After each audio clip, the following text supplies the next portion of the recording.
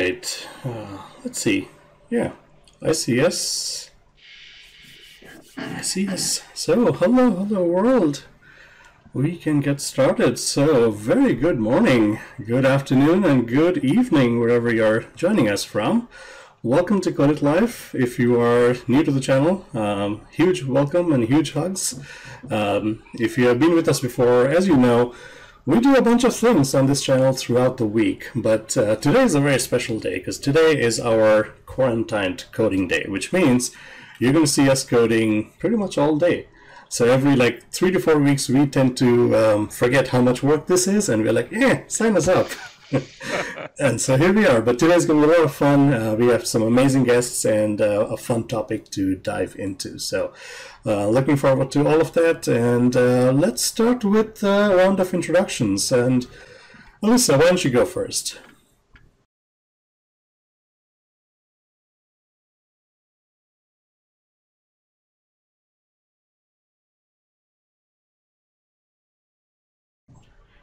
Yeah, Xenonus, uh, I'm not echoing because I am on a mic on my own, and uh, yes, we're good.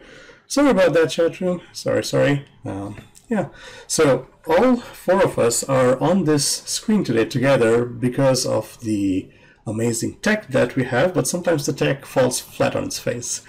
No, it's it's funny. So I'm in Pennsylvania. Uh, Alyssa is in uh, Missouri.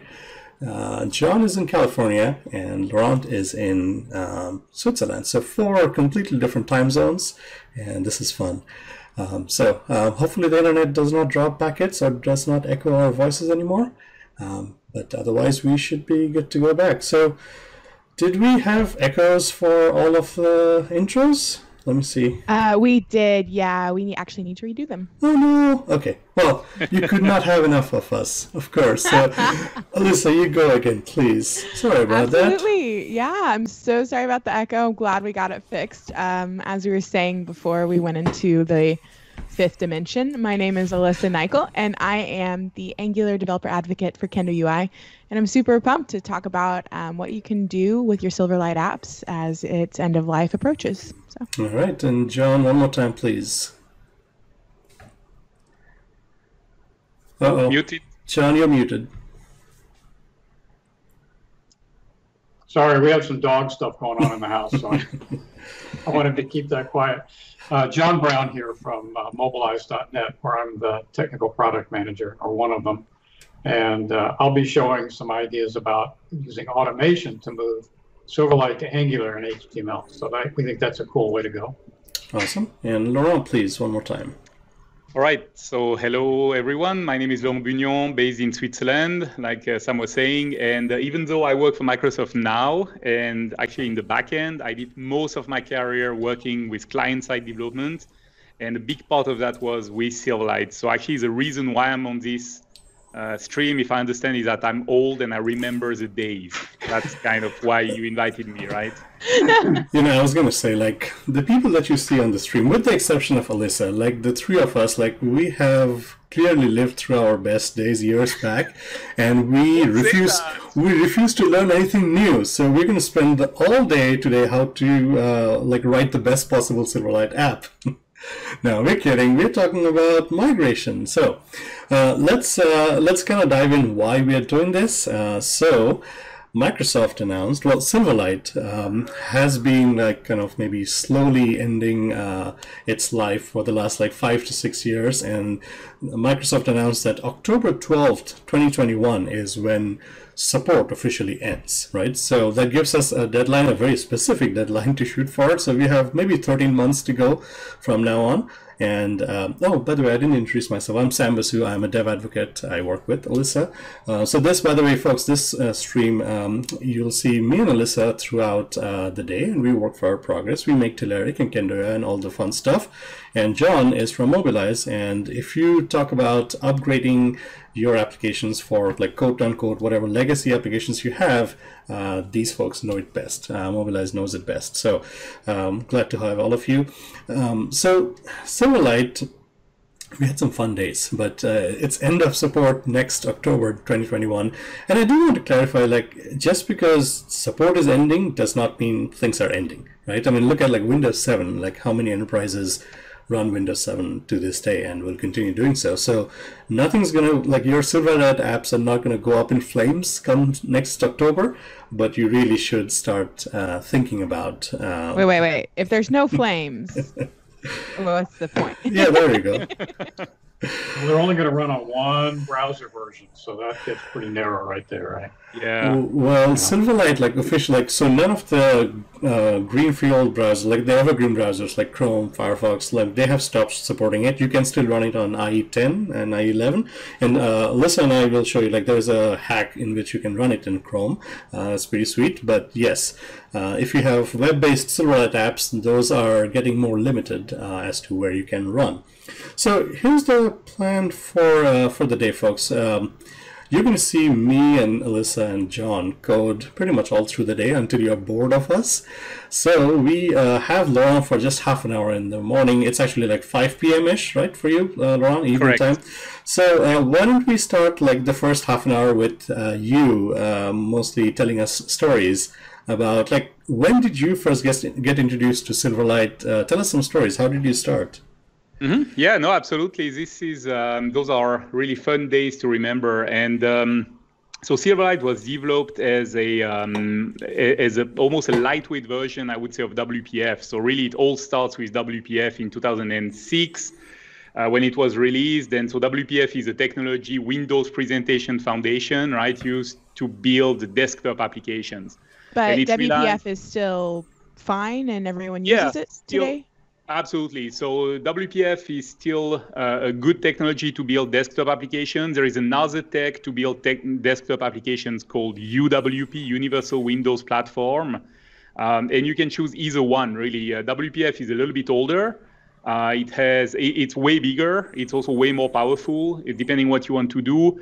Um, but for certain uh, choices, it, it can be a good choice, totally. So it's still supported. Uh, in fact, they are actively supporting it. They are putting it on the .NET Core, which uh, means that the backend at least can run on multiple platforms, Linux, etc. Um, the the front end no, because UI is is tricky to to get on multiple platforms.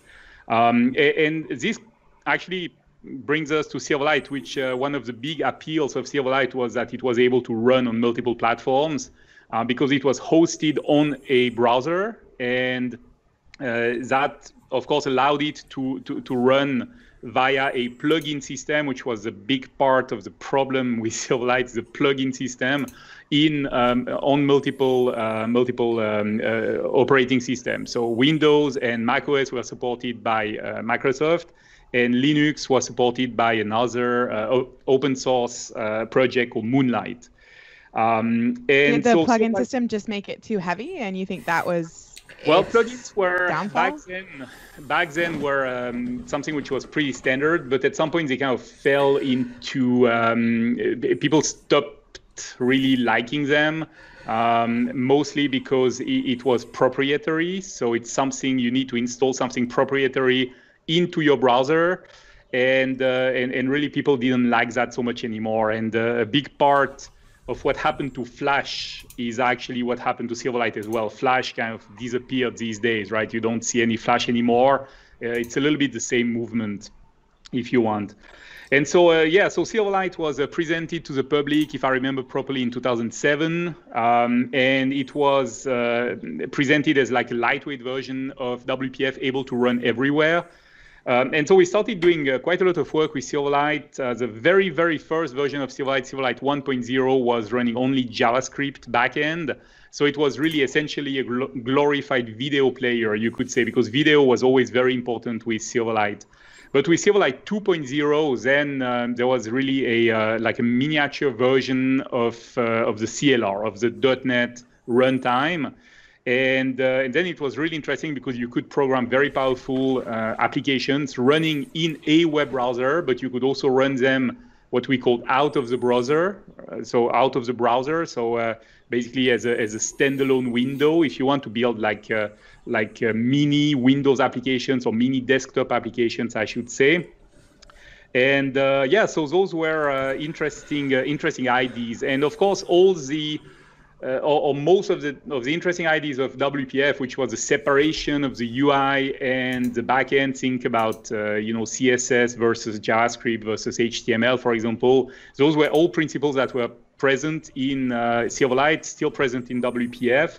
And that made for a very powerful platform for uh, developers, but also for designers. So there was this whole interaction, developer uh, designer interaction, which was going on. Uh, Silverlight is also probably, well, I don't want to say that. Let's say one of the only uh, Microsoft products which has a really cool name, right? So we were talking about that before with John and saying that the um, the name came kind of uh, a pun on Flash because the Flash is a silver light, right? So there was this idea of uh, of uh, Silverlight being positioned as a competitor to Flash initially. Um, and uh, of course, you could do some really cool things, like for example, I mentioned video player. Um, in Silverlight, uh, actually, the best video players were built in Silverlight, which explains why Netflix was still built in Silverlight for a for a very very long time. For example, they had adaptive streaming, which meant that if your um, if your uh, desktop, if your network connection was going down for a bit, um, uh, down in the sense that it were it was less powerful, less fast for a bit, then they would adapt the, the image quality dynamically and then go back to the full image when the network connection was restored. So that was pretty cool. And uh, I would say for me, um, my uh, my tr- my trip in Silverlight started uh, probably around that time, and I was very uh, very blessed that uh, Sams uh, asked me to write a book. So that's my book. I still have it. It's a big oh, book. Oh, shut the front door. That's I awesome. know, right? And, uh, and then after that, because I like pain, apparently, so I wrote one, and then I wrote the other one. I wrote the sequel also, which is even bigger. Um, and and then and then I said I won't ever write a book anymore ever again. Um, not because Sams was not good with me; they were absolutely awesome, but because writing a book is a you know work of you know love and pain, especially pain. So it's uh, it's really a very um, yeah, that's pretty awesome. You wrote two books. Okay, so yeah. I, I, have some stories here just to kind of tie into what, what sure. is saying. So, uh, Alyssa, you may not know some of the history that some of us old folks know. So, uh, when uh, Microsoft first released um, WPF, which was the first time we saw like XAML and, and C Sharp, it was all very Windows based. And so Silverlight was an attempt to take it outside of just Windows, make it work everywhere. In fact, uh, fun fact, now that we talk about .NET, modern .NET, it's all open source, it works everywhere, but Silverlight was the first time where .NET code worked outside of Windows. So in fact, when uh, .NET Core 1, uh, or like the first iterations of it came out, it actually borrowed some code from Silverlight code bases. So it yeah. was a fun time. Uh, the dev experience was uh, fantastic for those of us who were into it. Uh, not as much as Laurent, who wrote two books on it. Uh, yeah, speaking of like uh, uh, technologies that have kind of left us, uh, I was having a conversation like we have written like books on Windows 8. Uh, others have written like lots of books, and like we have. I mean, if you have been in this industry long enough, you have seen things sunset. Uh, it's just mm. a natural part of it. So in 2000, so true, yeah. in 2007, so I want to highlight, um, um, start highlighting messages here if I can. So uh, our good friend Didi is on the call, obviously, and uh, she's thanking Apple for a good reason. So in 2007, we were just all happily chugging along, and then something fun happened, and that's Apple releasing the iPhone. And then yep. the world kind of started changing, and we have iPads, and everything. We wanted things on the iPad. So mm in 2011, I think, uh, Steve Jobs wrote a scathing letter. Uh, let me try to show. Um, another what? uh, yeah yeah. This was an open letter and this was flash. This was aimed at flash because uh, people wanted flash applications to run on ipads and flash had some serious yeah. vulnerabilities like security problems so wait are you saying apple is the sole downfall for this? For the plugins model yes. The vulnerability thing was uh, was the excuse, right? The the real reason why Jobs didn't want you know applications written in Flash or by extension in Silverlight. I, am not even sure he knew Silverlight existed, right? But you know, Flash was the main uh, victim here. But really, the real reason is that they couldn't monetize that because those applications were running in the web browser. Yep. And so when he says, um, you know, security issues, that's all, you know, wrong, right? That's not the reason. The reason is that they wanted their 30% on every application running.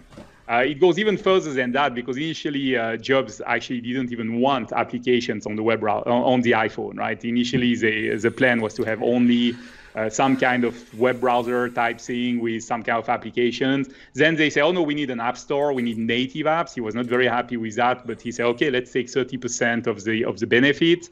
And then came Flash and also Silverlight, right? By extension, I would say, uh, which was saying, oh, we can run rich, uh, rich applications in a web browser, and uh, there is no way basically to bypass that, except that, of course, you know, Apple could say, well, no, we won't allow the um, the plugin to run. Uh, I think the iPhone was one thing. The iPad was definitely a, another critical thing because uh, you know iPads being having a, a, big screen and everything that was really a good platform to run these kind of applications. And so that was a big no-no, um, mostly for financial reason, I I, I oh. suppose, and I'm pretty sure. yeah. So whether it was for financial reasons, security reasons, whatever mm. it was, do we all agree, as the comment says from at Larry, that it, we are better off? Yeah. Yeah, because yeah, of it, for sure. With where HTML5 um, is and, and yeah, where the I, web I, is. What I would say is, if we uh, consider where we are now, like uh, you know, 13 years after Silverlight came out, we are probably better. But we also need to consider that back then the web browsers were absolutely unable to do what Silverlight or Flash were doing, right? So when those issues came up, um, it was a hard time for everybody because there was really literally no way to replace you know the, things like the adaptive uh, uh, the adaptive video streaming that I was mentioning before um, there was no solution for that in HTML until long, long, long after, right? Yeah. So, which is again why uh, Netflix, even after Silverlight was uh, not really supported anymore, Netflix continued to use it for their web client because it was just the only way that they could do it. Um, I would say that, okay, in retrospect, I would say that um, the, the plugin thing, yes, we are better without them, most probably. The tech, um, well, the tech anyway, you know, flew into um, into um, you know um, .NET Core, etc. Uh, and now we are kind of going back to this idea of, of having a rich uh, application engine into the web browser with WebAssembly anyway, right? So, yeah. so there is kind of this circle going on, except that of course WebAssembly is not plugin, is not proprietary. Um, so yeah, I mean, you know, we learn in time. We we learn as we go. I would say 13 years later, yeah, probably we are better off without plugins. But 13 years ago, it was kind of the only way to solve yeah. this, right? Very true. So I mean, there are multiple aspects of this. There's performance, which uh, uh, Physiofali is saying. I mean, the iPads just got too warm to run these plugins essentially. So mm-hmm. yeah, Steve Jobs wrote that scathing letter, and I don't think he even knew that he was killing off plugins model, but that's the way the web went. And to Laurent's point, I think like we we were just missing things that we just did not have, uh, mm-hmm. but now the web has uh, matured enough. Uh, as a monetization platform, as a platform where we can run those um, mm-hmm. rich client-side applications, and things are coming along. Yeah, no, that's true. And uh, so I see somebody in the chat saying that uh, from a dev skills perspective, Silverlight was a great transition exactly. from desktop to web. And this is so true, right? Like a lot of people were finally able to do web apps. But for me, really, the real strength of Silverlight was not so much into the web apps in the traditional sense, but in the those lightweight applications running outside of the browser. And so we called them SLOOB, right? Silverlight, S L O O B, out of the browser. uh, which is a horrible name. Um, but uh, those were really cool because they were uh, very easy to update. All right, you didn't need to send an update like a setup or whatever. You just basically restarted the application and then it was updated already. Uh, they were lightweight. They were also cross-platform. Even the UI was cross-platform, so that was really cool.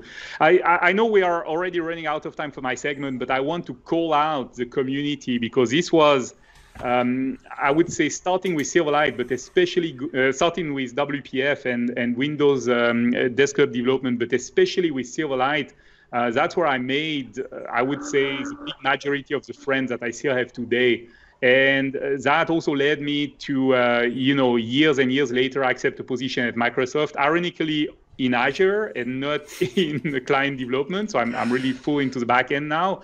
But the community around Silverlight was absolutely amazing, and I know Sam, you you you remember that as well, right? So there was a whole. Yes. Um, uh, first of all, the MVPs, right? The most valuable professional at Microsoft. So we had the Silverlight MVP group, which was really very close from the from the developers, and we could really like give our feedback and everything.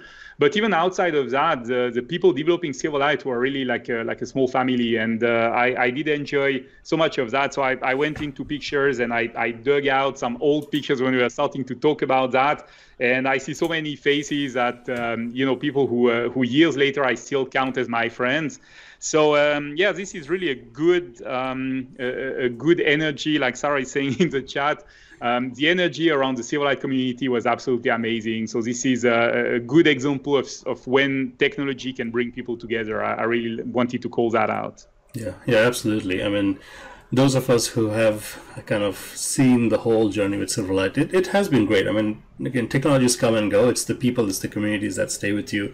Um, so, uh, no, one thing I do want to call out, like Laurent is actually the author uh, of MVVM Light, a framework that a lot of us have used all throughout our careers uh, that helps us build nicely structured enterprise applications. And uh, so, Laurent, thank you for bringing MVVM Light and bringing all of your experience and knowledge to Silverlight devs.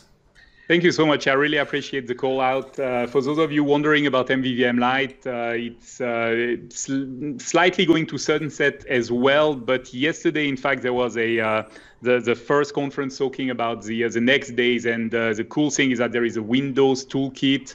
Um, which is full stock with tools and utilities. And this is a project, an open source project which is led by Microsoft, but which is uh, really led by the community before all. So there is a project manager, a Microsoft person, but this is a total open source uh, project, and MVVM Light is flowing into that and is uh, going essentially to uh, to become, uh, I would say, the, the, Windows Toolkit is becoming kind of the next generation of uh, MVVM Light. So it's cool to see that there is still interest around that, and there are some people who are uh, willing to take it and to maintain it, which which makes me really happy. Yeah, yeah. No, I mean, you, you have folks in the chat room, Laurent, who are appreciating you for MVVM Light. For many of us, like that was kind of your first framework you picked up when you started doing professional MVVM style like design pattern uh, development. So thank you for that. And I see lots of stuff about Blazor and all of the tech. We will talk about all of that stuff. So mm-hmm. we're just setting up the stage here. Uh, so uh, before we let you go, Laurent, I know it's late evening for you. Um, what was your like fondest memory of Silverlight? Something like that was super fun in the community, or something you did by yourself? Well, I mean, the I mean, obviously the books were a uh, you know a pretty amazing moment, right? Uh, especially the, this moment where you where you get the book in your own hands, and uh, it's funny because I was actually um, not home when I received the books. Uh, but my daughters got them and they were Aww. really happy. So that was like Aww. 12 years ago, right? And, uh, apparently, That's um, cuteness overload. In, uh, in, each of my books, I actually managed to place a picture of both of my daughters. So I was kind of using their picture for uh, some demos so that was uh, that's always a fun thing to do, especially the first time we went to a bookstore and I showed them, hey, look, you're inside the books that is inside the store, you know, an actual store. Nice. Because back then we were still buying, you know, books in stores, right? that was long ago, like I said. So so that's uh, definitely one thing which was magical, but. Um, for me, really, it's uh, again, I go back to the community, right? I mean, I was able for the first time in my life. I'm, I'm I live in Switzerland. The community here is great, but it's small and uh, I was able to go in literally any city of the world, like in the US, uh, landing in Chicago at noon, sending a message on Twitter and saying, "Hey, does somebody want to have dinner with me?" And I ended up having 10 people coming for dinner with me, right? And uh, it was absolutely amazing to go everywhere and to be able to talk to people about that and, and to make new friends and all that. And, and some that's, you know, you and me, that's how we met as well, right? So this is really, uh, those friendships are uh, long lasting. Sarah as well, who who was mentioning it on the chat. So for me, that's really the, that's really that. I would say it's uh, this feeling. Uh, the tech was amazing. I think it was really um, in advance for its time. Uh, it has kind of run its course, I would say. So it's good to see that we have some uh, solutions to to move over. But uh, yeah, it was uh, it was really um, a very fun time to be a developer. Absolutely. All right, Laurent. So I know uh, it's late evening for you, so we appreciate you just hopping on and starting off our day with uh, so much of the expertise and so much of what you have seen with Silverlight. And yeah, let's uh, keep this going, Laurent. Thank you for what you do again. Uh, we're going to let you go and kind of dive into some migration strategies. Okay, so thank Absolutely. you once again, Laurent. All right. No, thank you so much for having me. It was my pleasure. All right, so Alyssa and John, stay on here, and I'm going to switch to a mode where we can see each other and a visual. And let me make sure there are no echoes. One more second here. Uh, yeah, I think I have everything turned off. Um, could you either of you say something, please? Hello, hello, hello. Yeah. Testing, testing. Chat room, let me know if there are echoes. Uh, should not anymore. I don't hear any echo. Okay, perfect, perfect. Okay, let's talk about what are your options, right? So there, there's a um, there's a do lot. Do you think though, Sam, that you're hitting your peak on your you're hitting the red? Oh, whatever that's whatever that's called in a mic. yeah. Okay. Move it away a little bit. Sorry. Let's talk about options because there is a lot of options uh, on the table. So first thing is, uh, for me, if you look at what Silverlight apps were built in, uh, primarily C Sharp and XAML. There were plugins that kind of um, uh, hosted the app inside of uh, a web shell in a browser or maybe even outside the browser.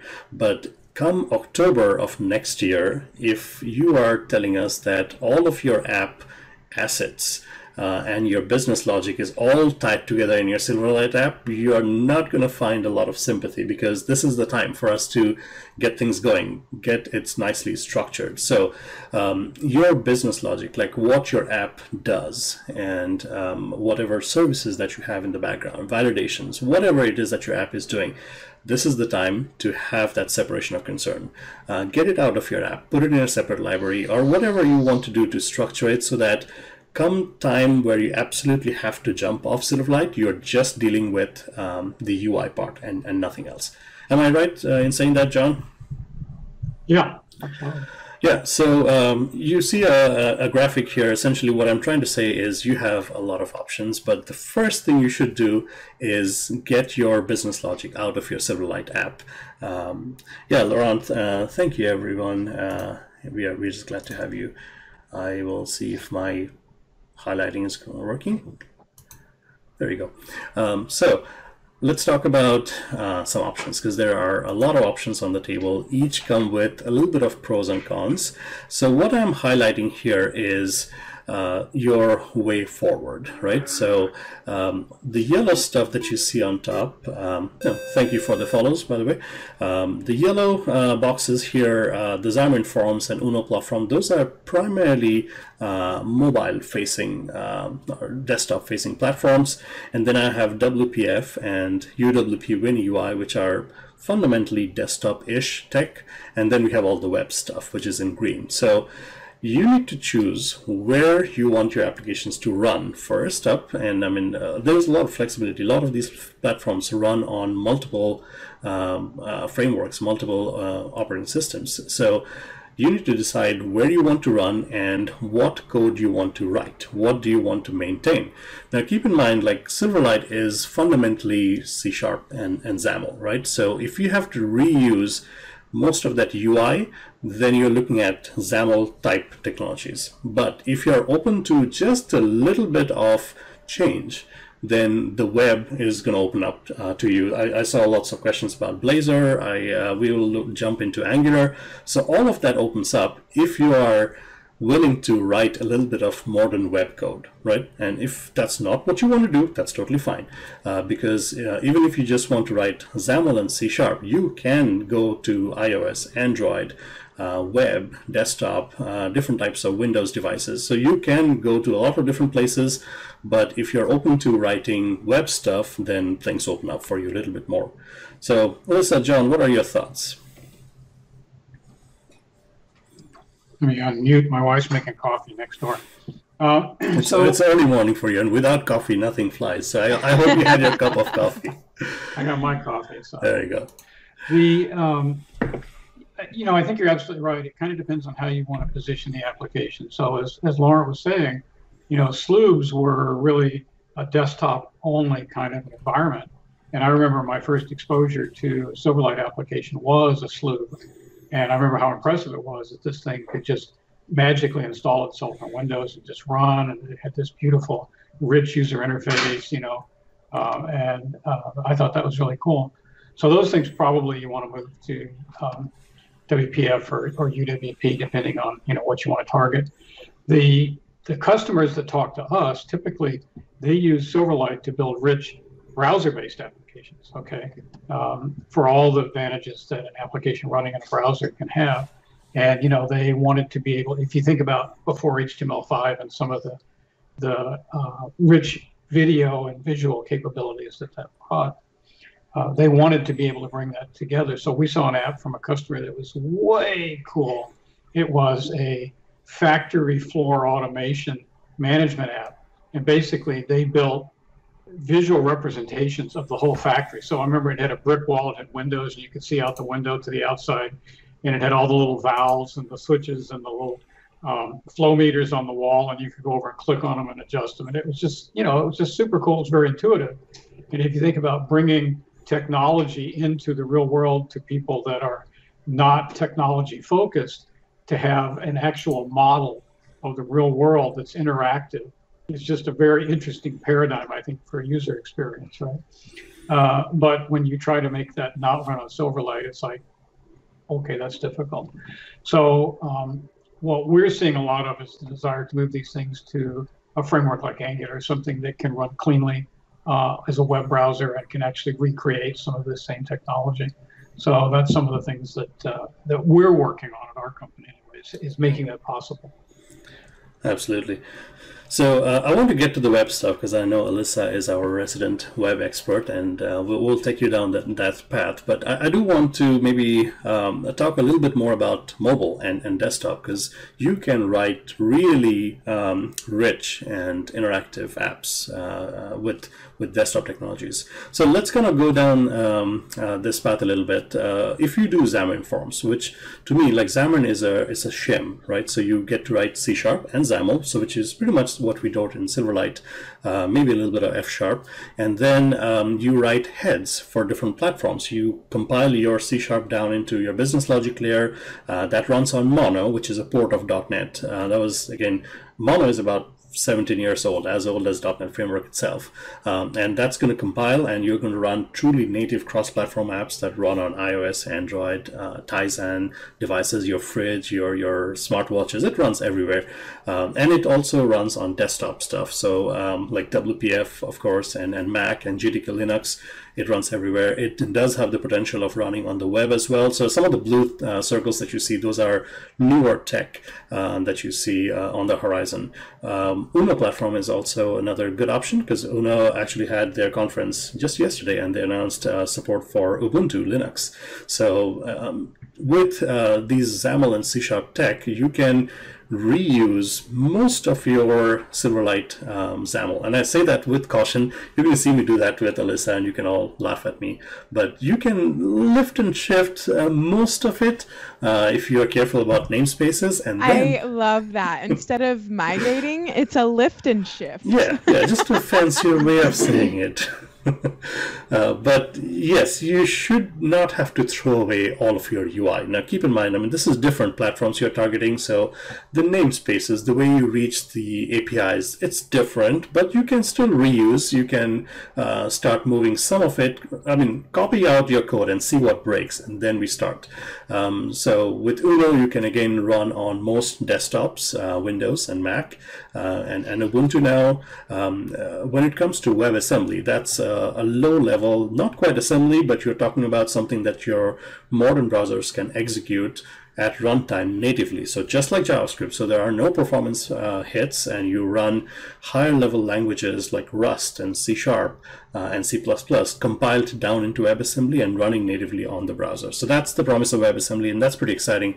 I think Uno does a very good job right now of running uh, C Sharp and XAML, which is what Silverlight was on, uh, on the browser through WebAssembly. so that's exciting. And then obviously we have uh, the mobile form factors. If you just know, here's a question, like maybe John, you can chime in. Um, a lot of enterprises that build Silverlight apps, I mean, those are line of business applications, right? And and they are probably okay if it's just a rich desktop client, right?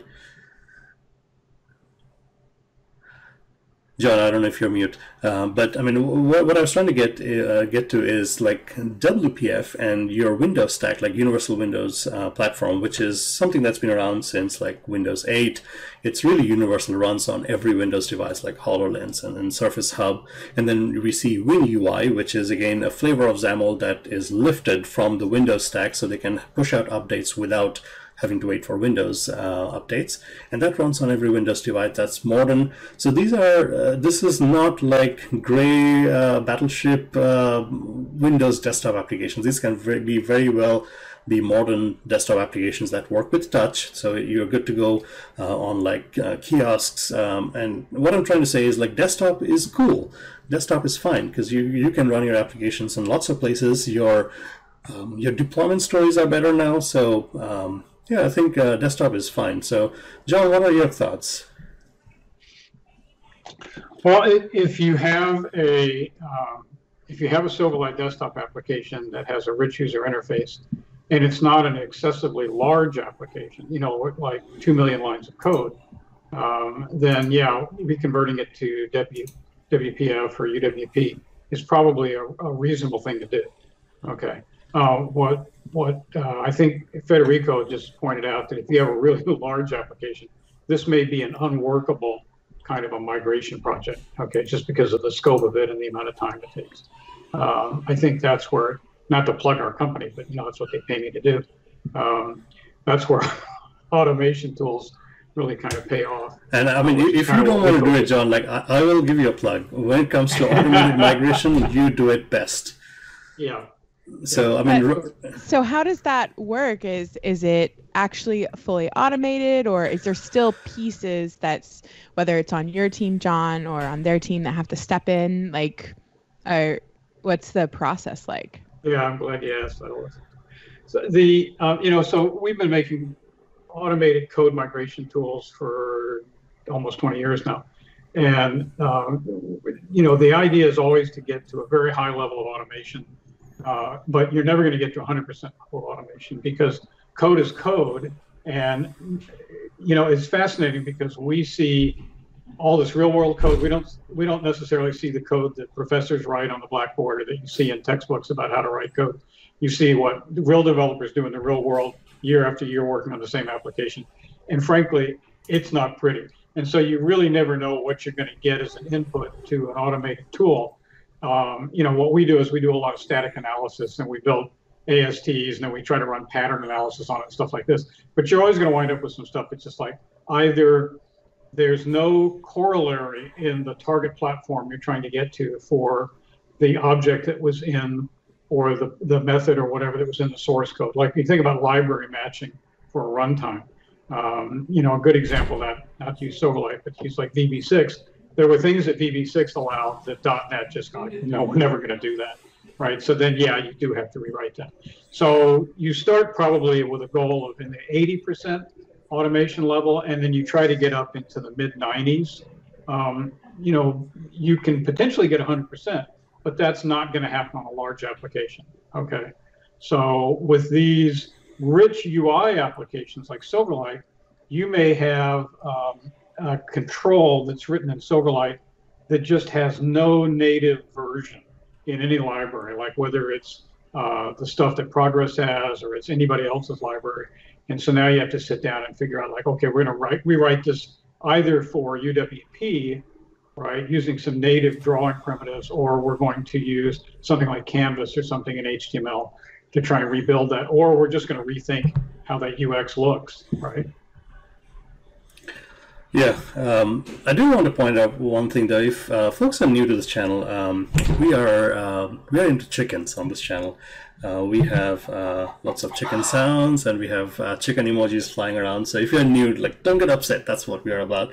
I don't know how this started, uh, but we are about chickens and, and donuts apparently. So it's the Code It Live chicken. Come on. yes, yes, yes. And I mean, we have uh, our friends Didi and Sarah, and I think that's where we started with chickens and stuff like that. So it's Plus, fun. I think the chicken is one of the most noble animals. So all right, all right.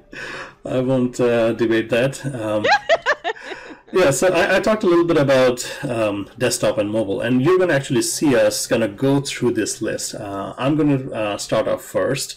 Yeah, and uh, folks have um, figured out how to have chickens flying around this uh, screen, so thank you for that.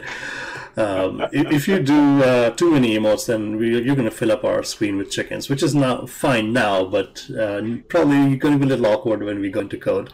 Oh, I think it's fine. I think yes. it enhances anything really. It elevates. Um, so you're going to see us go through this list. I'm going to start off doing some .NET and XAML, kind of trying to do that lift and shift thing uh, for uh, from Silverlight over to like Xamarin Forms and Uno and and UWP and WPF and making it run. But let's talk about the web stack. Because ideally, if you have a Silverlight app today, and if you are set on having a Silverlight based like or uh, a web based app tomorrow, then you are looking at web stuff. So let's talk about uh, Blazor and some of the other like web frameworks. So let me um, have you go, Alyssa, here first. So Alyssa is our Angular expert. Um, do you find like Angular being prescriptive and I mean having uh, I mean, you come into an ecosystem that has guidance for enterprises on how to do stuff.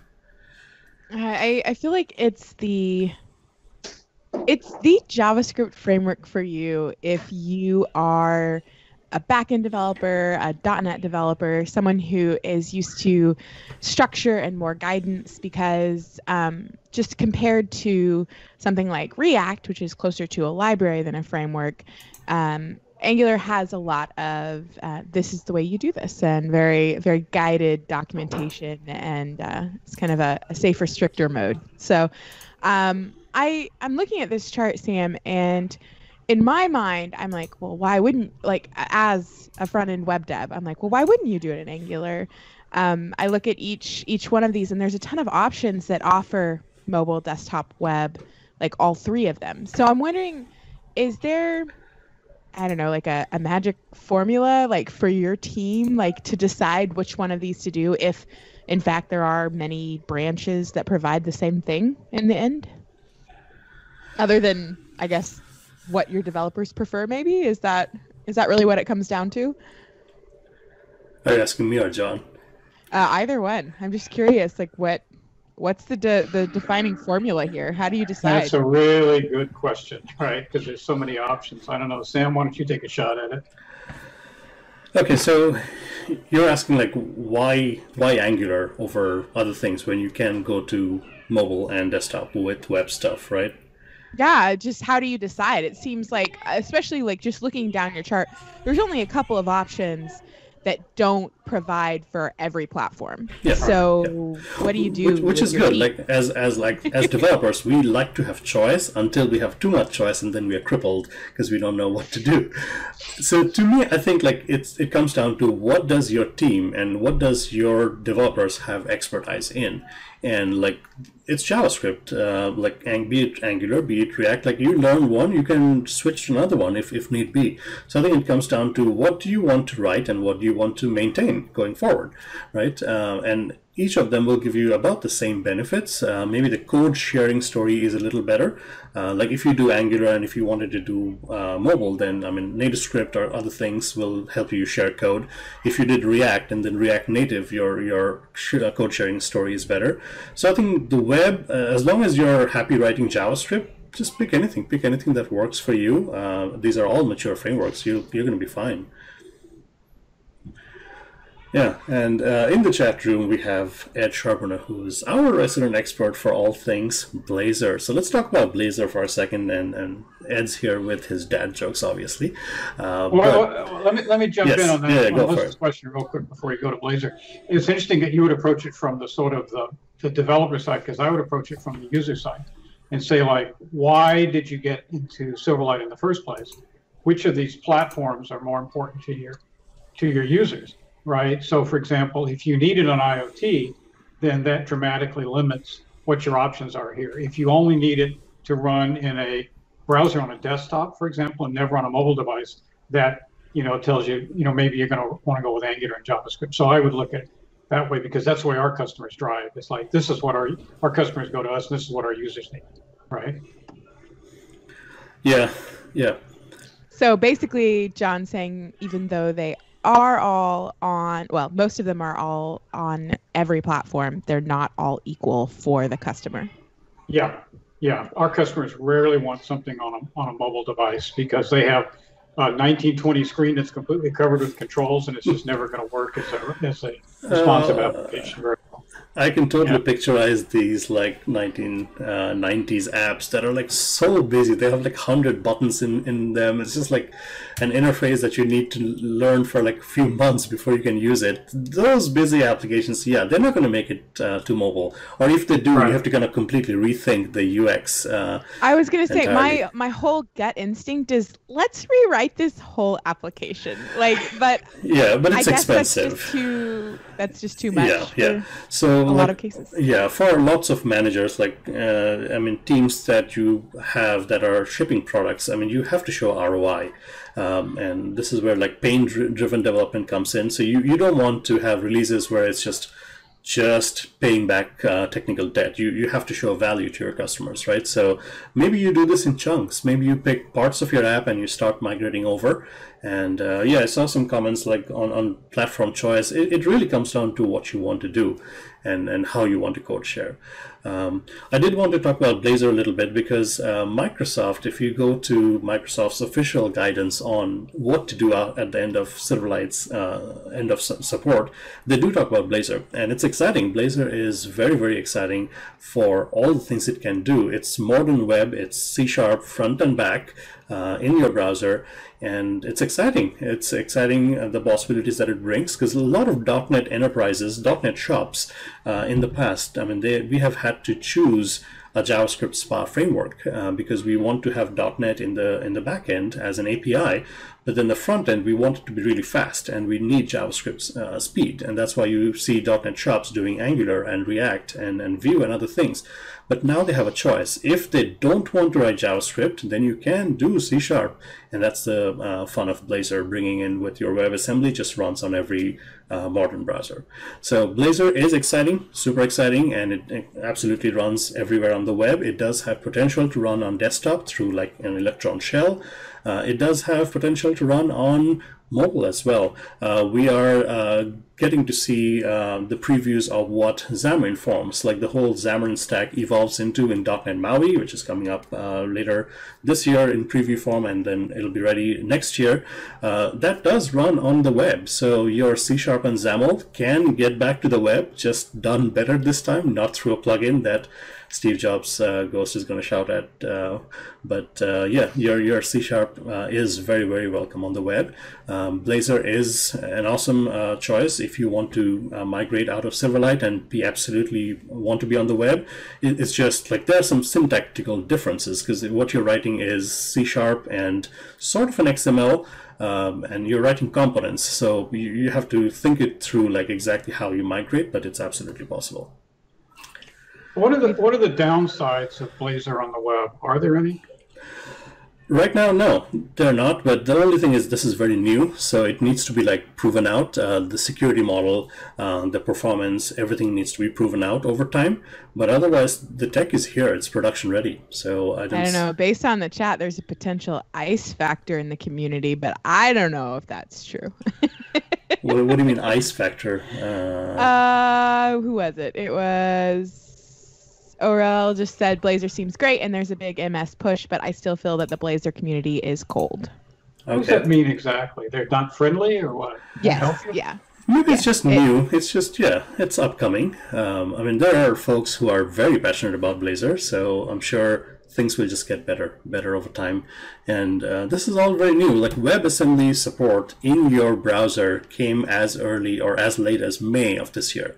So this is still very new tech that you're looking at, but there are plenty of pioneers. There are plenty of folks who love this stuff and they're pushing it forward uh, every day. So it's going to get better. There was a hydrate redeemed, Okay. darlings. Okay, okay, okay, hydrate. Yeah, we've been talking for a while. John, I don't know if you have a drink with you, but it's early morning for you. And uh, yeah, there you go. So on that note, I mean, uh, I know folks wanted us to actually get into code, which is what we want to do. Just yeah, we just wanted to set the stage because there's a lot of choice, and we want to go through the list and show you um, the pros and cons of some of this stuff. So, John, um, any thoughts from you? Because I think what we want to do is uh, let you go for a little bit, and Alyssa and me are going to try doing some XAML.NET uh, lift and shift. So, your thoughts uh, right now with Silverlight and what you see moving forward. Yeah, great question. Um, you know, I, I'm going to go back to a comment Alyssa made earlier, which is I just want to rewrite the application. And um, we, you know, I hear this so much from people who have old legacy things that are out of support, or they just, you know, whatever, like whether it's Silverlight or it's PowerBuilder, or it's old VB, or it's Delphi, or whatever. And um, I know that whenever we look at old code, we go like, oh my God, this is just so awful. I want to just start from a clean sheet and build a perfect architecture and build a perfect object model and have everything be clean and use all the modern patterns and everything. And it's it's it's the noble goal, right? Um, and as a matter Well, fact, you didn't I- even mention my side of it where I come from, you know, this super altruistic, what does your user need? And uh-huh. surely, like 20, 30 years ago, those needs have changed. So maybe we need to break services out. Maybe we need to rewrite the UI. And it, you know, with constantly changing, you know, screen sizes, it needs to work on every screen size. What if they want to complete orders on an iPad or a mobile device in the factory or on the print floor or wherever it is? And so for me, uh, you know, it's not even the architecture or the code itself, but it's looking at it from the client side, thinking, oh, this is what you have to look at every day. Like, there's got to be a way to streamline this flow and to fit your needs of, you know, 2000, you know, 20, what is it, 2012? I have no idea what year it is. Uh, 2019. 2020. 2020. I sometimes me and my husband have to remind each other about our birthdays. It's bad. Like It's, I uh, don't yeah. know dates, but whatever it is, like so that's that's where I'm coming from. And so, but I get like you're saying it's a noble goal, and I guess it's what unrealistic.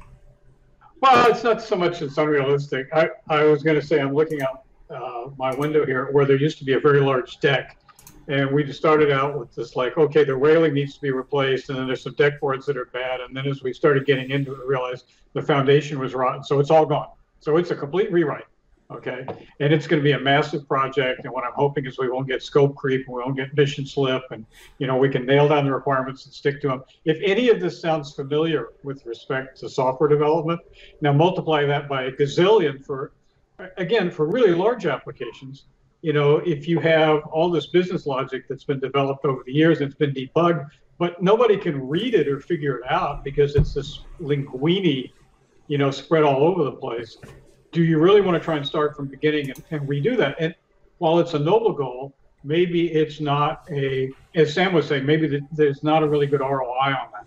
Okay, if the application works, and you can rebuild the user interface and then gradually chip away at refactoring individual pieces or or carve out a chunk and make it a microservice that you can expose and then maybe comment out that code or just you know park it somewhere so you don't break any of the dependencies on that code but it's no longer actually being used in a real production way okay so, those are all John, different for those dreamers out there like me, those front end web devs, can Yeah. you give us like, without I don't know breaking uh, NDAs or anything, can you give us like just an idea of an app that is too large to think about just being like rewrite, throw you know throw this out like.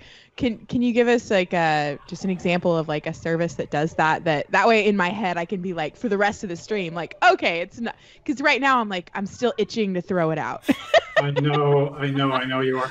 Well, here, think about think about a um, a medical uh, a medical records app. Okay, so um, it's an ISV, and they have an application they sell to, let's say, ophthalmologists, and it handles all of the uh, client billing, it handles all of the client records, it handles all the automation to the testing equipment.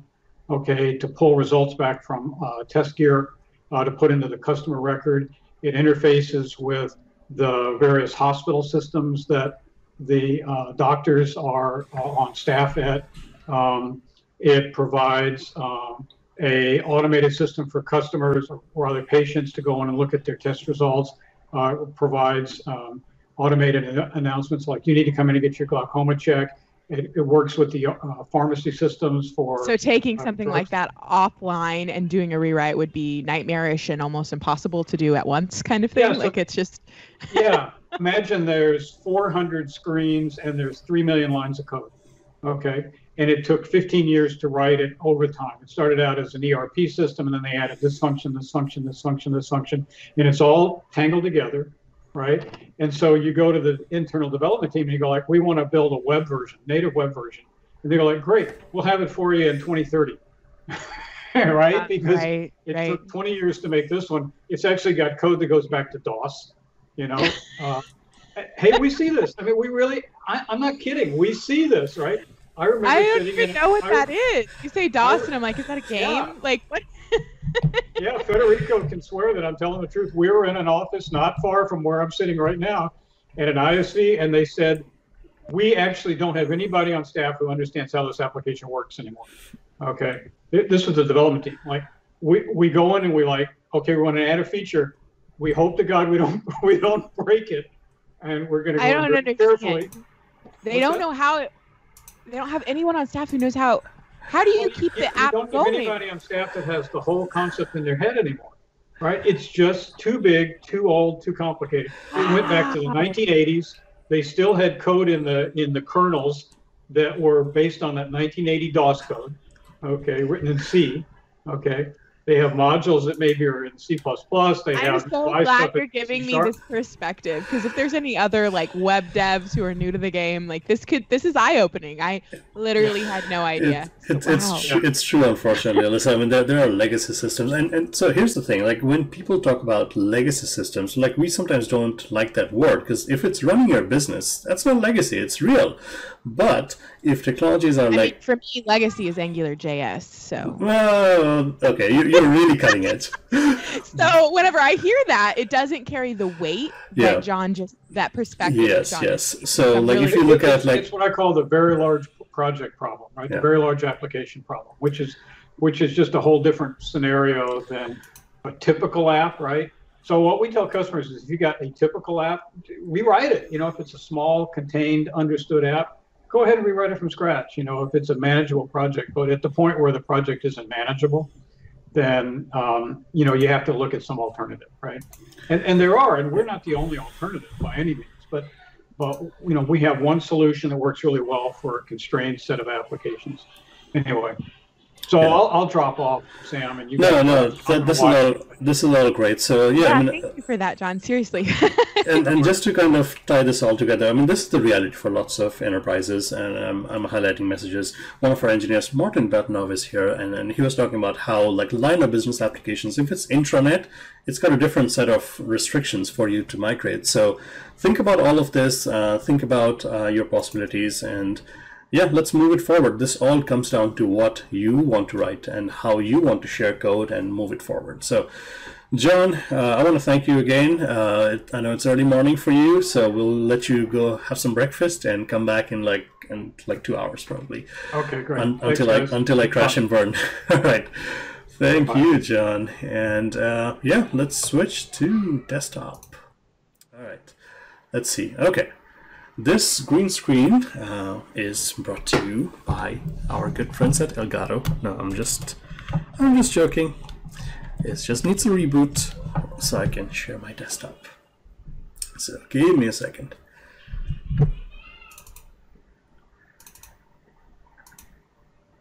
It's amazing. I have these camera webcam settings that I use to control my web camera as like far much like exposure and lighting and apparently Skype like kicked those off just now. I'm amazed at like how much control it has.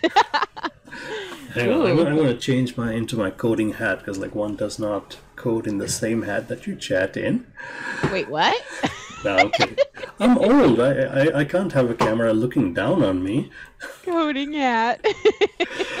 All right. Uh, so that, by the way, is not my car, folks. It's actually Iron Man's car. It's the Audi e-tron GT. It's an all-electric supercar that's coming out next year. Okay. So. Did you uh, just say Iron Man's car? Yeah. Uh, well, in uh, Avengers Endgame, uh, Okay. Iron okay. Man was I, seen I was driving like. I was like, you know, he's not real, right? Like, Yes, I know. All right, folks. Uh, this is where uh, the rubber meets the road, and we're going to try to do the things that we talked about.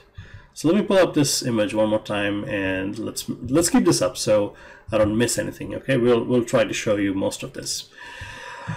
All right, so let's see. Are we good here? Um, sound is good. And Alyssa, I think I. Okay, wait a second. Are we doing giveaways? Uh, I know we were doing some prizes. Uh, so, folks in the chat room, uh, Didi and Sarah and Ivana, are our good friends, if you want to drop in uh, a link to the form. So, folks, we are giving you some prizes. Uh, yeah, it looks like the Nightbot did up Mhm, a couple. Nightbot did- if you wanna. All right. And I just want to make sure there's no echo on you, which should not be. Uh, let me Yeah, I think talk. Hello, hello, hello. Yeah. All right. So let's uh, start with just the basics we talked about. So, like I said, um, if you have a Silverlight app, uh, I really, really hope that you take the time. And this is not just for migration. This is not just for Silverlight uh, apps. This is for true for any apps that gets complex and bloated over time. Separate things out, please, because it's it's for your own good, and um, it just gives you the uh, sanity check. Uh, and before I go forward, where's my music? It's getting lonely here while I code because you'll have like awkward pauses while I struggle. I'm gonna grab some more coffee, but I'll be back in two. All two right. seconds. That is. I'm just waiting here.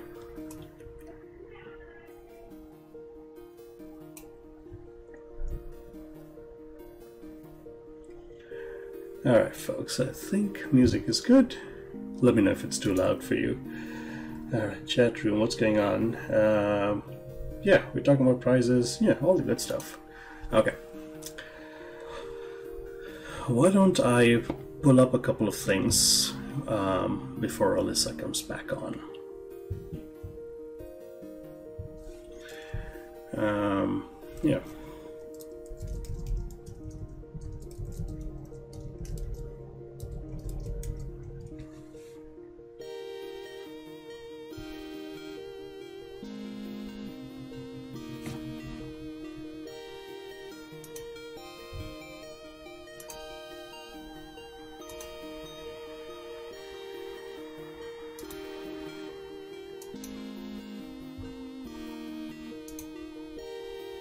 You back? Oh, you're putting on your headphones.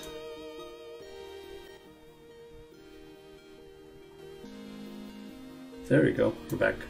Can you hear me still? I can. Hello. All right. Okay, we are doing prizes. Ooh, Amazon gift Who- cards. Who's credited with killing Silverlight? What? Ah, so Ed is making fun of me because I spent um, like three years on Windows Phone, and I saw it die slowly. That's not good. All right, yeah, you folks uh, do the do the form for the prizes. We'll keep on drawing throughout the day. Okay, so Alyssa, you know we are going to have a rocking time when we begin our coding from a blog post in October 2008. some of you, is in- happening? yes, so, some of you in the chat room, you may have been going to school or still uh, in your diapers, maybe, or maybe that's too much. Um, but this is old. Uh, but this was when Silverlight was really kicking, uh, kicking butt with all the uh, updates and all the love that it was getting. So Silverlight came from one, uh, which is its first production thing, to two, three, four very quickly, and then Silverlight five came, I think, in 2014, 13 right? Something around that time, um, and, and then it started going down. Um, All right, uh, Scott Guthrie, yes. this is actually Scott Guthrie's uh, shirt. So if you did not know, um, Alyssa Scott Guthrie is uh, vice president at Microsoft, and he's an absolute uh, super smart uh, individual. Runs all of Azure org right now, and he wrote a lot of these MVC and Silverlight uh, frameworks, and, and his teams wrote. When it. she said that, I was like looking for like Scott Guthrie in the chat. Like, I don't think he's going to stop I, by here I today. gotcha. He's a little busy, but uh, I'm going to use a couple of things as um, uh, basics for us to uh, lift and shift. Okay, so one of these things is uh, an app that was written. This is back when we had a thing called Digg, and um, like you could dig stories. Uh, so this was like movies, and this was like a classic Silverlight look and feel of a Mac uh, application or like uh something running in Safari. Uh, so, folks, if you're following along, like there, there's source code right down here, so you can look up um, this Silverlight source base. This um, code base. Sorry, what am I saying? Source base. What is source base? Okay, so we're going to take that and uh, try to get that to work. And another thing I want to do is uh, I want to show a little bit of like custom stuff. Like if I go into our stuff, Telerik, and if I look right down there, Blazor and Silverlight are right next to each other, equal priority. No, I'm kidding. Uh, Silverlight, by the way, folks, we still put out UI for it every release, and folks use it all the time. So this is great. Um, but what I'm going to do here is this is our Silverlight UI. I'm going to try to maybe lift and shift a couple of this UI and see how that works. And here's a trick that you may not know. I'm in Chrome right now. And if I go into demos, it's going to say, eh, can't do that. it doesn't run Silverlight apps, but there's a hack. So there's a little extension called IE tab. Oh no, what's a sound? Oh god, that's a really sad sound track. Sorry about What? that. No, You have a sad sound? yeah, the soundtrack is really sad and depressing. Okay. Okay, let's try to get something more upbeat.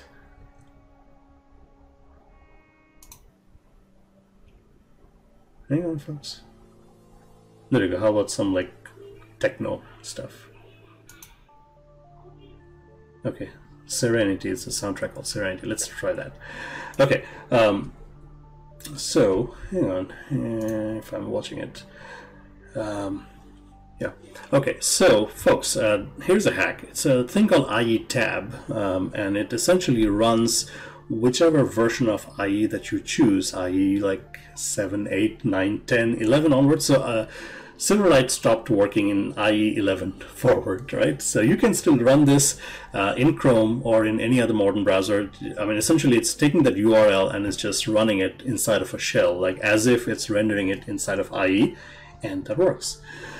Seriously, this Chrome extension was amazing. Yeah. I was so excited when you found it, and it works so well. So Yeah, yeah, good for that. Uh, so there are some sample applications. These are a little heavy now. I mean, we're trying to do this in one day, so clearly we will not uh, move a gigantic application and migrate that forward, but we can take pieces of it and, and try to make it work. So I'll get to this in a bit, but let's start with just the basics of this uh, sample here. So this is uh, an application for uh, looking up a list of things and then uh, maybe highlighting something and doing a little search. Let's start with uh, what this looks like. And I'm going to pull up uh, and keep this application code base. I do have it open uh, or download it. So let's do VS Code. And I am going to pull up, see right here in my downloads, there's a thing called Digg sample. Uh, C sharp. I don't want to see VB because that's going to scare me and a few other folks away. VB is Visual Basic. It's it's a whole other game, Alyssa. okay, can you? Why is it scary? Wait, what? Oh boy. Oh boy. Okay. Like that? Just a short version, because I have no context here. Okay. So Visual Basic is where a lot of things started in the Microsoft stack, uh, and then .NET came along, and .NET is more of a framework. It's a runtime, while Visual Basic was a language, but we brought over Visual Basic in modern .NET as well. Um, yeah, Ivana, I will make my code bigger. Yes, absolutely. Uh, I'm just trying to explain VB and uh, trying to fall apart here. So we'll, we'll, we'll see how I do that. Uh, Was VB on the chart of options? No, No, No. but uh, VB.NET does run on modern.NET, but it's just like one of those things where there are not a lot of takers, not a lot of devs who do VB. I started with like VB6 back in the days. You could do VB scripts. It's a language, it's a scripting language. It could be a language for making desktop applications, uh, but VB is welcome in. Um, in modern.NET, just not a lot of people do it. So uh, C Sharp has kind of taken off uh, a whole lot more. Gotcha. Oh, so what is uh what are we in right now? You said we're in Yeah, we're in uh, VS Code, and uh, we are looking at a quick sample here. So this is classic Silverlight code base, right? So you are going to not see some of the cruft that Silverlight pulls in to make things work on your browser. So some of that, like if I look into um, like AppXAML, uh, and appxaml.cs, like uh, the root visual like starts with a page and then it does a few things behind the scenes that you don't want to get into because Silverlight's runtime is responsible for kind of um, uh, hosting your app inside the shell, inside the plugin, and then running it on the web, if that makes sense.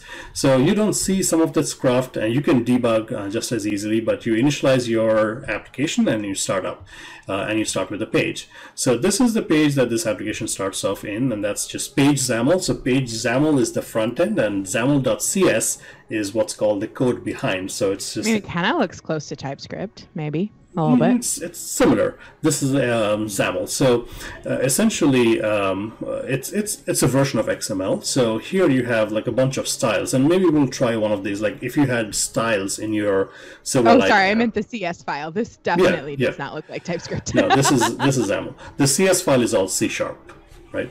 It's it's the code behind. It's the crux of what the app does or what the screen does.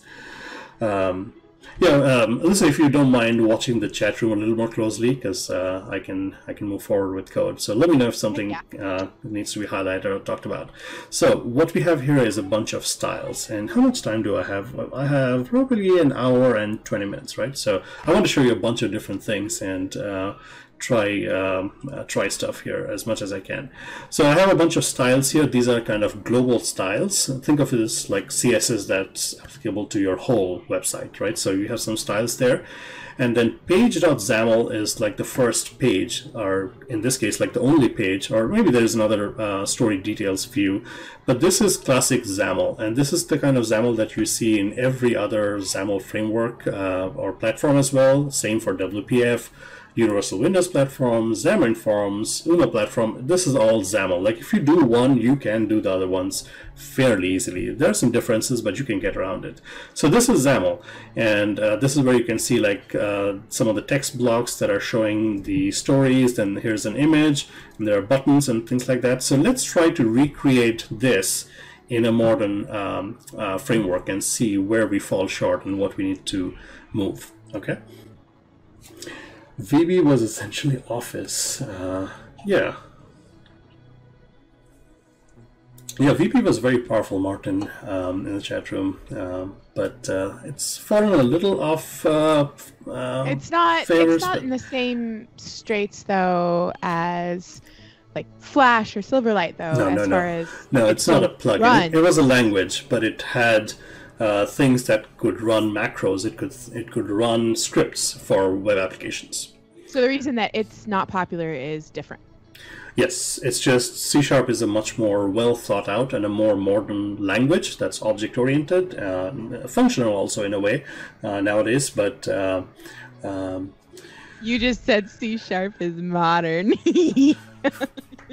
well, maybe for us old folks, it is modern. no, I'm sorry. Anything anything that's not JavaScript is very hard for me to wrap my head around. So I do appreciate you explaining it, Sam. Yeah, I understand. yep. Well, um, it's. Um, I mean, just nowadays, like uh, with C Sharp and with JavaScript, like you can reach just about any platform, right? So just pick what you want to do and just like stick to it. Yeah. Okay. Uh, I'm going to not slow down too much uh, with Ed and Martin around, who can slow us down. Uh, so let me start coding and uh, try to see how this looks like. Okay, so let me pull up uh, Visual Studio for Mac. I'm on a Mac. Uh, I'm going to do a new project here. And I want to show you the flexibility of some of the XAML and C Sharp code uh, that you see in Silverlight apps. So what I'm going to start off with is a multi-platform app. This is Xamarin Forms. This is essentially the shell that runs your app inside of iOS, Android, and a whole bunch of other platforms. And we will just say blank forms uh, and just hit next. So let's do Silverlight. DD said that uh, VB is modern compared to punch cards.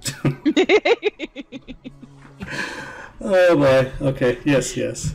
There are folks who absolutely love VB and want to see it everywhere, and Microsoft is supporting them, uh, maybe a little grudgingly. Uh, but uh, okay, let's uh, start a Xamarin Forms application, and I want to show this. Like uh, we're going to take some XAML and try to make it work on as many platforms as we can from Silverlight. So this is a Xamarin Forms application, runs on iOS, Android, out of the gate. So that's all good. Next. Yes, next. I don't want to UI test my app because my code is perfect. No, this is a demo. Okay, so this may be uh, new to you, uh, Alyssa, but essentially this is classic Xamarin Forms. So we have platform-specific projects. I'm going to pull this up a little bit. Um, so we have platform specific projects for each platform that you want to support. In this case, it's iOS and Android. And then you have what's called a shared project. This is where you want to have your shared code, your assets, your business logic, all of it goes there. And your goal is to write as little platform specific code as you can, because uh, that's what uh, ties you to a platform. You're trying to write abstracted code. If that makes sense. So this is a .NET standard library that can be shared across um, all the projects.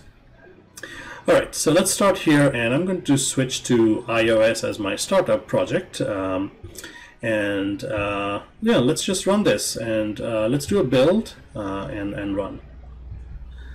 And essentially what you're going to see, I see the emotes floating around. Uh, yeah, what are we burning on, Ed and Ivana? Okay. Okay, all right, I know it looks like there's a trivia coming up. No, no patching and talking about coasters. I see. I see all the fun that you're having. All right, we're going to wait for this to build. but also, DD said that when I started at Microsoft in 1991, I launched VB. Is DD oh. saying she wrote VB? What does that comment mean? I don't know, but she may have been involved in the early days of VB. Shut the front door. okay, so um, ooh, what is this? Oh, this is. to check, darling. Yeah. Uh, this is just like Xamarin Forms starting up to say, hey, welcome to Xamarin Forms. Okay.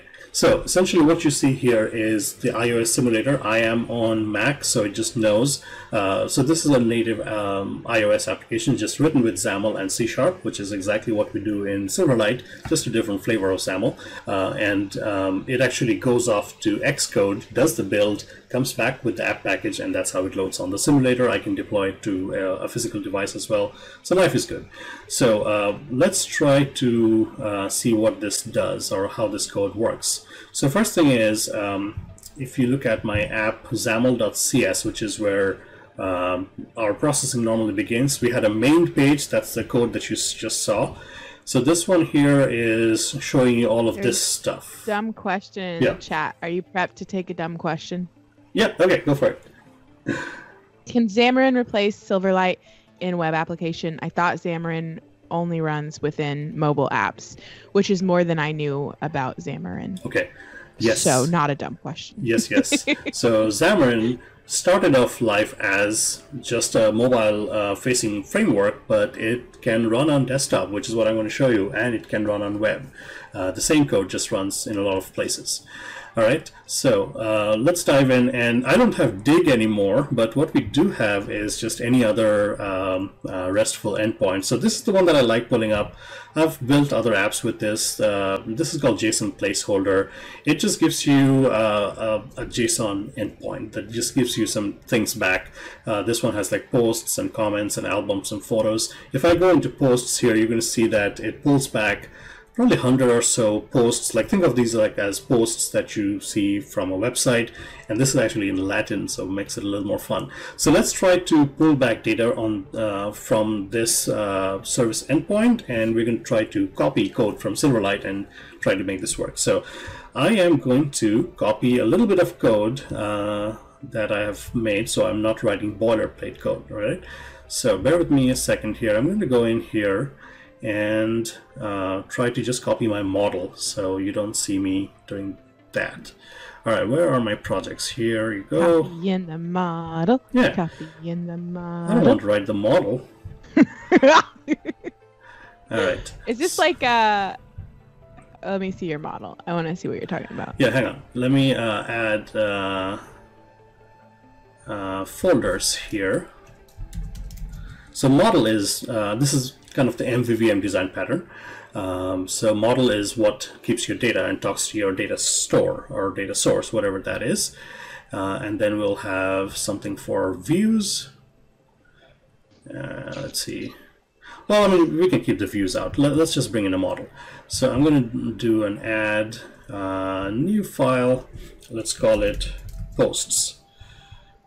And uh, I want it to be just a C sharp class file. That's it.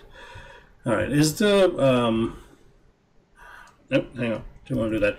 Is the uh, font size big enough? I can make it a teeny bit bigger. Yeah. Uh I can read it. Okay. All right, so this is just a C-sharp file, and what I want to do here is um, This is what you didn't want to write? Yeah, I don't want to write that. So hang on, I'm going to open this up. Hang on, hang on. And I'm going to copy a bunch of things here so I don't have to write that boring stuff. Okay, first of all, somebody's talking Smoofy. I keep wanting to call Mr. Smoofy Mr. Spoofy, so apologies for that. Uh, said my first application was written in Quick Basic, and and then other people are chiming in about the Quick Basic. Oh boy. Is this related to the VB? Because you know they both have a B. No, it's slightly different, different, and I actually don't want to talk about it a whole lot because I don't know. Quick Basic was uh, a Okay. thing from way, way back. Uh, Okay, but I- not I- related to the VB. No, not quite. Uh, it, it was a, it was a language. Yeah, Mr. Spoofy is saying it's old. Uh, but it, was, it was more of a language, uh, subsequently eclipsed by VB. So now we're talking about things before VB. So we're going way back. I don't know a lot about Q, uh, QBasic, uh, uh, but yeah, Basic. Uh, Uh, look, you even know the slang. Look at you. uh, pre- predates VB and was a command line. Okay, now we are going way back. Okay. All right, so uh, back to this. Uh, I am going to add a quick um, uh, NuGet package to my thing so it knows um, what uh, Newtonsoft JSON is. I should start using the built-in JSON serialization in .NET, but I'm still used to using Newtonsoft, which is just a JSON serializer and deserializer. Okay, so can you go away? There you go. So at this point, um, why is it complaining? The squigglies uh, are saying, I don't know what that is. Okay, let's do a build. Oh no, Newtonsoft JSON. Okay, let's add it to iOS as well.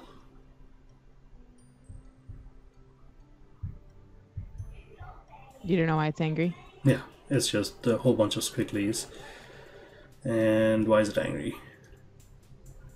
Does it have like an error? Is it going to give us an error? Is it just yelling at us to be Oh, yelling oh no no no! I I copied like the class inside of it, so it's like, what is this? Sorry. Yeah, there you go. Well, good thing I added the NuGet package to the other ones as well. And All right. now we are on to Basecom, Bascom, B A S C O M, whatever that is. I don't know oh, what that command is. line compiler for BASIC. Interesting. Okay.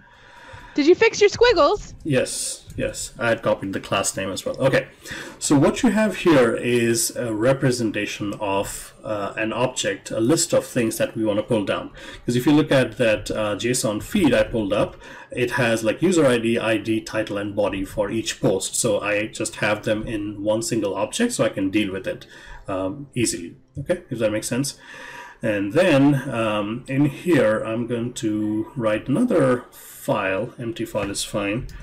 So let's do posts manager. So Um, this is Visual Studio, not Visual Studio Code. No, this is Visual Studio. This is VS for Mac.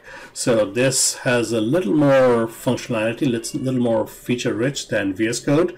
Uh, and this is meant just for the Mac. This is not the same. I've always base. heard about it. I've never actually witnessed before, so I'm excited to also learn. It's uh, it's about the same. Still crashes probably two or three times a week, but that's. Wait, yours crashes? What are you doing on oh, your?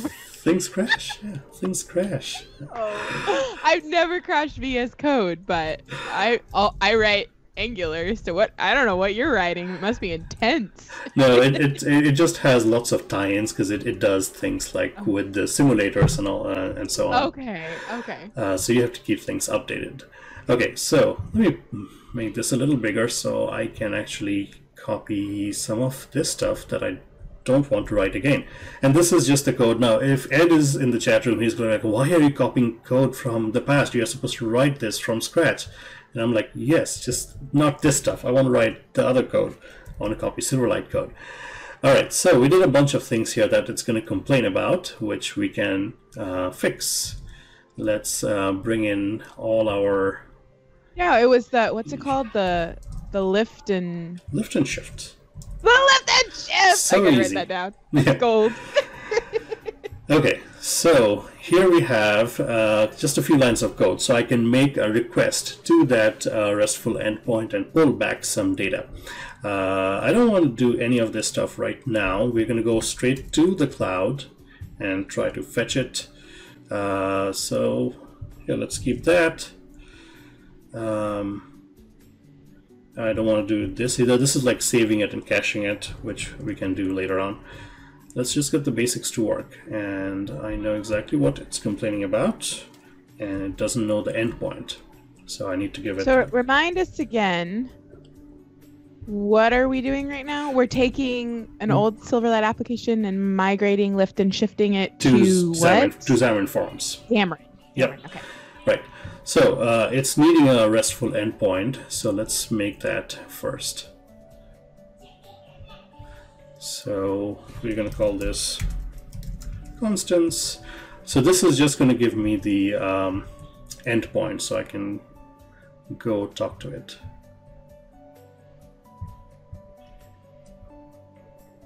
Alright, I'm just going to take this whole thing. There you go. And come back here. Oh wait, I don't want this whole I don't want this whole thing gone. Okay, there you go. So at this point, what I have here, Alyssa, is um, just one line of code that points to the URL, right? So this is the JSON placeholder posts. This is the same URL that we're trying to hit. Like that's my RESTful service, okay? So I have that, and then I have uh, an object that stands for uh, each post as I'm going to get it back from that source. Like imagine this being like uh, the Digg sample in, in Scott Guthrie's blog, uh, where he was pulling down like a list of movies from a site, right?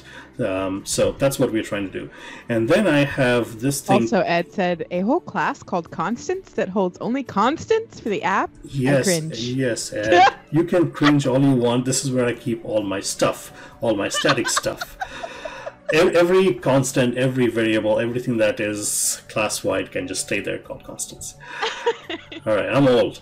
Uh, so in here, we are newing up what's called an observable collection, which is a C-sharp generic. It's a list of things, but it's a little smart, so it knows when the object collection changes, so we can data bind. And we are newing up an HTTP client, so we can make a client request. And then uh, we are saying go get the posts and it's going to go off to that RESTful endpoint. If it is successful, it's going to read that whole thing back as a string and then it's going to do the JSON convert. So we can deserialize it into an object. All right, what's what are we looking at?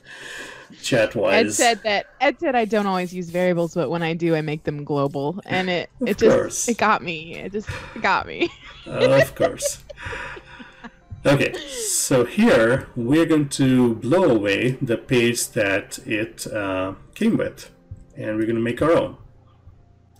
So this is our model and now we're going to maybe make, um, we can make a view folder or we can just, uh, let's just uh, add a new file. Just cut some corners here, uh, forms and we want it to be a forms content page. Let's uh, call it posts. And they're joking, post. right? About what? The global variables. That's a joke. Yes. Yes. Okay, cool, cool, cool, cool, cool, cool, cool. But but but you could. I mean, global variables can be useful. Like global styles, like Silverlight used to use that quite a bit. So we'll borrow some of it from Silverlight. It's not entirely a joke. Sorry, I couldn't tell. I was like, are they being for real? Is this legit? Can we actually just use global everything? Because that sounds like a bad idea. Okay, we're Yeah. good. We're good. okay, so I added a new page and I don't have a main page anymore. So I'm going to make this page my starting page for my app, right? So uh, this is pure Xamarin Forms. It's XAML, just the way you would like it. And I'm going to bring in some Silverlight stuff right now, but this is all Xamarin Forms for now. So we have this and um, let's do a label uh, just to check if we have it right not worked world okay so just to make sure we have not broken anything yet we're gonna run this one more time. Bear with me folks. I am going to pull over some Silverlight code in just a minute. Okay so we have hello world. It's way up there. You can't see it but I mean that's just spacing. We can fix it. So we are still good. All right, and now I want to uh, bring in a little bit of UI as well. And again, I don't want to write, so but this is a little different UI. So let's see, um, where can I go?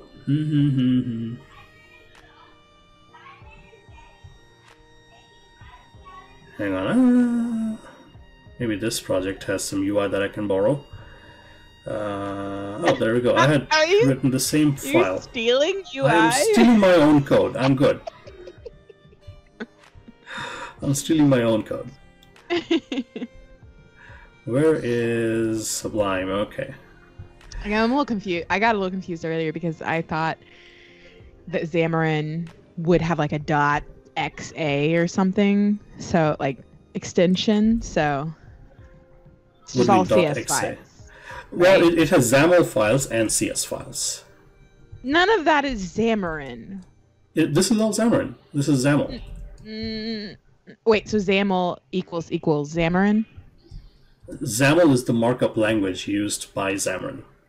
So you would not use XAML outside of Xamarin. You could.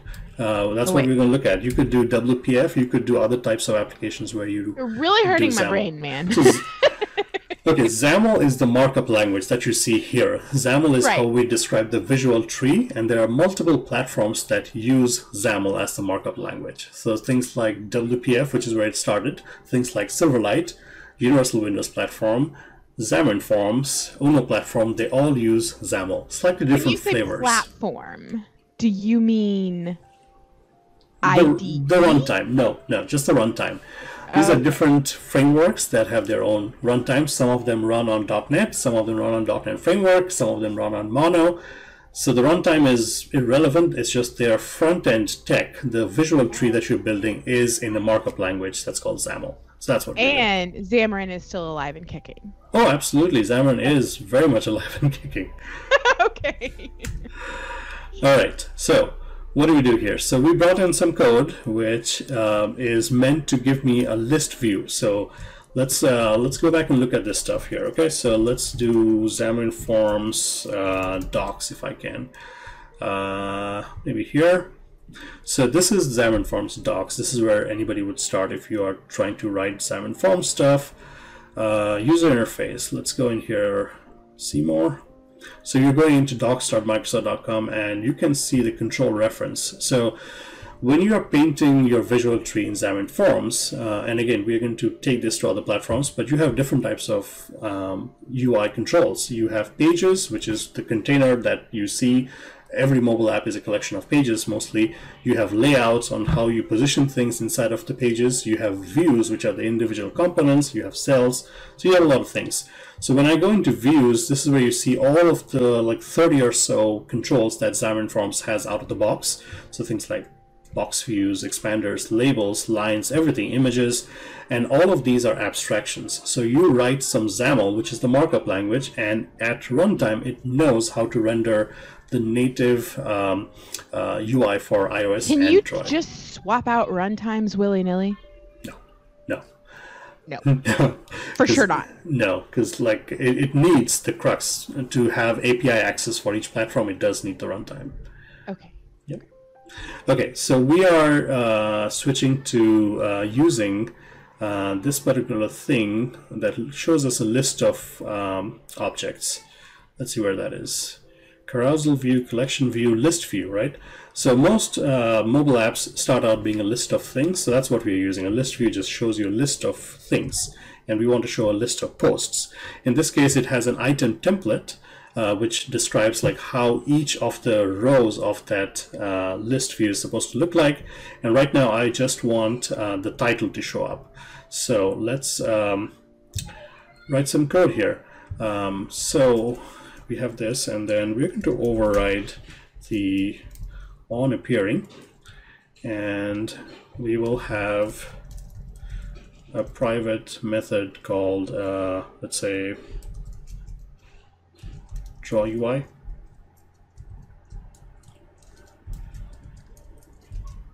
Okay, and when this happens, I'm going to call,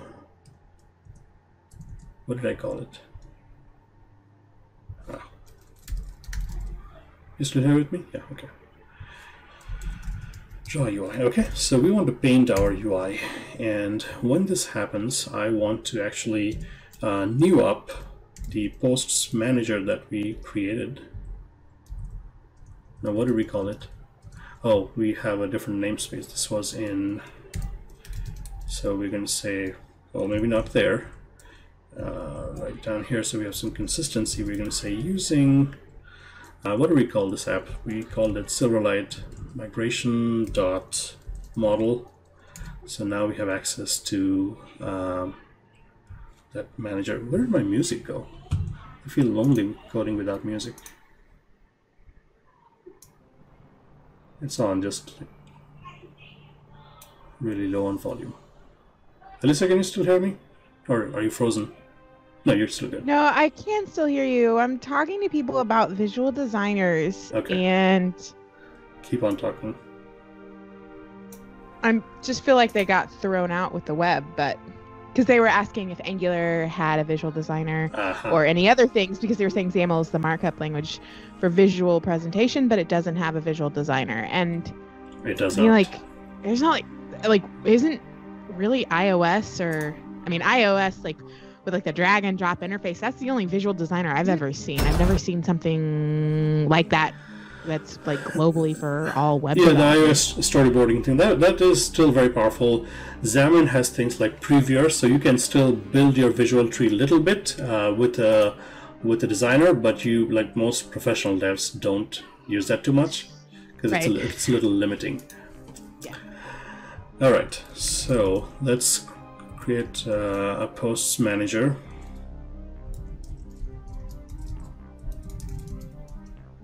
All right, we're gonna new that up. Smoothy is saying that Microsoft Blend for Visual Studio is a user interface design tool developed and sold by Microsoft for creating graphical interfaces for the web. Uh, that's another blast from the past. You're going to, all of you are going to take us way back into the Wait, days. are you saying like people don't use this anymore? Microsoft they, Blend? They do, but it's not quite the same as before. So Blend used to be a tool that Microsoft came up with. This was very popular with WPF in early days of XAML. So your designers and your developers can work very closely together. So I can work on a visual tree and I can give you the solution. So you open up the same file in Blend, which is more of a design tool, and you write all the animations and all the transitions of what your visual tree goes through during the course of the app. And um, then you give me the file back, or we can work on it together. So it's not um, out there as a standalone app anymore, but there's a there's a plugin. You can still use um, Blend with Visual Studio, just Okay. not as popular as it used to be back in the days.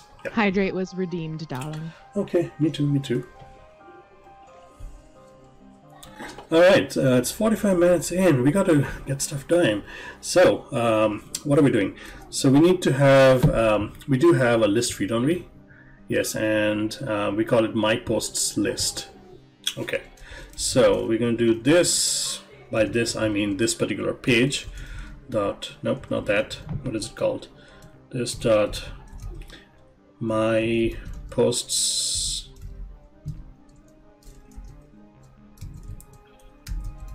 Okay, why can it not recognize what my post says? Hang on.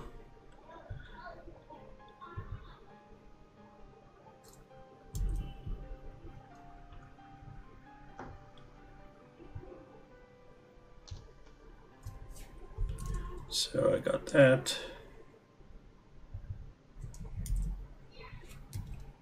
Okay, it does not like this at all. Okay, so let's see what I did wrong. Um, draw UI, I got that. It doesn't like my um, lift and shift list view, which we can dig into why it doesn't like that. Oh, I love that so much. Okay, let's look at some examples. Maybe I don't need the content. Alright.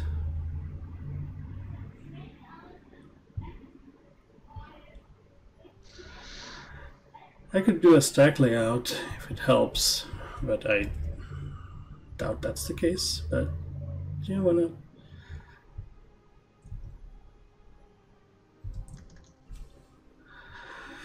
Okay, so stack layout. Let's add a stack layout inside this, and we're going to put this inside a stack layout.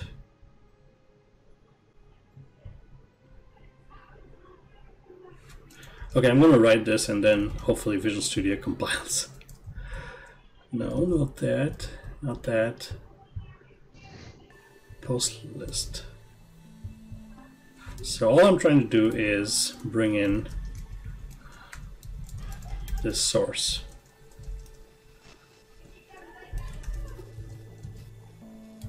What is it called? Fetch or get posts. What's funny? Uh, we're just trying to come up with languages that Ed doesn't have experience with, and Sarah threw out COBOL and Fortran. oh. uh, I did two years of COBOL. No, one year You of COBOL. Yes. What? That's one of the things that John was talking about. Like enterprises have these apps that have been running for ages, and just people have moved on, and the apps have not. And you just don't know. You don't don't want to touch anything because you don't know what you're going to break. But Ah, those right. mainframe apps, those uh, VB apps, are still very much there, and some of them are gigantic. Was it fun? Do you miss it? Did you love COBOL? I wouldn't say I loved COBOL. It was okay because it was very English-like. It was like reading code was almost like reading a poem. It was Really? very, very verbose. Which Oh, is that's so cool. yeah, which is actually something that XAML gets a lot of um, um, uh, bad uh, reputation about. It. it is a little verbose. Like this stuff. Like if you can imagine this being like a thousand lines long, this gets a little verbose to kind of get into and figure out what is what. Uh, people are. Someone said a real programmer can write Fortran in any language, and then someone else said that COBOL is definitely not cool. So there's, you know, Ah, cracking me up. Okay.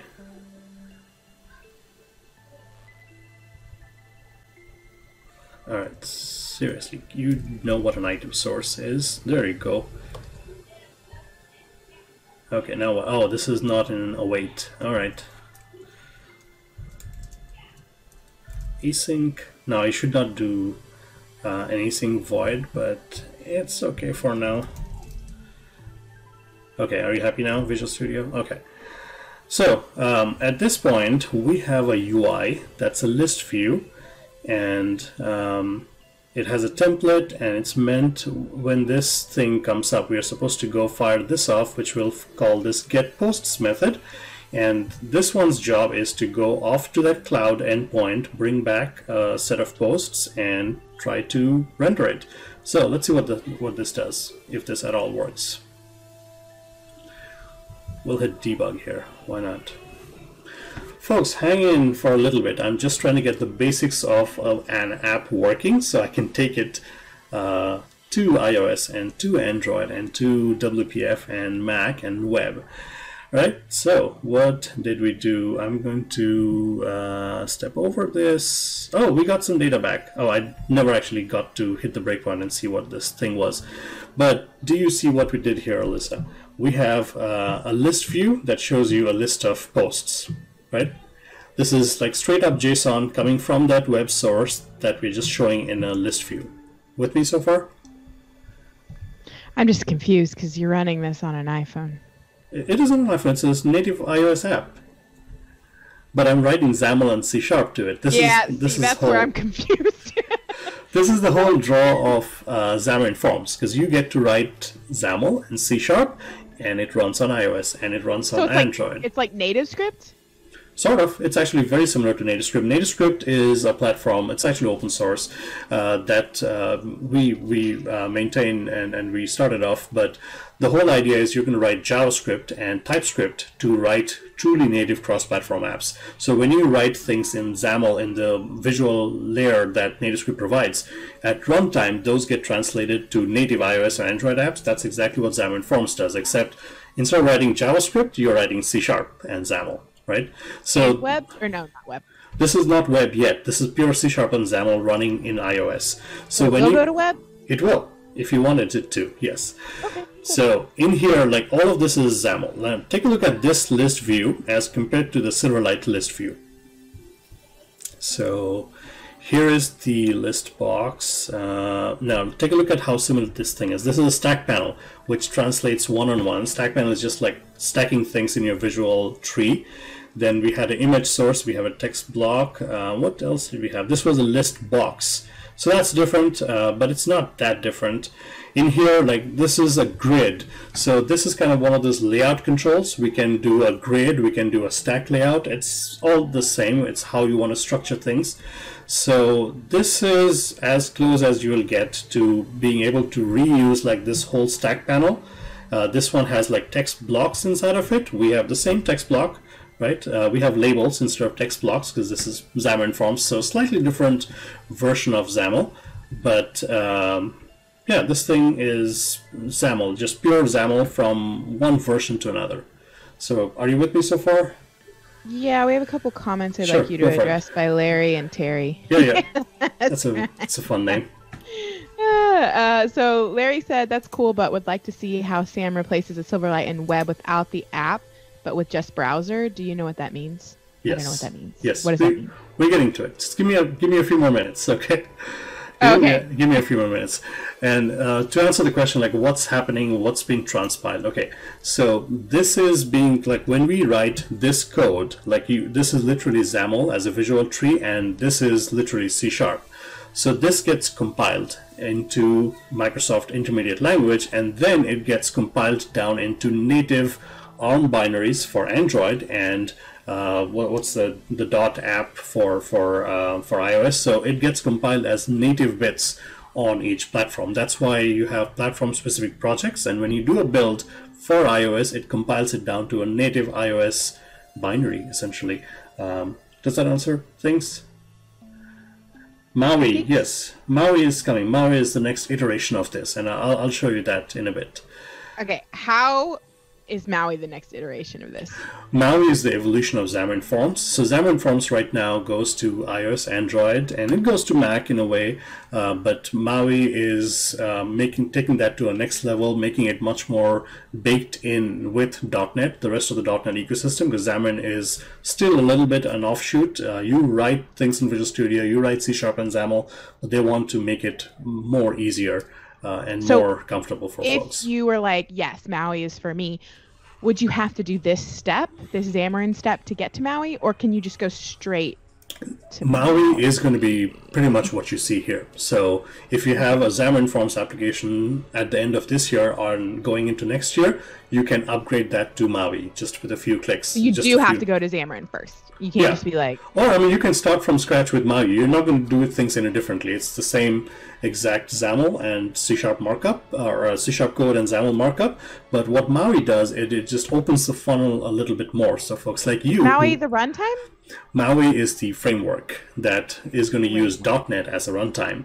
Uh, so it's going to open it up so you can bring in some web stuff. This is all very MVVM. In Maui, you can do things like MVU pattern, which is a model view update pattern, very uh, popular with like Elixir and other programming languages. And you can do stuff like that. And you can bring in things that are much more closer to React um, and, and do things uh, that are native and cross-platform. I gotcha. Okay. Right. Well, yeah, it looks like you answered Terry and Larry's questions. So. Okay. So what we have so far is just pure XAML forms. And now I want to show you a little bit of the flexibility. So this is literally XAML, right? So lift and shift whatever list views you have, you are going to have to change the namespaces from Silverlight days because this is not going to make sense if you just bring it over from a Silverlight app. Uh, but change up the namespaces, like start with XAML forms and see what the namespaces are, and then just bring in one UI bit at a time. Like make sure labels are like text blocks are called labels uh, list views are called list boxes. So you'll have to know those differences but otherwise it is XAML uh, that you're bringing in. So now let's do a little bit more fun stuff because again as Silverlight was purely a web-based play and it ran on desktop like why am I even starting with XAML forms because it can go places right? So here's where I'm going to do some fun stuff. And just to make sure I'm not skipping anything, let me look up uh, their docs, uh, just to make sure I don't miss anything. So Xamarin Forms uh, can run on a Mac very easily. So let me show you that. So what essentially we're doing is writing what's called renderers, right? So for each list view, for each button, for each label, there's a piece of code that's called a renderer that sits there and says, oh, I'm running on iOS, oh, I'm running on Android. I got to render the corresponding native UI elements for that platform.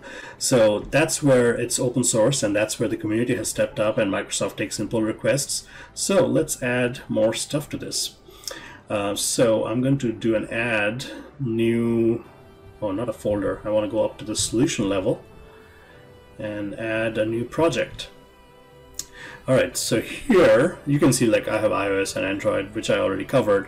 But let's do an app, a Mac application, a Cocoa Pods application, and here I'm going to hit next. Right, so just by convention, I'm just going to give it a name that kind of matches the rest of the OS. So we called it xamarinforms.ios instead of this one we dot .mac, right? And runs on Mac OS Catalina, that's fine. Next. No uh, unit tests, of course. but we now have a Mac application, right? So let's change this up, make that my startup project, and I'm going to do a few things here, which I've documented, but I know exactly what they want you to do. So there is this NS main storyboard file. This is coming from AppKit. We want to get rid of that, and we want Xamarin Forms to do the painting of the UI. So I'm going to delete that row entirely. Gone. Okay, and now let's make sure I'm not missing steps. Um, okay, references to Xamarin Forms. Yes, of course. And back to the project itself. So manage NuGet packages. I'm going to go over to NuGet.org and I am going to bring in Xamarin.forms. So this is where you see like, uh, Alyssa, this is literally the framework you're bringing in. Okay, what's funny? What's funny? You have to go click on the link Ivana just made. She said, This is Sam explaining XAML, Xamarin, and just generally being on the stream today. And she made this, this, um, I, I see. Yeah, I see the chat. Image. it's beautiful. And it does. Sometimes you are just way over my head at least so that that oh, image just brought no, it home but it's just different mindsets we are bringing to the table and when you do angular stuff you're way over my head but again, that's the reality. I mean, choose a stack that works for you. Choose something that works. Okay, so um, stay with me here. I'm bringing in Xamarin Forms into a Mac project, okay? And then we're going to go into our references and we want to add a reference. Look at this. This is a project. So I'm going to add a reference to that .NET standard library that we have, which has all of our code. We don't have anything platform specific here hit OK. So we have a reference to the .NET Standard library, which is sitting down here. Now this app delegate file is what Mac uses to spin up its thing. And this is where we have to say don't do your thing. Do what Xamarin Forms needs you to do. And this is where we're going to go in. What's funny? Keep on reading comments. You're you're cracking me up. No, no, Mac, don't do your thing. yeah, don't do your thing. I want you to do my thing. Okay. So main.cs. Uh, this is where we're going to go in and say, please do the use the app delegate. And what I'm asking you to do here inside the app delegate, uh, let's see, register app delegate. That should be there already. Yep. And then this is, um, well, first up, we're going to change this class. So don't do the app, NS application delegate class. Do this class, which is the Xamarin Forms class. And now it's going to get all confused because it doesn't have Xamarin Forms. So bring in these two namespaces. So we are asking AppKit not to do its thing so we can paint the UI with Xamarin Forms, right? So we have an app delegate and it's still confused and complaining. So this piece of code here is, where is this supposed to go? App delegate, right? So what this is doing is creating an NS window, which is exactly what Mac uses to create a desktop application. And we are saying, create the window, but let us do your own thing. Uh, so also, you're being compared to Bob Ross. You are the yes, yes, Bob I, Ross of XAML and Xamarin. I, I, I accept. okay, um, so so Xamarin Forms on a Mac. That's good. Why is it not liking my window? Oh, I never created the window. Okay, so it's an NS window. Okay, yeah, yeah, I hear you. So there's my window and now this is my window now this is like where your um, this is the X and the Y of where the window starts out this is the desktop application and this is the size of the window so we can control this so we can change it if we need to um, and then these two lines of code is what we need in here so we can new up Xamarin Forms so forms.init this is what we use to new up the Xamarin Forms runtime and the framework Oh, hey, we gotta stop here for a second, because you know what's coming in. No, wait a second. Is that a raid? I think it's a raid. From who? I mean, there's a lot of emotes if it's not a raid. wait a second. I'm, I'm not watching the stream. I, I want to see you. And now people are saying, ah, no dark mode. Yeah, it looks great from C Sharp Fritz in the oh, house. Oh, oh, okay. Hang on, hang on. We gotta do stuff. Thank you, darling. Thank you. Thank you. Thank Welcome, you, folks. everyone. Welcome to our Silverlight stream of the Sunsetting day. Sunsetting Silverlight stream. So, yeah, welcome, welcome. Thank you, uh, Mr. Fritz. Thank you, thank you. So, what we're doing here is migrating Silverlight apps uh, and trying to look into our options here. And thank you for the follows. Uh, we appreciate all of you. Thank you. So um, at this point, let's see where we are. So we have this one here, which is initializing our um, Xamarin Forms, and we want to load up that, this application, and that's it. So uh, let's look at the docs and see what we missed. Uh, Everyone's so upset with your light mode, but I'm such a, a light mode fan. I, I know, like sp especially on streams. Like I, I am all light mode on streams. Like like when you're doing like presentations, I can see like dark mode is much better, but I don't know. I, I like uh, light mode. Okay, so uh, let's see. Did we confuse it all? Let's do a build. Oh, I see subs. Thank you, thank you. Oh, one error. Why are you complaining?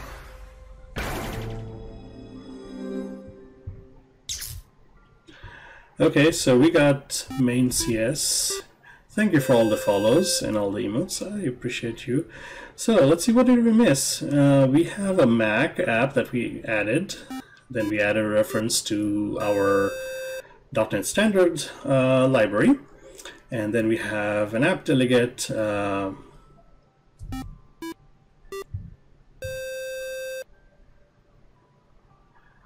app delegate. Why is it complaining? It does not implement Shall we do a full build? If you think it'll help, but I have no idea. I don't know. I mean, it's always a good place to start, right? Like, let's yes. just restart all the things. It's thinking.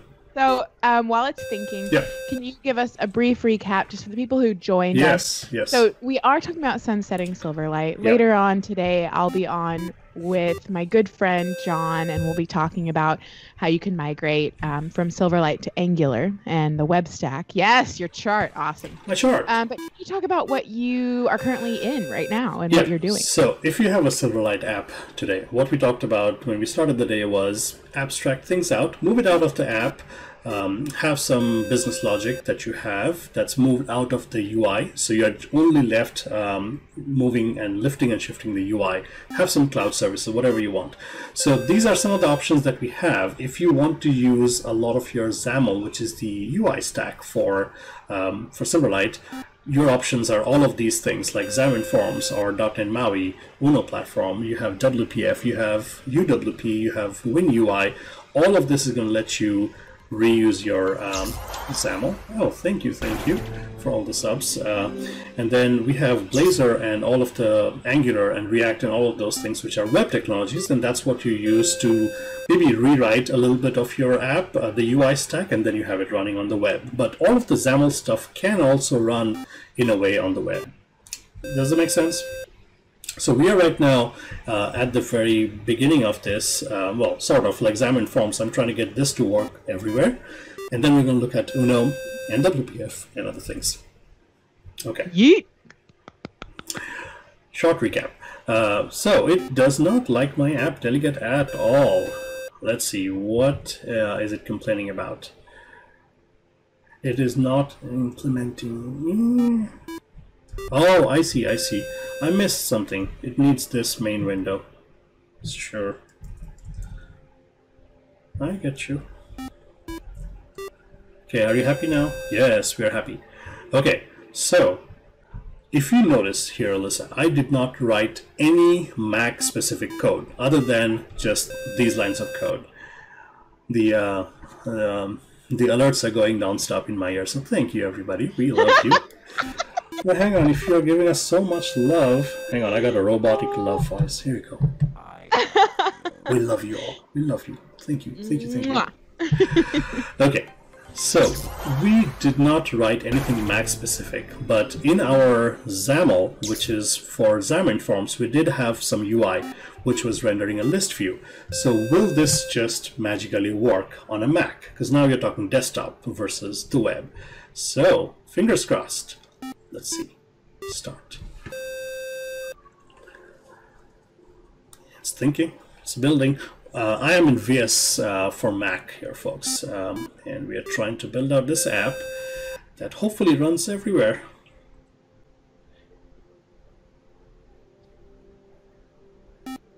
Okay, where is it? Is it running? No, it stopped somewhere. Okay. Oh, I'm using a Newtonsoft JSON for my JSON serialization. I never gave it the NuGet package, so it's like I don't know how to serialize JSON. How did you How did you figure that out? Or Oh, I did hit- you see it? Yeah, I hit debug and it stopped right here. So yeah, I'll, I'll hit it again. So it stopped right there and says, I don't know what this thing is, so I don't know how to uh, serialize JSON anymore. So that's an easy fix. All we have to do Oh, okay. is go into NuGet packages and bring in our beloved Newtonsoft JSON. Now, I know folks are going to say, this is built into C Sharp, you don't have to do this anymore. I get it, but I, I don't know how many times I have to say this, but I'm old. I'm really old. And I'm You're stuck- not. I'm You're like two years older than me. I'm Why do you keep saying I'm that? stuck to my ways. Okay. All right, let's try this again. Okay. Uh, hopefully we don't have. Also, uh, if you all have not, uh, we are going at least three, four more hours today, and there is a survey floating around. Nightbot yes. will share it with you. Um, we're giving away prizes, prizes. So please Yay. fill out the survey, win some prizes. Check back in later if you can't stay for the whole day, but um, Yeah. we love you all. We love you all. Okay. Do you see what I have here? This is a native Mac desktop application, right? Same exact list view. It looks a little different, um, but I can I can scroll through. So this is the power of XAML. This is the portability of XAML. So I can take uh, XAML markup that was meant for pure mobile, iOS and Android, and I can make it run on desktop stuff. Like this is a Mac application. It behaves like a Mac application. You can you, you see it in your in your um, um, what's this thing called like the uh, wherever you have it at the bottom for all the Mac apps. It is just like a Mac app, and it'll behave like a Mac application. So, do are you with me, Melissa? You see what I'm doing here? So we are literally just uh, porting Silverlight code. I do, but I'm a little confused on. So, all the only issue we had um, was that one bug. Like after you didn't have to do any other magic. No, Or- it was just missing like this reference here. Like I brought in, uh, I'm doing some JSON serialization. I just did not know how to do that, so I just brought in that one thing. So again, uh, folks, who are just if you're just joining us, we are taking a, sample Silverlight app, which is this Digg sample from Scott Guthrie way back in the days in 2008. And we're trying to move this to as many platforms as we can. So right now we have iOS, we have Android covered because we moved some of the UI to uh, some of the Silverlight UI to being in Xamarin Forms, and now we also have Mac. So we have a little bit of desktop, right? Alyssa, you with me so far?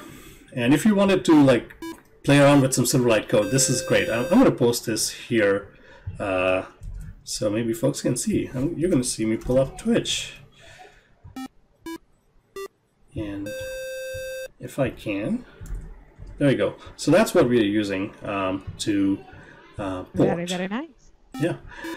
Okay, and then uh, I'll look at some custom UI as well and see how we port that. How are we doing on time? Oh, uh, about an Have hour. about 40 15 minutes. 50 minutes Yeah. left. All right.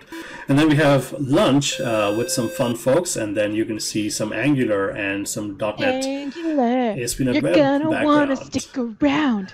Yes. okay, uh, so this is the uh, dummy um, uh, JSON uh, placeholder place we went in to get some RESTful endpoint. Uh, now I'm going to do something more fun here. So this is all very Mac and iOS specific. This is all Apple stuff, right? Oh, what's funny? I gotta look. Uh, You said more fun. like there could be more fun than XAML. How else can you have any more fun? Wait, uh, I'm old. I'm old. I'm telling you. okay, tell us the more fun part. I'm excited. let's close this and we're going to take this same exact project over to the Windows family, okay? So I'm going to close this, right? And to do this, I'm going to do something that Alyssa, I know you absolutely love, and that is that is running Windows in a VM. Don't do it, Sam. I'm, I'm going to do it. Don't do it. It's fine. It's parallels. It's going to make my fans just go explode, hang but on, it's hang on, hang on, hang on. You fine. told me first that we were going to have more fun, and now you're opening a Windows, Windows. VM on your Mac. yes, I think we need That'll to redefine all of my version of fun. Okay. Windows 10 on my Mac.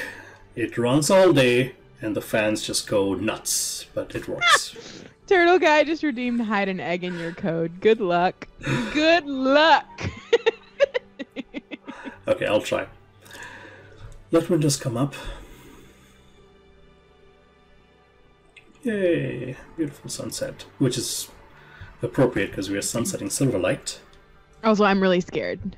I'm like, Okay, my, my Mac is not going to explode. It's fine. It's it's just look at this. Like look how cool it is. I have all of my Mac dock right here, and then I have all my Windows 10 stuff right here.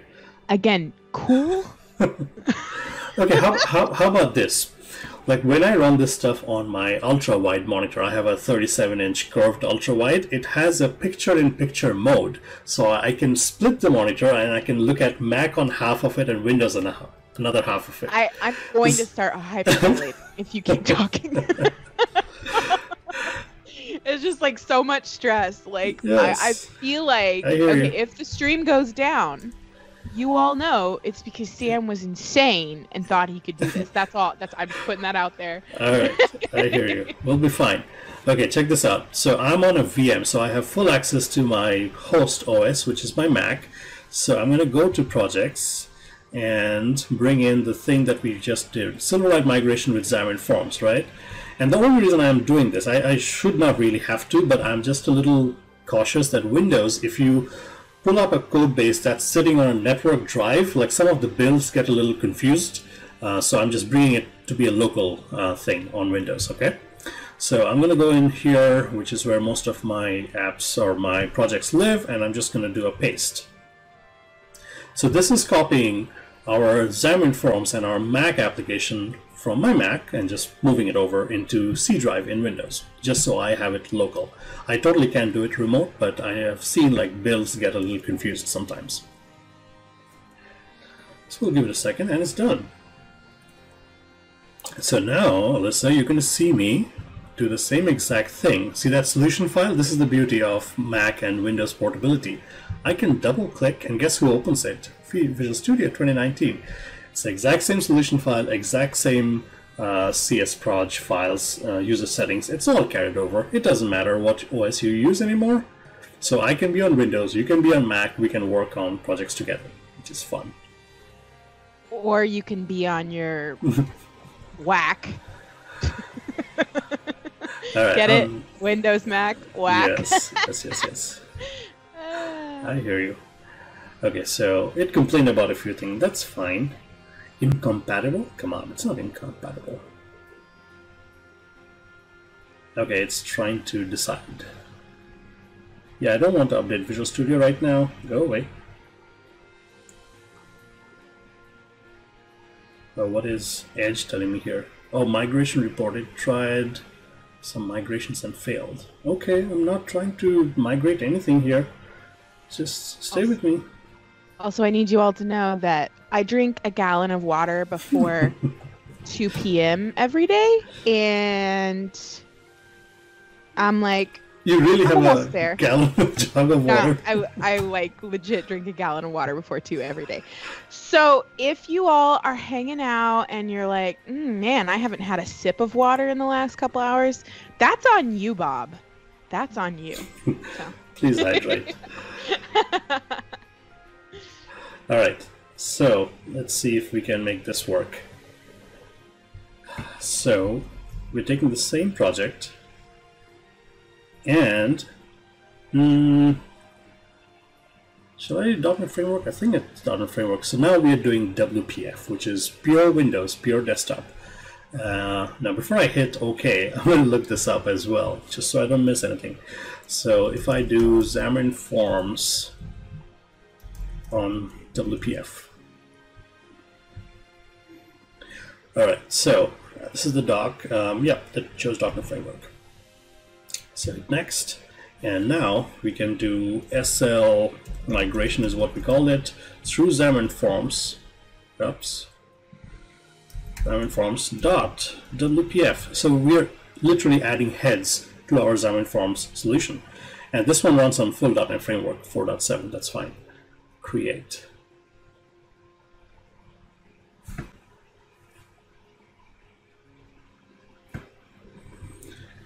All right, so you have a bunch of things coming up, which I know can be scary, but we'll get rid of it. We don't want the designer, we want XAML, okay? So we'll stay here and we'll do a few things here first. Um, let's look up docs. We need to bring in some NuGet packages. We need the renderers that know how to do stuff for for WPF. Okay, and that's called xamarinforms.platform.wpf. Okay, so we're going to make this our startup project, and we are going to do NuGet packages again. And we're going to go to NuGet source and search for, not the installed ones, let me just browse. So I'm going to do Xamarin dot forms dot platform and where is it this one here WPF so what this does Alyssa is it just gives you the renderers so it can take the same XAML that we had in Xamarin Forms and just render them now not on a Mac not on iOS but on WPF yes accept the licenses please and it added a bunch You of have things 10 minutes, darling. what happened Oh, I just saying you have 10 minutes. 10 minutes for what Until our lunch break, I think? Question Oh. mark? No, no, we got 40 minutes. Lunch is at 2 p.m. Eastern. Dude. Time zones. Are you sure? I have no idea. Yep, I'm in Eastern. We're good. Okay. Okay. okay. Did I scare you at least? No, I got a bunch of more things to do. Don't scare me. Okay, I don't know if I added, but uh, let's look at our references. Yeah, I think that's all I need. Xamarin Forms platform. Yeah, that's all I need. Okay, now let's see what am I missing. Uh, we got that, and uh, oh, Xamarin Forms. Did we not include Xamarin Forms? Okay, let's do that. Uh, no, manage Docker packages. Oh, Xamarin Forms is right here. So let's go ahead and install that. Oh yeah, it already exists. Okay, thank you. So then don't complain. Now, the other thing I will do is, um, right in here in the WPF project, we're going to add, no wait, we're going to have this as a reference. We need to add the .NET Standard Library. Add a reference, and we're going to go into projects and add this .NET Standard Library back in. Okay. All right, is that all? And we added the service project and that's it. So now um, we have to deal with uh, this stuff. So right now this is uh, this is looking very small, I bet. So let me make this bigger. Okay, so now this is a different flavor of XAML. Now you're looking at WPF XAML, which is by a lot of folks, like this is the purest XAML. This is where XAML started the purest. The purest. biased. yes, no. So this is the oldest flavor of XAML. So it's the most feature-rich XAML, and um, folks who do WPF get upset with the Xamarin Forms XAML because it's it's kind of morphed. It's different, uh, but this is kind of classic XAML, classic Windows XAML. All right, so in here we're going to copy a few things here just so we can make it work on um, on WPF. So first up is that assembly. So let's go in here and let's add these are XML namespaces. All they do is know which names are which assemblies to bring in. And instead of Windows, we are going to say WPF Forms application page. So take out that and do a WPF Forms application page. Notice how I'm closing the tag right. Yep, and the grid can stay. And then in the main XAML view here, instead of a window, we're going to do uh, a forms window. So let's bring in Xamarin Forms, right? And and let's see. Forms application page. Let's change that instead of a window. Let's do a Forms application page. And what else? in the initialize component add forms.init. So this is exactly the code we wrote for a Mac, um, except we are just going to do it for WPF here. Is that it? Uh, oh no, of course, there's no box view clock app. This app is called Silverlight Migration Xamarin Forms.app. Yes, you're good? That's it. So they had a different clock application. We have our Silverlight thing. Do you think this is enough? Let's do a build. Ooh, is it scary? Are we hmm. are we worried? Will it build? We're worried because Visual Studio does fight Sounds you like sometimes. we are for sure worried. we're worried. Okay, fingers crossed, and let's hit start. Maybe. Oh, it came up and then it went away. Newton Newtonsoft, it comes to bite me every time. Okay, okay. Sorry, WPF, jeez. At least you gave me a nice uh, error. So it's missing our beloved Newtonsoft again. Install. Alright, done, done, done. Okay, done. Now will you run? When I hit play or run, like or a .NET run, it, it does the build anyways. Hmm. This is good. Do you see what's happening here?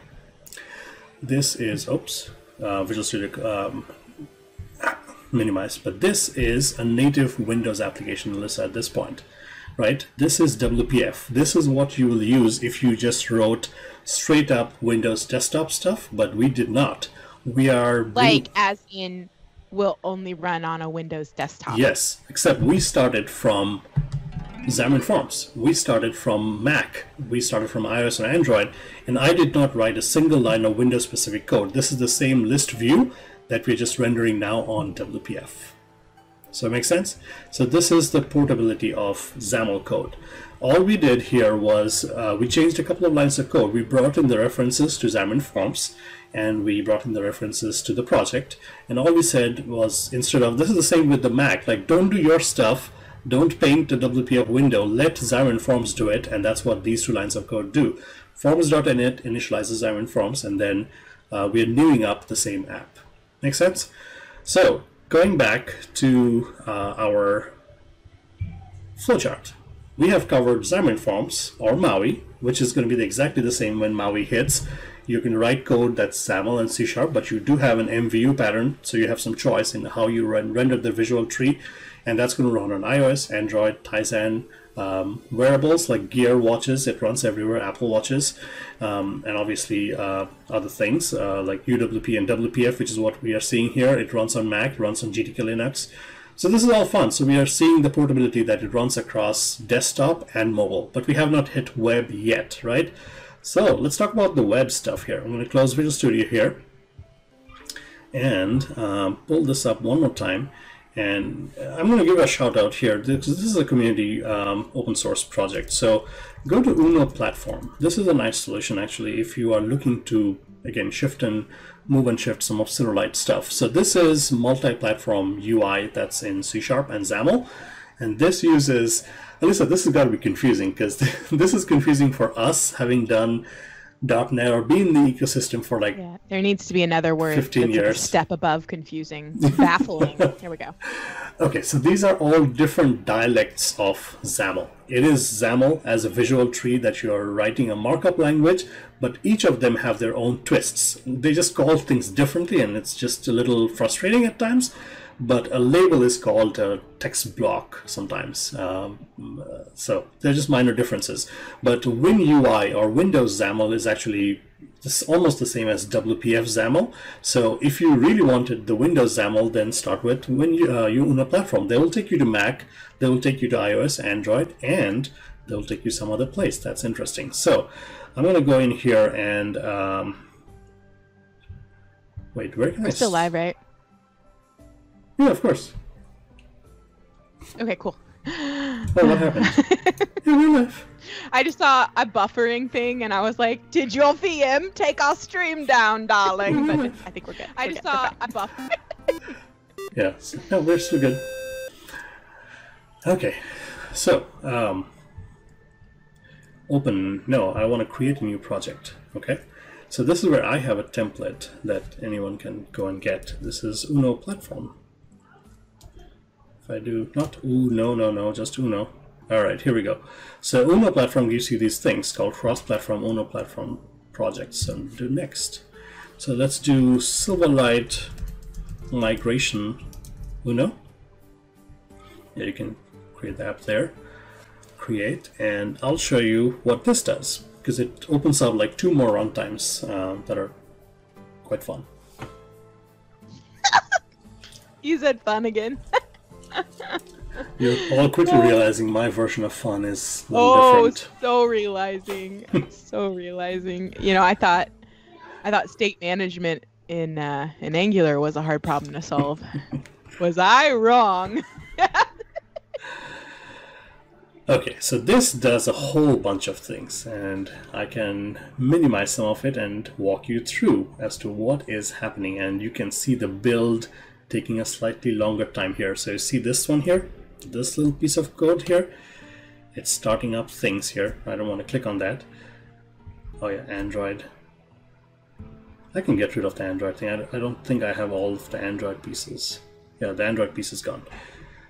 Okay, so it's updating Xcode tools, checking Xcode. Now, connection to SAM MBP. Oh, um, your face is blocking the thing that I'm trying to show. It's it's, it's in my bottom corner of my screen. Yeah, no, no, not you, Alyssa. It's just you're in that left corner, that corner, no, this corner. I'll leave. I'll leave. no, you're fine. Please stay. So what it is trying to do is uh, it sees a bunch of things and it wants to do a build. So um, actually, let me make this one my startup project, and I'll walk you through what it's trying to do. So right up here, it sees that uh, it's got an Android project, an iOS project, a Mac project, which we already saw in Xamarin Forms. So let me get rid of the Android project because I think I don't have all of the bits needed to run Android here on on, um, on Windows. So what it tries to do is like for it to run an iOS project, it needs to do a build. It needs to talk to Xcode to go get the apps built. And it doesn't have Xcode here, so it actually, uh, this is the nice thing about being on a VM. So Windows knows that there is a Mac OS as a host. So it can actually connect to the host and it can actually send off the bits uh, to Xcode to do the build and come and run it here. So that's how uh, iOS projects run. But this one here is uh, a Universal Windows project. And if I look at the shared repo here, take a look at uh, the main page uh, .xaml, which is the markup. Okay, so we'll make this bigger again. Okay, we got 30 minutes. I got to show some Blazor stuff because we had questions about that, and we have to keep Ed happy uh, with Blazor. So take a look at this one here. So this is a grid. This is using a text block. So this is where some of the annoying differences in XAML come in. Had this been Xamarin Forms, you will just call it a label. But this one is a text block and it just says hello world. And this is the shared code. There is no platform specific code for iOS, Android, or anything else. But this one is a universal Windows platform app. So if I hit run here, hopefully what you're going to see is this running as a UWP application. And again, this is XAML, so you can bring in like a Silverlight um, uh, XAML view and try to run. Now, don't forget the Easter egg, yo. That was a while ago. but Okay, okay, yeah, hang on. Maybe I'll do it uh, when I'm back on my Mac. I'll be Oh, right it's- back, darling. Okay, yep. I'll be right here. Alright, folks, it is trying to do a quick build, and all the projects are good to go, so uh, can I run it? Can I run it? Why are you not running it? Okay, I'll do a full build. Rebuild.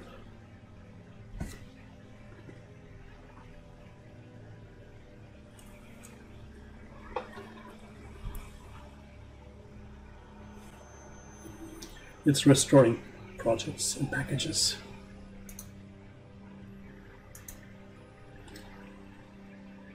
Let me take a quick look at chat while it's doing it. All of you are here.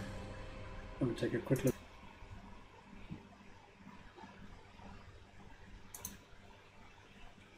I'm missing some of the chat context here, folks. Sorry, I'm trying to get as much as done as I can. In half an hour, we break for lunch. Okay, what did I do wrong that it does not build? Or maybe it is building. Uh, can it do a build? It is doing a build. Okay, I guess we just have to give it a few minutes because it is talking to Xcode on my Mac and it's trying to do a build. Rebuild all succeeded. Yay!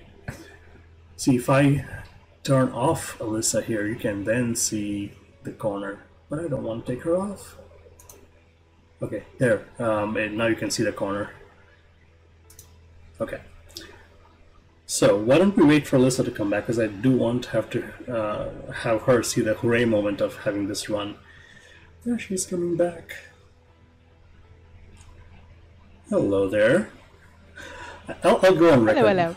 I'll go on record, Alyssa, to say something like you're like we all stream, we all do virtual events nowadays, but you, your voice is just so calming. Like when you say "darling," it's gonna be okay. You like you really believe it's gonna be okay. You have such a calming influence. Oh, thank you. oh, birthday hats. Okay, so what did I miss? Tell me everything. Did you get it compiled? I did. So it rebuilt, and it's thinking, but it's not running. Okay. Stop without debugging. It's doing something, but then it's stopping. No, where is it? Okay. So it doesn't like UWP for some reason, but let's try this one here. I want to make this the startup project. And let's see if this will work.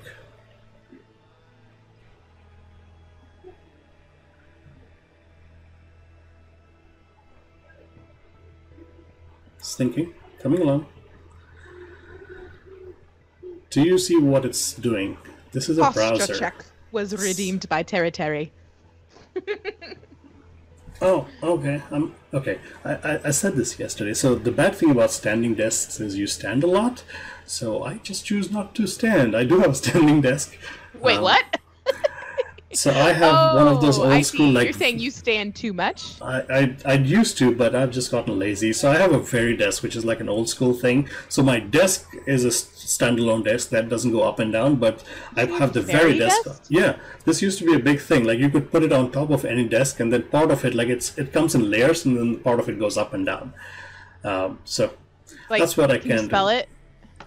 Yeah, it's a V A R I and then desk. I think they have renamed the company, but they still make the same thing. So these are all like portable uh, standing desks, so you can just put it on top of anything, and then part of it just goes up and down. Oh. Yeah. Okay, cool. Okay, now listen. Do you see what what's happening here? This is Hello, Chrome. world. This is Chromium. So now we have web back, right? And I'm not writing any HTML to do this. This is pure XAML, pure C sharp. What? That's how can that be Chrome? Me, you're on a. I'm on Windows, but this is uh, this is Edge. This is Microsoft Edge. It runs on Chromium. Same Okay, so yeah, don't engine. try to fool us by saying we're on Chrome when in fact we're on Edge. Some similar thing. It's the same engine, same uh, JavaScript engine.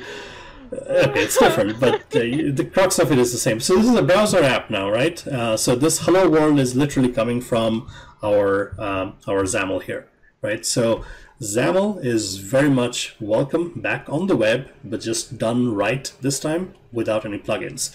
So anything that you see that's a Xamarin Forms uh, and, and in fact, Xamarin Forms also has renderers for the web. This is the Uno renderer. So anything that you doesn't Edge use Chakra instead of V8? not anymore. No, uh, they have switched uh, to all in on on uh, on Chromium, and I think they have replaced their JavaScript engine as well. I may be wrong. Don't quote me, but I think they have. So what I'm trying to say is all of your um, Xamarin Forms UI. I got 20 minutes left. No. So You got all- this. I got this, yeah. So all of this stuff, everything that we saw here, uh, in in terms of views, all of this stuff, no, this stuff, this stuff, yeah, all of this stuff can be rendered on the web because there are renderers for it from Xamarin Forms and from Uno. So all of this is pure XAML. Move your uh, Silverlight assets over, make them friendlier, uh, change the, the namespaces, and they will start working on the web. Is it automatic? No, it's going to be a painful manual process, but it's it's there for you to work. Does that make sense, Alyssa? So I showed off uh, what did we do? We did Xamarin Forms, we did Uno, WPF. You saw that running straight up. You can do straight up WPF, nothing's stopping you. But then you're going to be stuck just to Windows Desktop. But then if you did Xamarin Forms, it automatically works on on WPF. So why would you do that? Oh, and UWP, that's just Windows UI. It works with Uno platform. You can again do it straight up, just UWP, or you can do Xamarin Forms, and then it'll render on UWP. Make sense? So quite a few things going, and I want to spend the last 20 minutes doing a little more more of the web stuff. Okay? So before you dive into web, we have redeemed highlight message, and it's from Sarah, and I think it should be accompanied by perhaps a bit of a ditty. Okay. Um, once you find it and you highlight it. okay. What, what am I doing? Uh, highlighting what? I'm, I'm Uh, looking at the, the- chat, but maybe We are not all of highlighting the message from Sarah that says, Oh, oh. Miss Rose's birthday. Oh, hey. Happy, happy, happy birthday, darling. And thank you so much for being such a wonderful presence and an awesome team member. We love having you, and I hope that you have an incredible day. Absolutely. Confetti's for you. Thank you, thank you. You're incredible. We love you. You know that. So thank you for being around our stream so much. Uh, thank you for everything that you do. Okay, so on that note, let me get out of my VM so I'm not hurting your eyes anymore. See, we all one- thank you. The world thanks you. it- Goodbye, Whack. Windows wants to update now, which is just wonderful. Just okay. Goodbye, Whack. We've loved having you on the stream. we'll let, we'll let it do that. Okay. Now, let me show you uh, one more thing, and that is Blazor. And how would you do stuff in Blazor? So let me pull up um, Telerik.com. I want to show you just a snippet of some custom UI and how easy it is to port and where some of the differences lie. So I'm going to go to Silverlight, and our demos will obviously not load up here, but we have IE tab, so it loads up inside of a shell. Come on. You can do it. There you go you can do things like um, uh, like the loading up of the application could also be animated. You had a lot of flexibility and power in Silverlight. So we have some sample apps that those are big. What what I want to do is maybe just choose like uh, a small section of it, and I know it's too small, so let's make this a little bigger. There you go. Okay, so let's start with like the first one, autocomplete box. So this is a pure Silverlight uh, app that you're looking at, and um, when I do a movie, I'm guessing like, oh, there you go, Matrix. The Matrix is the favorite movie for everybody. It has to be, right? uh, but this is just like one control. Like if you had like Silverlight UI that was built by Telerik or somebody else, I'm sure there can be ways to bring it over and make it work, uh, as long as there, there are corresponding UI elements that are custom for each platform like WPF, like UWP or Xamarin Forms. So if we had to lift and shift this one, the nice thing is like we also give you the code as to how we are rendering this. And this, if you look at um, it's going to look a little busy, but this is again just C Sharp and XAML. So this is the XAML markup, and somewhere in here you are going to notice that we have um, somewhere right here is the autocomplete box, right? and this has like a watermark it has a search mode uh, item source that it's bound to so it knows exactly what uh, items to bind against and show and so on. So this is pure XAML and then I think like we have a movie collection so we are filling up all the collection here. There's a data.cs which is just adding a whole bunch of songs and music which we don't have to go to but I'm just showing you just like one piece of UI from straight up from Silverlight and how would you recreate that in other modern apps like Blazor. So let's go to Blazor. And um, let's pull up terminal. Now this is more friendly territory for you, Alyssa, right? Let me show you modern .NET. It doesn't need to be the .NET from like 15 years back. This is modern and this is all good. So I'm going to go into uh, one of my folders where I like to keep stuff. So if I do a .NET new, so this is pure command line tools. What it pulls up is a bunch of templates that .NET can be. So these are your WPF applications. It can also be started with like uh, terminal. It can be uh, unit tests. It can be MVC. It can be ASP.NET Core, and it can be Blazor. So I think I do have Blazor. Where is my Blazor stuff? Blazor. So Blazor server app and Blazor WebAssembly app. So Blazor Wasm is the command line to create a Blazor application. So let's do that. Uh, let me make a directory first. So make directory, let's call it Silverlight migration to Blazor. Redeemed highlight my message, darling. Uh-oh. Okay. Which also, one? you said WASM like it was a... WASM is the short for WebAssembly. Mm. Which one? Your movie references? No, no. Uh, oh. Mr. Schmoofy redeemed. Highlight my message. Ah, I see. Where is Mr. Schmoofy? Which one? I don't see you. Uh, it's like the second to last one that says "Happy Birthday, Miss Rose." Ah, sorry about that. There you go. There you go. Well, it's just redeemed. You're totally fine. Yeah. I just wanted to make sure you saw it. Okay, so uh, we're going to create a Blazor migration thing, and we are going to go inside of that. All right, and now we're going to do .NET new, and what was it called? Blazor Wasm.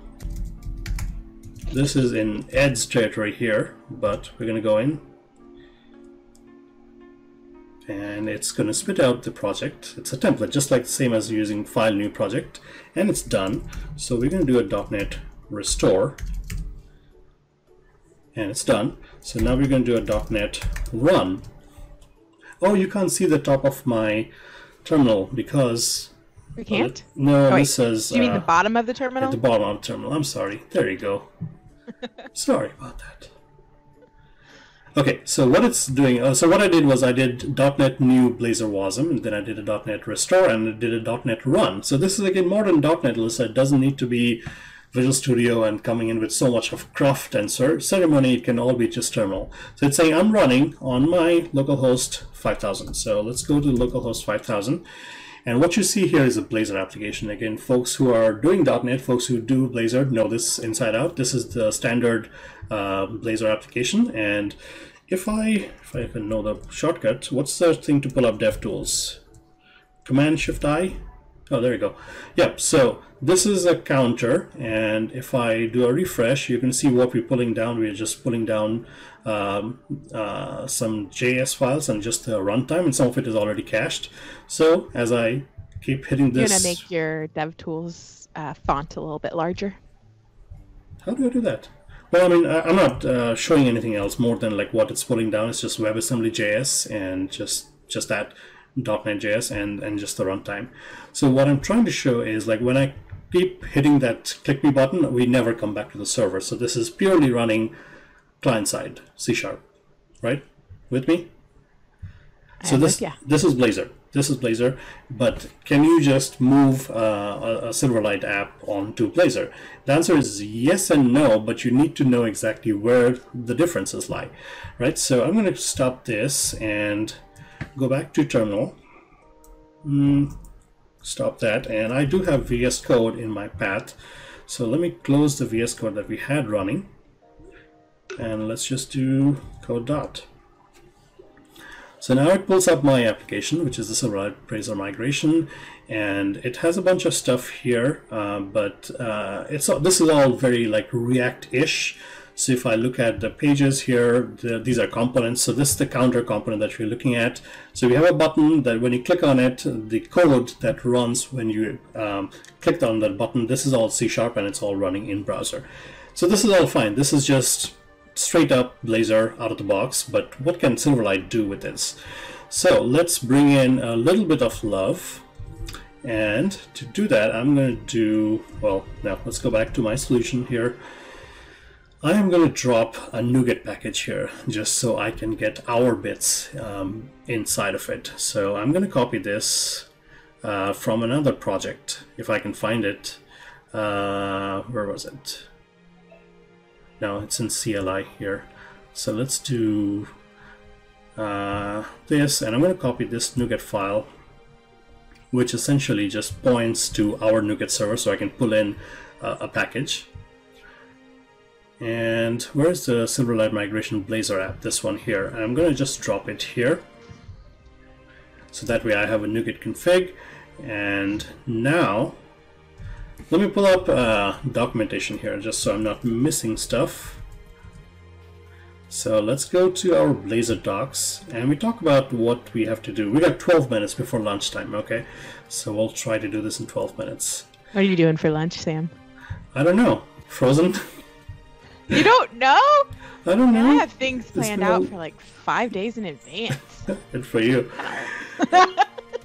okay, so this is how you do this in Visual Studio, which, uh, okay, so we have to bring in that NuGet feed first. Okay, let's do that. Um, so if we go in here, uh, where is our CS proj? Here are our project references. And we're going to do a package reference include equals.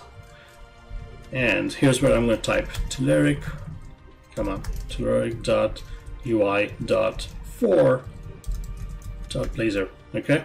And I do know the latest version is 2.16 I think.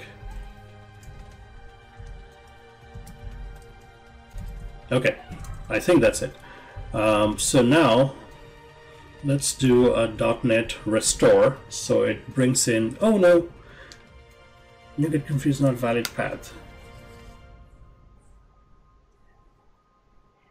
Huh, ah, ah, okay. All right. So you are going to see me pull up uh, something I was hoping not to pull up. So the CLI, the CLI tools don't like your password to be encoded, so it is I think in clear text.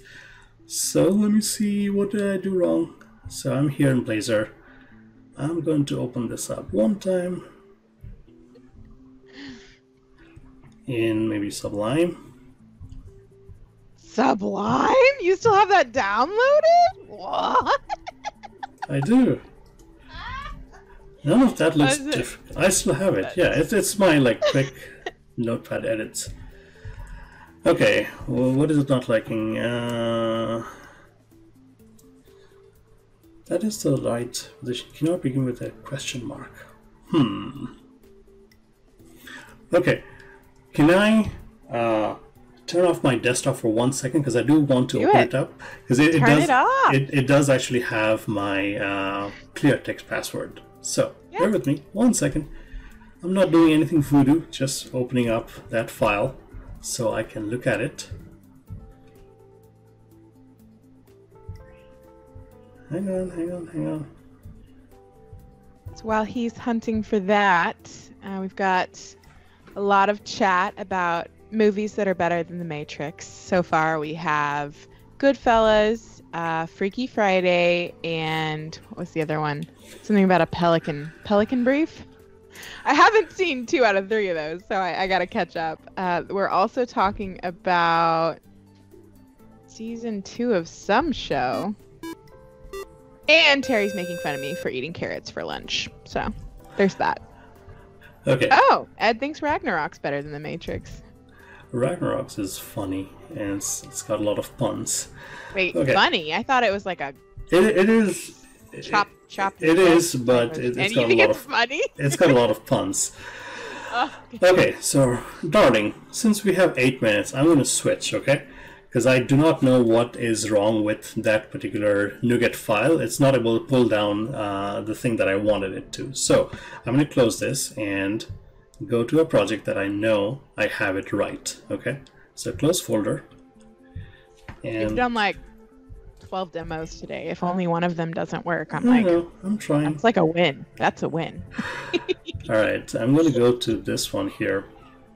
Hmm, yeah, let's open up this one. See, I did this one, has the UI full Blazor 2.16. That should be right.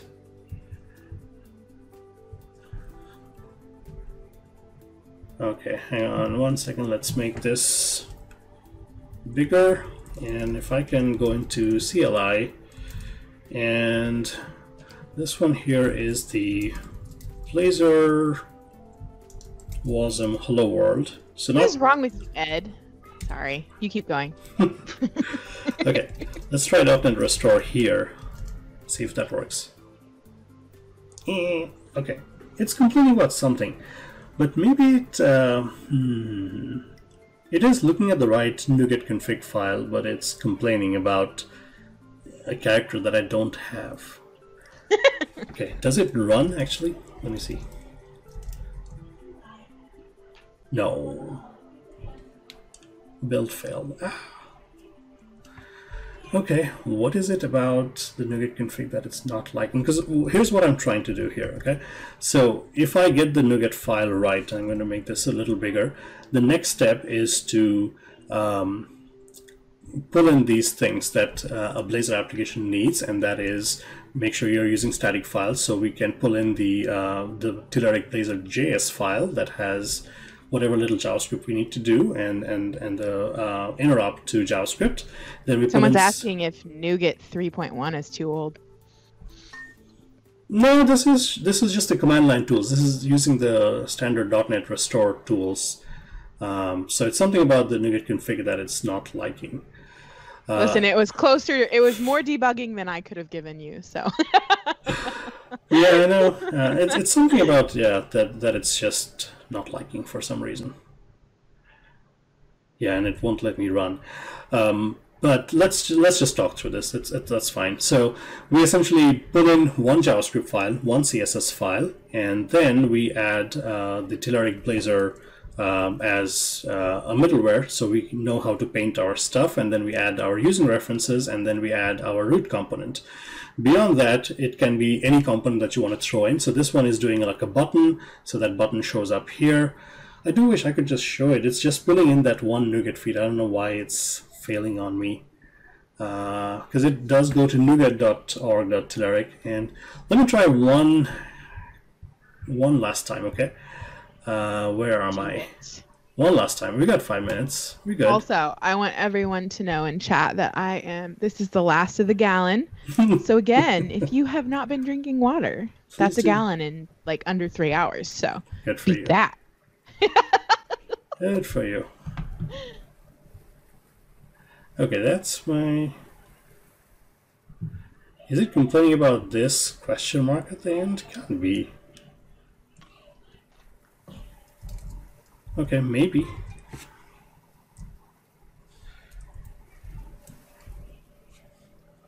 No, it is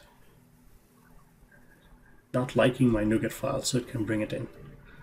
Okay, all right, I, I give up on this one, um, but let's talk through, okay? So once you do all of this stuff, you are going to see all of the components just light up uh, because now you have all of the bits necessary. And let's look at where the differences are and or how easy this is to bring in. So if I look at the autocomplete here, so we had an autocomplete box here in Silverlight and you see the code for it. It's just rad autocomplete box and then we set the item source to a list of something that we can match against so we can provide the uh, suggestions and um, then you have, uh, I can pull up our demos, right, real quick, uh, the Blazor demos, and then I can show you what the autocomplete looks like for, for Blazor. And where is it, where is it, where is it? Uh, autocomplete. So this one is like state, okay? So uh, Chrome is coming in the way of uh, showing stuff. Yeah, Chrome is everywhere. Uh, so you, you, can see like it's just a drop down of things. Uh, is there another demo that I can show which is not... Um... We only have three more minutes, so I think it's okay. Okay, so there you go. Now you see the drop down. So this, these are all the states. So it's tied to a list of things, right? So take a look at the difference in code. So this is Silverlight. So it's generic. This is the namespace. And then you'll say rad autocomplete. If this rad thing surprises you, uh, Alyssa, this is because we were just rad. This was back in the days when we started off, everything was RAD because it was rapid application development. So all of our components are just, were just used to be called RAD this. So RAD grid, RAD autocomplete, RAD everything, and that's how we had it. So you had a RAD autocomplete box and a bunch of properties that, and the important one is the item source that showed you exactly what to bind against. Then you had item templates that controlled exactly how the rows would look like. As compared to now you look at things for Blazor and we have the docs here up yep see the, the docs here so take a look at this one this one here is just straight up Telerik autocomplete and then you have data and this is add suggestions and the data is coming from this suggestions thing. So if you were looking for a drop down that has like what's your role uh, and you, you provide a list of suggestions right here that's what you're binding to. So it's not one-on-one -on -one, but you compare and you contrast and you pull in and you change exactly the things that you need to change. So if you were to bring in this autocomplete box, this whole one line of code from a Silverlight app into a Blazor application, then take out the Telerik, take out the namespaces which you don't need, and then take out all of the properties that don't make sense. And instead of saying an item source, now you say data. Instead of saying uh, whatever you're binding it to, uh, like it had some bindings right here. Maybe this one does not have bindings. But we, we do bindings in in. Oh no! In, we just had a hide an egg in your code redeemed again. Oh no! and I'm out of time. But maybe we can. Maybe you uh you and John can do do so for Angular. Yes. So uh, Jay Wit, Wit Witty Wit Witty. Uh, I will totally take that egg and hide it and whenever I come back from our lunch break because we are about to go. transition over to Ed and Carl. Yeah. Um, and they'll do some chatting, not coding, but I promise I'll do the egg, and it'll be there so delicious. Later on. so what I'm trying to say is it's not a one-on-one match. Bring it over, bring copy your Silverlight UI code and see what needs to change. These properties are about the same, uh, the, the names are about the same, but just change it up, change up the namespaces, and then you have a modern Blazor application that runs on any modern browser has the potential of running on desktop through Electron, has the potential of running on Xamarin Forms because we do have Blazor bindings on top of Xamarin Forms. So the world is our oyster. So what I was trying to say and do is you have a lot of choice. And let me move this over a little bit so it's not blocked by your camera here. We went through Xamarin Forms. We went through Uno platform. We saw WPF. We saw um, UWP, and we saw Blazor. All of these are very good potential solutions. It all comes down to what does your team want to do, and where do you want to see your app run. And yes, it's going to be a little manual until we have automated tools coming and that can migrate Silverlight apps, but it's never going to be like a silver bullet that just does everything magically. So you need to know what you're doing. Copy over your UI. All of your business logic, all of your services should already be abstracted out. That's like the thing you want to do now. And then moving forward, just copy over your UI, see what breaks, and just translate that to the UI for whichever platform you're running it. I love that. See what breaks. Yeah, see what breaks. exactly. Oh my goodness. So we uh, need to transition now over to our lunchtime guest, Yeah. but uh, please tune in afterwards in about 30 minutes. I'll be back on with John and we'll be doing Angular and I think what else? There's other things. Well, other we'll, we'll do a ASP.NET Web API backend with an Angular app, uh, just taken taken from a Silverlight app, and we're going to try to make it work with modern web stuff. And then uh, the last like half an hour, I think you, me, and John come back on, and we'll talk about this flowchart again. We'll talk yeah, about and what did we'll we learn. over, we'll Yeah. kind of recap all of the options, um, have some fun chatting, and I think maybe do some giveaways. So Yeah, absolutely. All right, folks. So thank you for sticking around with me and Alyssa throughout the morning. Um, and let's uh, take a quick break of like 30 minutes where we'll talk about uh, how the web is evolving, maybe some food. Uh, I do not know what I'm having for lunch, but I'll go find out right now in the fridge. Perhaps frozen, but something quick, uh, and then we'll see you on the other side. So um, I will let Ed and Carl take over. So thank you, folks. We love you. We love you, and we'll see you on the other side. Yeah, bye. Uh, welcome everybody to the Code It Live channel here on Twitch. Uh, it is the Silverlight sunsetting event today. We're, we're saying goodbye to uh, what may or may not be a good friend of yours. Depends on what you've been doing over the last, uh, what is it, 10 years or something it's been around? oh yeah, quite some time now. Yeah, it's um it's not something that I ever got into myself. I've dabbled in it a little bit, but never got into Silverlight full steam because I was a Flash developer for a short while and I Mm. saw kind of what Flash did. And then when Silverlight came along, I was like, "Oh, that's more of this thing that I already don't like." So yeah, see, Silverlight for me, that was uh, when I first joined Telerik in 2009. That was, you know, the new exciting product, right? Uh, before we came out with uh, ASP.NET MVC. So I was doing a lot of web forms work. And when Silverlight came out, uh, I, I said, yeah, hey, this looks great. This is a new cool technology. Uh, we're developing UI components for it. So I was diving into it quite a lot and ended up doing um, a lot of user group talks around Silverlight and even uh, at a couple of conferences as well. Although the most confusing uh, conference time was when I did uh, Silverlight talk, and then immediately after I did an HTML5 and CSS3 talk in the same room, and that was quite the uh, quite the mind switch. Just ten minutes in between each session. Yeah.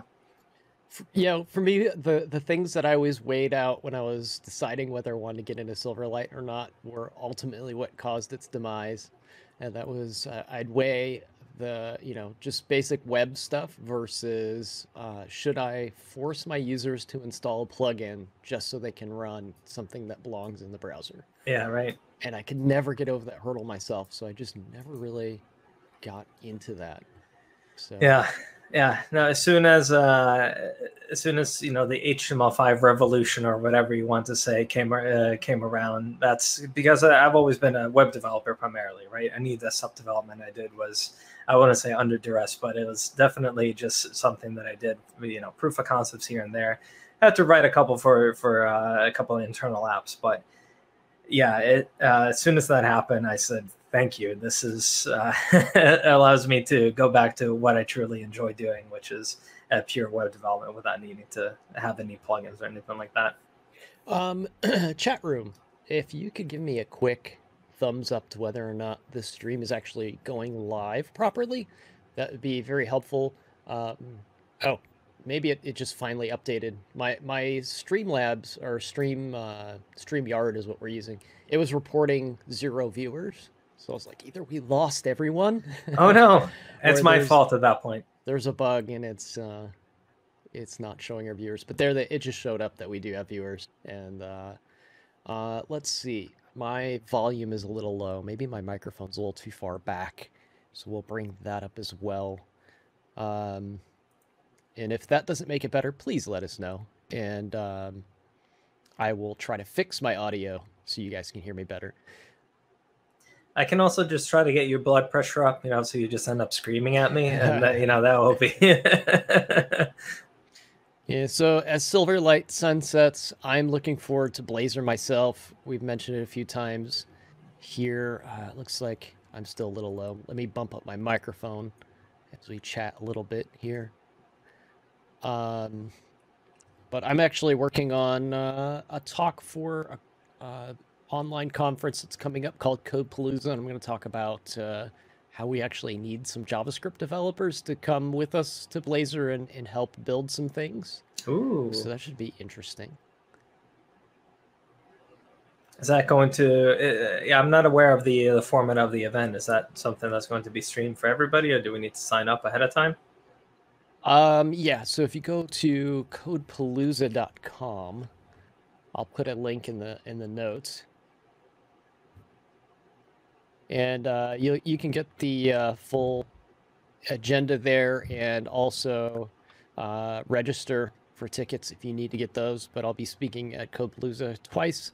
Uh, but one's about uh, JavaScript in the the uh, Blazor ecosystem. So the gist of the talk is where we need JavaScript developers so that we don't need to write JavaScript.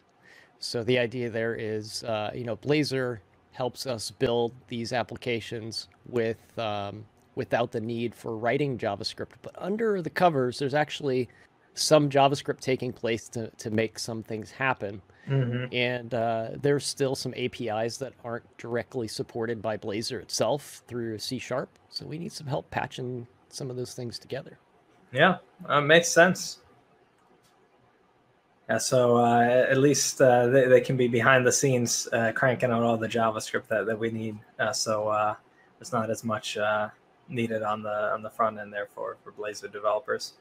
Yeah, and I'm finding with with that sort of development, there's some interesting things that take place because you start writing some of these APIs to kind of patch things together, and um, it doesn't always pan out exactly how you think it might.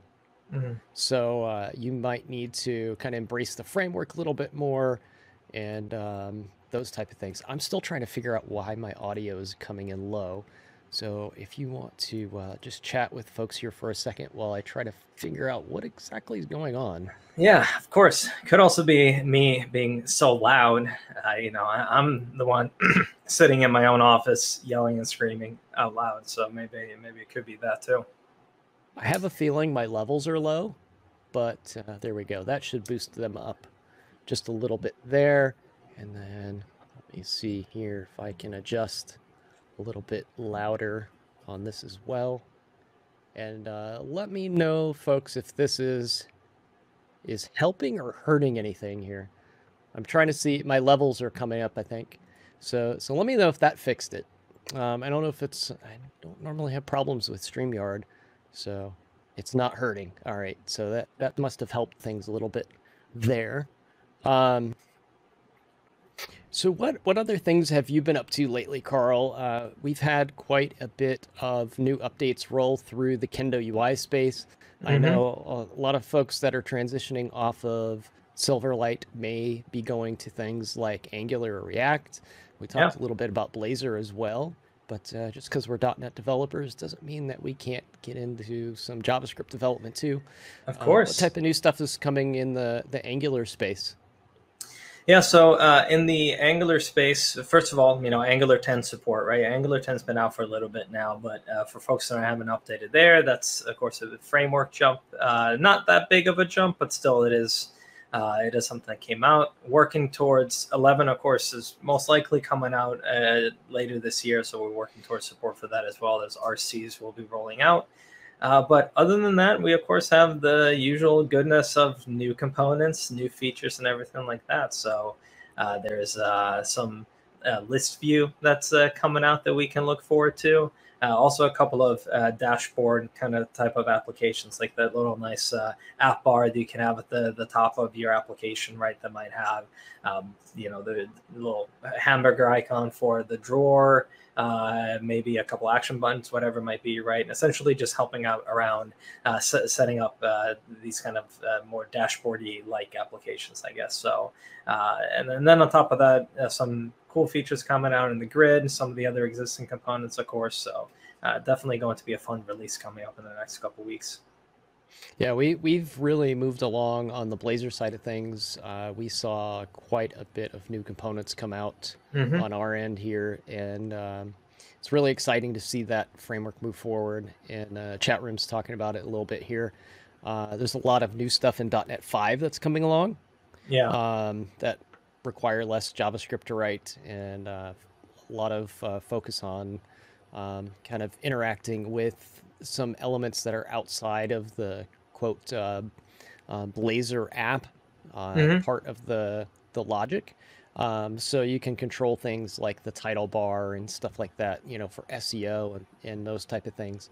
And I, I'm imagining uh, uh, Angular has some stuff for that as well. Uh, I haven't looked at it in a while, so I'm not too familiar. But they they all share a similar app model where uh, you know it's a SPA application, so you have a certain uh, frame within the HTML that's actually rendering out the app. So anything outside of that frame kind of loses uh, context of what's happening in the application. Yeah. Now the fun part, of course, with JavaScript is that at any point in time you can uh, kind of eject out, right, and uh, do whatever you want to on the the global window there, right? But yeah, uh, there, there's whatever, whenever I should say that I look at what's coming out in Blazor, the framework, as well as the components that we're working on, it's always uh, always fun to see uh, what what is happening in the evolution there. Uh, WebAssembly is a technology that I've always said, yes, this is going to be very interesting going forward for the web. And seeing something so mainstream uh, based on that technology is, is uh, super cool to see. Yeah, circling back to the whole Silverlight conversation. I mean, that's the Yeah. thing that really uh, solidifies Blazor as part of the the next generation of tools, and uh, you know that's the the fact that we don't have to install something else. You know, in, in addition, it's it's a web standard, so we don't need like a Yeah. Silverlight app runner or or to install a Flash plugin or any of those type of things to make the application work as it's intended. So uh, that's always a big plus. Um, in the latest uh, updates I've seen, the the fra- framework as a whole is coming down in size, uh, and coming up in speed. So the next iteration of it should be really slick. Uh, if we kind of look back at different generations of .NET technologies, there's usually that sort of thing happening. If you look at like MVC, even web forms, you can go all the way back to web forms. Uh, the first iteration of web forms was like uh, not its strongest moment, but the second version, you know, things really picked up and got strong. And that happened with MVC as well. Like Oh, yeah. MVC 2 was really when that stuff started to pick up. So I think .NET 5 is going to be really exciting because we're going to hit that second stride of uh, innovations with the framework. Yeah, definitely. And now, now you're making me think of all the work I did learning MVC one and then uh, trying to adapt all the changes coming in MVC two. I don't remember specifically the details of what I was struggling with, but I remember it was a struggle to pick up the concept to begin with, especially having done so much web forms. It was just, well, where's the code behind? And, you know, how does this actually work? And even just small things like when I was compiling, remembering to select the solution, for example, because at that point, if you're accidentally in the view or the controller or anything like that, uh, generally the project wouldn't compile right. So you know, just small things like that uh, have improved immensely, and uh, yeah, even just the concepts that we introduced in MVC two it took some time getting used to it first, but yeah, here we are now. MVC is still rocking, along with uh, Core and, uh, and Blazor. It's a lot of fun.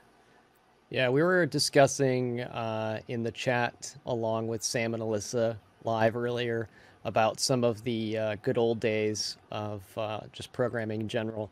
Uh, so some of the things that I worked on before. Uh, so I was I've done uh, some VB apps before in VB6. Mm-hmm. Um, that was probably the first quote professional things that I had written.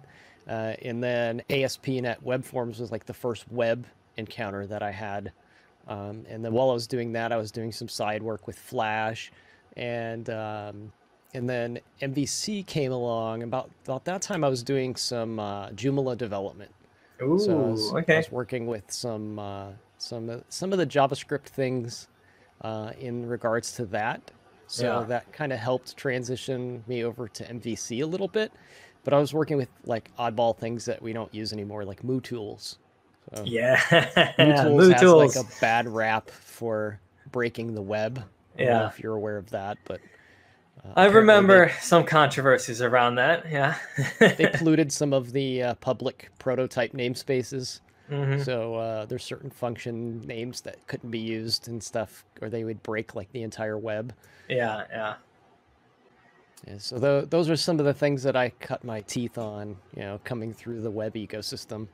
Yeah. Uh, so I, Uh, the the team likes to joke a little bit because I, I dabble in a little bit of everything. So I've touched PHP and and uh, you know different content management systems, and they weren't all good experiences, but they were experiences, right? Yeah.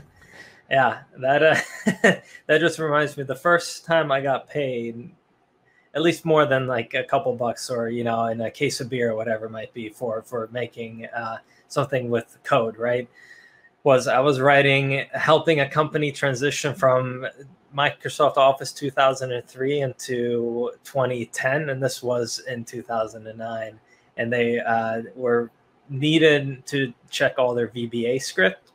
So that was i was writing vba to begin with. That was when i was like yeah i've made it. I'm writing vba and then I, for a teeny bit, I wrote VB script instead of JavaScript in the web uh, as a part of that. But luckily, those days are behind me, and I only wake up in a cold sweat from that. Yeah, you know, once in a while, not constantly anymore. Believe it or not, in a corporate environment, you still see those things. And Yeah, yeah. Probably, uh, I've been with the company almost six years. Right before I left to come to Progress, I was refactoring some VB script for Yeah. a uh, production application. So Yeah. it was still out there six years ago. I'm sure it's still out Oh there. yeah. Oh yeah. Uh, we Hey, actually have a really good question here from Mark Wales.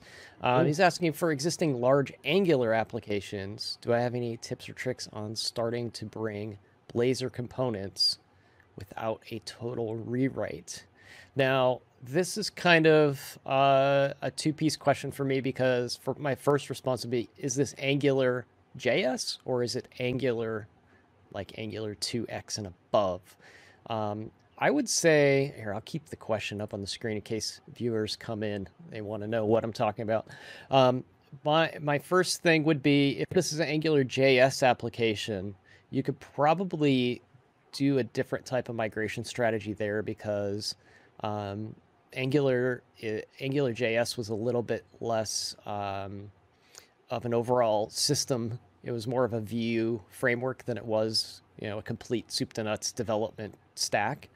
Um, so you might be able to migrate some of those Angular views one at a time over, especially if your backend is already .NET. Uh, migrate those to a Blazor application. Um, you might be able to do some kind of mix and match with those, but it's probably not advisable.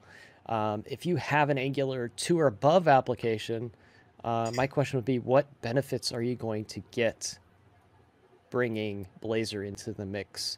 Um, Blazor and Angular kind of both serve the same purpose.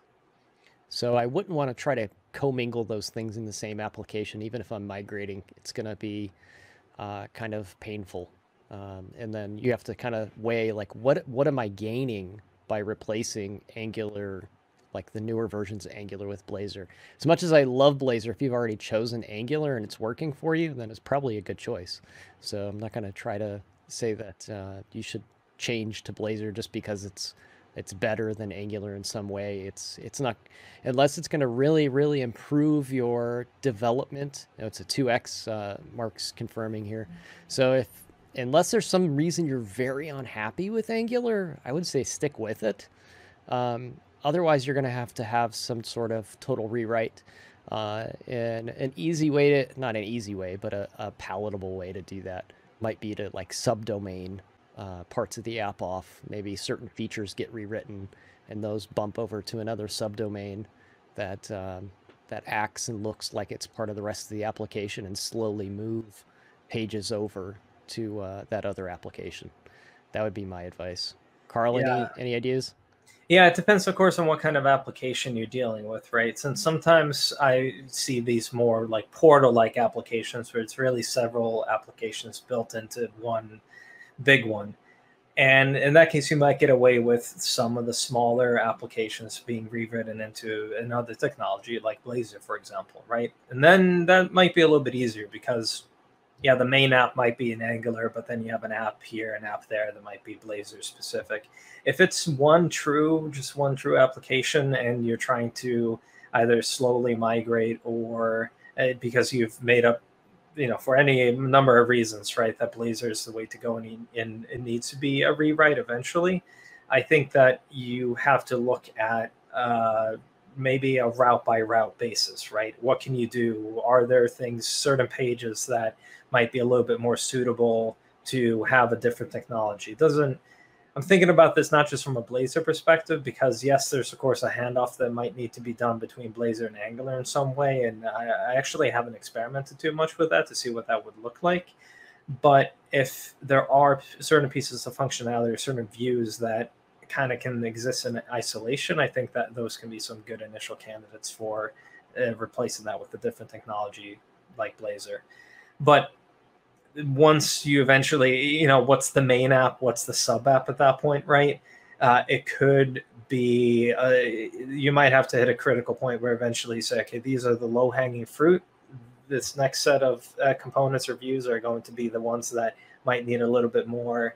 Uh, might need a little bit more work and then eventually hit a critical mass where you say, okay, now Blazor takes over and what's left over is going to be Angular, which might be a little bit tricky too. But yeah, it's it takes a little bit of careful planning, I think, if you're going to try to uh, inject Blazor into an existing Angular application like that. Yeah, they're they're definitely very hard to uh, kind of commingle together because of the way uh, Blazor and Angular both handle the state of the view that's in the application. I mm-hmm. try, try not to say the word view state, not confuse people. That's a, a, web forms thing. Yeah. But uh, both Angular and and Blazor have some sort of uh, Shadow DOM that they use. Uh, Blazor calls theirs the uh, render tree. Um, I'm not familiar with what exactly the terminology is around Angular, but I know it has something uh, to help minimize DOM rewrites. Um, that that sub uh, sub DOM or Shadow DOM or whatever you want to call it in Angular is going to conflict pretty heavily with Blazor. So they're both going to be trying to track updates on the on the actual browser's DOM um, and if you have one set of components trying to write HTML and the other one trying to track where you know where those changes were made, things are going to break and get ugly really quick. So you're not going to want to mix those things together in one UI.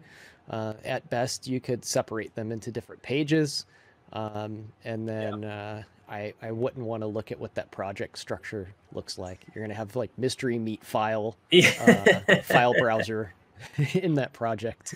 Yeah, definitely. Yeah, I think it's a good point that if it's all rendered on the same page, you need to stick with one technology. Uh, so you have to find the pieces where it can be isolated so one isn't trying to override the other for sure. Yeah, just to put it in perspective of how difficult it is, um, even with the same base, you know, kind of technology, an MVC app and a Blazor app can run in the same uh, in the same view, it's totally doable to use an MVC view to render a Razor component um, in that view. and uh, it's pretty effortless too.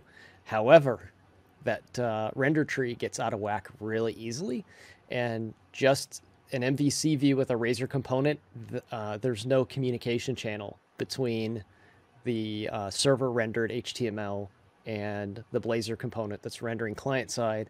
There's no way to talk between those bits of, of UI. So if you have a, a grid that's rendered in Blazor and something else that was rendered, say a chart that was rendered from the server, those two things cannot communicate in any way, shape, or form. you have to have a full page refresh for any of those things to update. Yeah, you'd truly be in a stateless uh, world at that point, where you, everything would have to go through the back end, and any changes would have to rely on full refreshes, right? Yeah, and that that kind of defeats the entire purpose of Yeah. a spa application. So at that point, you have to ask yourself, what am I really trying to do here? Yeah, Uh, and um, what you end up doing is either just serving Blazor from MVC or just migrating completely to MVC Mhm. or Blazor. Sorry, one or the other. you pick one, or or uh, you just pick one of the view engines, basically. But trying to cross the streams, as we know from Ghostbusters, never works. Yeah. I learned that lesson early thanks to that movie. You know. it teaches us so much. 80s movies. Uh, I don't know what we'd have without 80s movies. Yeah, I uh, I keep on saying this to everybody. To me, the '80s were the best times, and I just I like the trend that we're seeing a lot of folks going back to the '80s because yeah, if I could go back in time, it would be to the '80s. We had so much, yeah, all those great movies. We had, I I mean, I'm a I'm a metalhead, so you know, we had a lot of good and early thrash and like power metal and uh, and uh, you know speed metal, all that good stuff. Hair metal, right? You had all the glam rock too. The, oh man, if only we could go back. Yeah, We've been trying to have movie nights here with uh, not a lot of um, you know stuff to do, not a lot of places we can go. So we've we've tried to have movie nights with the kids, and uh, I was suggesting some '80s movies one night, and I was like, we should watch some '80s movies. There's some really good ones back then. Yeah. And uh, my daughter was like, "Ugh, I can't stand black and white." Like, how old do you think I am? Like, yeah. How long ago do you think the '80s were? Jeez. Yeah.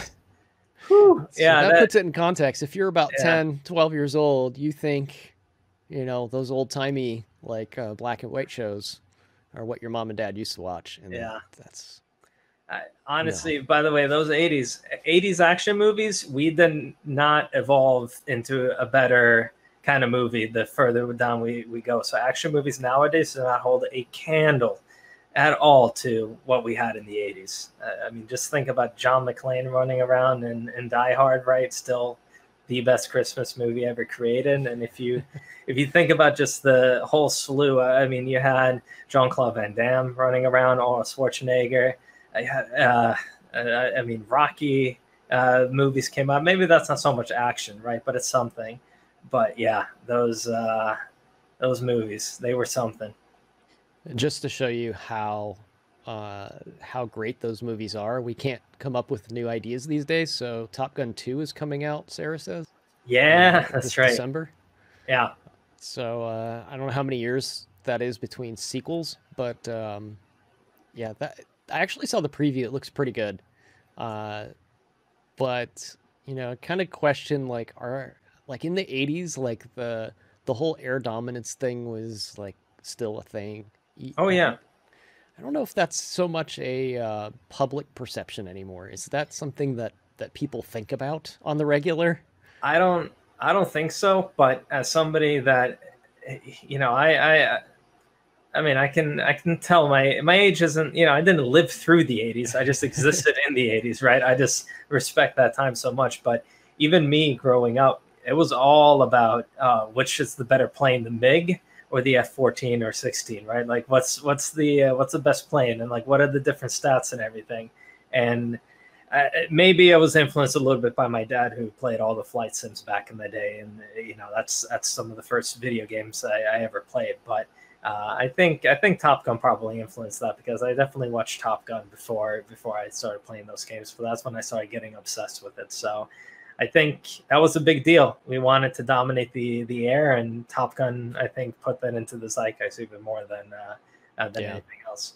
Like you'll see you'll see the news article here in the states like every once in a while about like some Russian plane that flew near Alaska, you know, touched our airspace for half a second. Like that happens from time to time here. Uh, but you know, in the the 70s and 80s, like it's you know coming out of like the Vietnam era and stuff, like air superiority was like this big deal. Oh yeah, And, uh, huge. It was talked about all the time. There was the it was kind of like the the JavaScript fatigue syndrome, like where we had like a new JavaScript framework every week. It was like we came out with like a new fighter jet like every week. It was like Yeah. this is the new one. This is the this is the F sixteen, the F fourteen. That you know these things just kept rolling out like in the seventies and eighties. It's like nuts. Um, so with Top Gun 2, I'm wondering if it's going to end like with some fever dream of uh, of Tom Cruise's character. It's been that long, I can't remember the character's name, uh, but he's he's just like playing Battlefield on his computer or something. Yeah. yeah, right. I wonder. I, I don't know. Tom Cruise. I don't think he goes for uh, for that uh, that kind of ending. You know. Uh, yeah, Maverick. But that was his call name. I'm wondering what was his actual name because all I remember is Maverick and Goose, uh, and Iceman. Uh, Val Kilmer in the '80s too. Uh, you know that it's uh, that movie is great. So I'm I'm really curious what's going to happen with the second one. Yeah, we've got reference to Total Recall here too. That was like one of one of my favorites. The Yeah. I don't know about the remake. I know they've remade it. I don't think I've seen it. But the Schwarzenegger, you can't remake a Schwarzenegger movie. It's No. just, it's just not And possible. it has that iconic scene at, uh, with with his eyes popping out of his skull, which is you know just great practical effects for the day. Uh, I remember being traumatized by that a little bit as a kid. And I was like, "That's why you can't go to Mars. Your eyes are going to pop out of your head." That finally helped me realize why space can be dangerous. But uh, yeah, that remake almost has nothing to do with the original. It's uh, crazy. So Sarah is either looking up this information or she is a diehard Top Gun fan. A Knowing, um, her uh, interest in aerospace, uh, because of um, you know just personal reasons, I'm wondering how hardcore of a Top Gun fan Sarah really is. so uh, Sarah's husband is in the into aerospace, is why I say that. If you if you didn't catch that. Yeah, maybe that's uh, you know monthly monthly viewings, right? I don't know if uh, you have the same thing with with your family, but there's definitely some movies whenever I'm at my parents' place, still to this day, where if we have nothing else, we just put on uh, a movie that we watch over and over again. And for us, it's uh, A Long Kiss Goodnight, which is maybe a weird one to have, but that's like uh, one one of the go tos. I probably have watched that movie over a hundred times at this point, just considering that on VHS. I can't tell you the amount of times I watched it there. Now we have it on DVD. They also bought it on Amazon, so maybe that's what uh, Sarah's doing with uh, with Top Gun. Sarah solidifying her position as the coolest boss ever. um, let's see. I, I typed this into chat. I don't know if Alyssa saw it. I'm, I'm kind of wondering if she is ready. If you are, give me a thumbs up. You're ready. Okay, we're gonna bring Alyssa back into the stream. Uh, they're getting ready to kick off the rest of the show. Hello, Hey, hello, Alyssa. darling. hey, Welcome back. You're hearing us talk about our old timey movies, I our know. black and white movies. so we we have that um, tradition or habit uh, in my family as well, where every like uh, fall Halloween time we watch all the Harry Potter movies, and we've made a new tradition this year. We've agreed to a movie schedule where we're going to watch the Lord of the Rings movies during Christmas. So like as an annual thing. So I love it. Yeah, the, the kids complained and, and bellyached that we were going to watch these quote boring 80s movies, and then I put on Beetlejuice and they loved it. So Oh, I actually saw that just the other day. Uh, so I mean, I've watched Beetlejuice over and over, but it's just funny. Uh, on Friday, we we were looking for a movie to watch. I was like, you know what, I haven't seen in a while. Beetlejuice. You know who I forget is in that? Alec Baldwin. I forget that he is like the husband in that movie. I remember Geena Davis. I remember everybody else in the movie, but for some reason, I just did not register that that's Alec Baldwin. And maybe it's because I think of him in Glengarry Glen Ross, and then I think of him in 30 Rock, and anything Mhm. in between, I just don't comprehend that he was in movies or shows in between. Which I mean, he's a successful actor, so he has been. He's played Jack Ryan, right? So he definitely has been successful, but for some reason, just blank. That's like a just a blurry face uh, for for that actor uh, in that movie. So it's, it's Yeah, and, and he plays uh, Donald Trump on SNL frequently too. oh, yeah. And then you look back at, at Beetlejuice and you're like, oh my god, he was a baby when he was in this movie. Like, yeah, right. like he was so young in that movie. It's it's just kind of mind bending to see like him then and now. Uh, they, he looks so different, you know, especially being able to play that part on SNL. And then you look at him in, in Beetlejuice, you're just like, wow, that's the same person. I know, you start right? feeling old yourself. You're like, oh, Yeah. I remember when Yeah, I saw uh, this. Whenever he's uh, dyeing his hair and you know in like regular like you know on tv in some capacity right he just looks eternally young now when he's doing some zoom stuff you know some remote stuff where uh, he uh, he has the gray hair coming in you know the gray beard and everything that's when you're like oh alec baldwin you have age but as soon as he cuts that out then then he instantly turns like 30 years younger it's pretty amazing So let's see. Let's see if I can segue properly. So watching watch him him dye his hair is like watching Silverlight app being sunset and migrating uh, to uh, to something new like Blazor. Oh, you did it, Ed. You did back it. back on topic. Maybe the lunch hour, but we have a way to make sure that we always stay on topic. I love it. Oh my goodness. So what did I miss other than you guys talked about movies? Did you have any other fun convos? Uh, we were talking about some Angular. Somebody was looking to migrate their fresh new Angular 2 application over to Blazor because Blazor's just that amazing. I there was a lot of chat earlier about Blazor. So why But I why actually why advised against that. Uh, I know, If you're, like, if you're good with something, uh, you really have to justify that cost to migrate. Uh, so that that was kind of my my overall answer there. It's uh, you have to have a really good reason to um, kick something to the curb that's fairly new, like uh, Angular 2 up.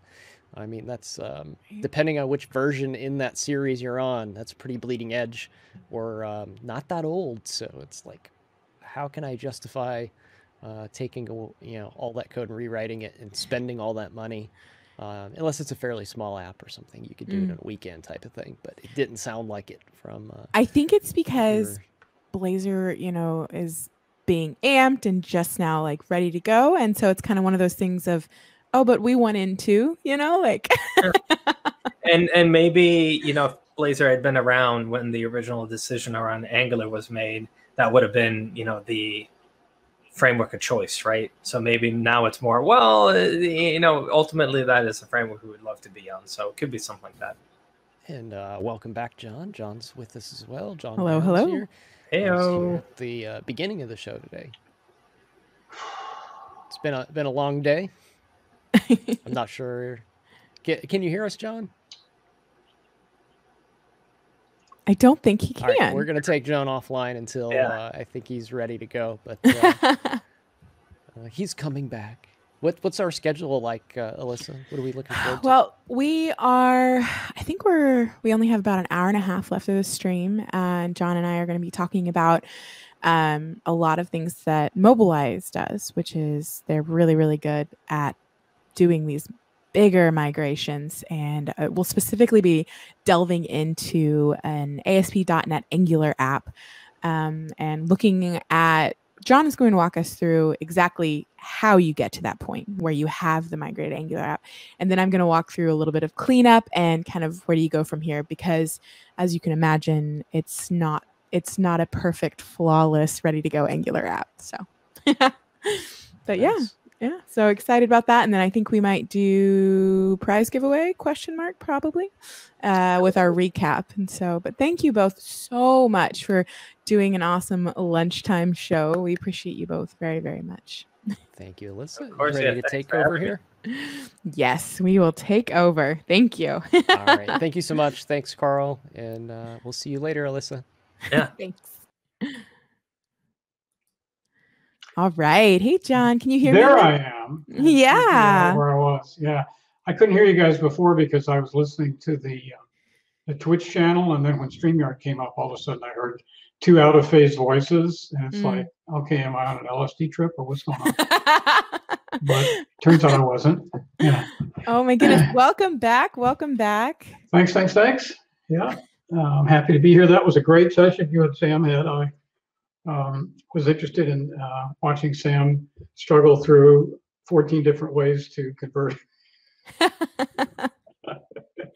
I know, right? I I too was there. There was a lot of different. I think he only had one one demo that he couldn't get working, but I was overwhelmed with the the demos that he was able to show off. So it was really what productive was morning. It was uh, was it WebAssembly or? Yeah, it? it was, and I think with Blazor, and it was he had some issues with uh, actually like compiling and running it, but um, but I know he I know he can do it. There, it's it's one of those you're live. What bug is it?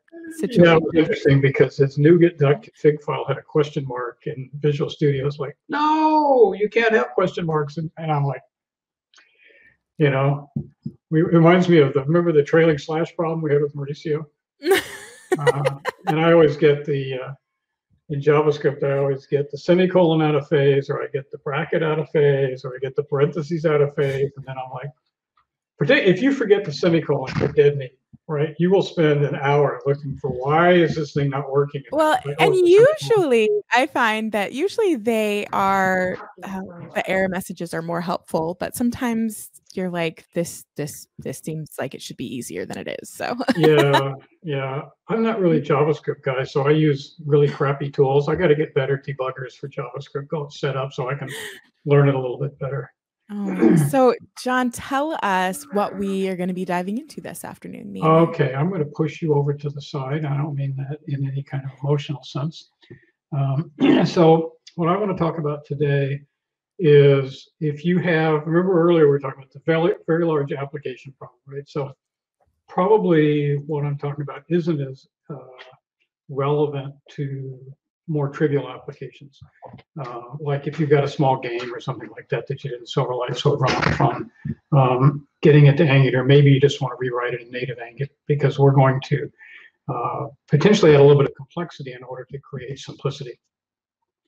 So just a little bit of background. Um, Mobilize.net has been around for a couple of decades, basically working on the problem of how can you migrate or transform source code and I think that's an important distinction because it is a source code solution, not, not a runtime solution.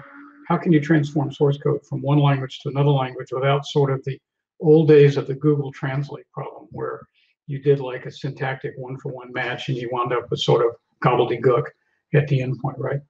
Um, because code is much more nuanced than that. And so uh, our founding team used some AI concepts to try and do uh, static analysis on code and then create pattern matching and some other stuff. And that's really sort of what we have taken forward over the, you know, iteration after iteration. And we're probably best known for a long time ago being a partner with Microsoft to help people get off VB6 to .NET uh, and move their VB Classic language source code to VB.NET. Remember we were talking about VB.NET earlier today, which was the .NET version, the Visual Basic, and it's in many ways similar to C Sharp or Java. It's an object-oriented language that, you know, is um, allows for more strongly typing and things like that. Um, subsequent to that, we looked at the problem of how do you get those applications from the desktop to the web. And again, there's a problem space that we live in where um, both the large corporations like the enterprise and large ISVs have significantly large investments in application code. Um, you know, and so 500,000 lines for us is not a big app. Wow. Right? you know, like three, four, five, six million lines of code. That's a big app. Um, and, and, yes, everybody would like to rewrite them and do everything perfectly, but realistically, mm. it's just, it's probably just not in scope to try and do that. If you're an ISV and somebody comes, you got a desktop app, somebody comes along with a web app, and they start taking your market share and your development team says well we can create a nice new web app but using angular or react or vue or whatever you know the flavor of the month is um, but it's going to take five years to do it. I mean what's the payback on that? You'd be out of business so you know we have i like to think about carpenters in the old days when your great great grandfather built a house they used a handsaw and now when they build houses they use uh, skill saws use power saws right And you still have to build a house, but you can cut that wood a lot faster. You know, you have all these power saving tools like nail guns instead of bang, bang, bang with a hammer. So we're a power tool for these kinds of migration projects.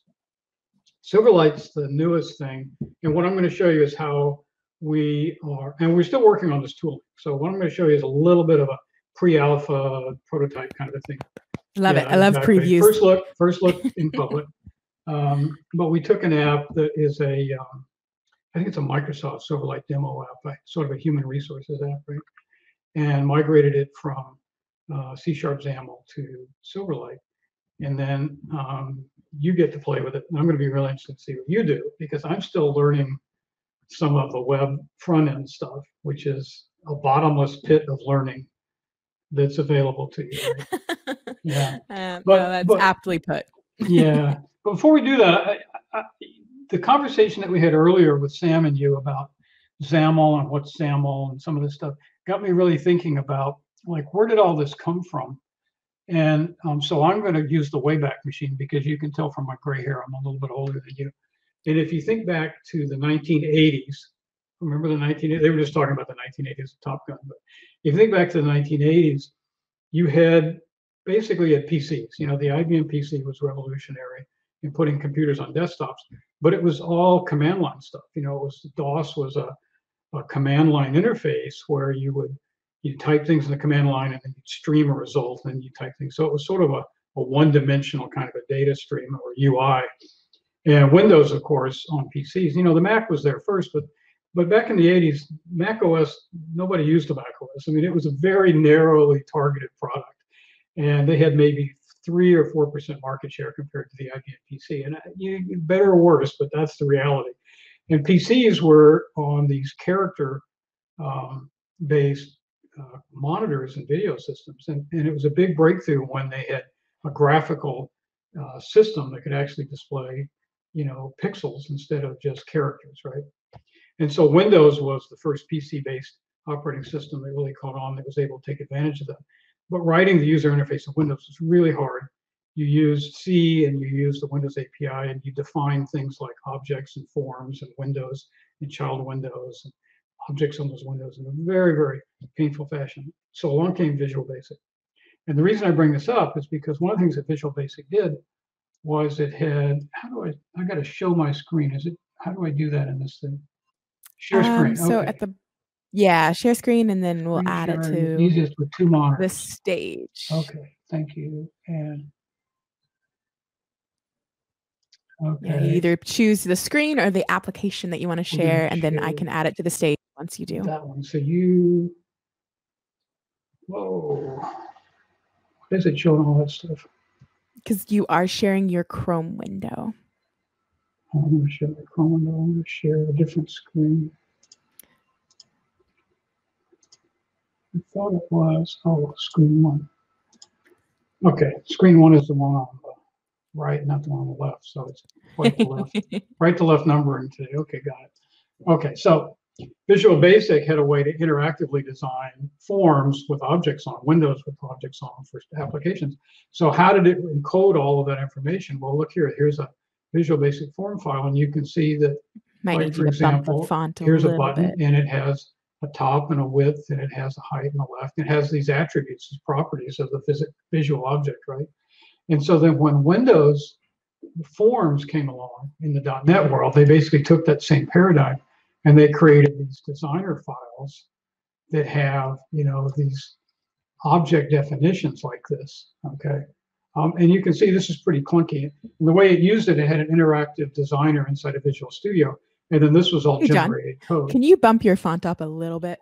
You so- bet. A little tiny. Um, yeah, somewhere in. Um, I know it's Command Plus on a Mac, it might know. be.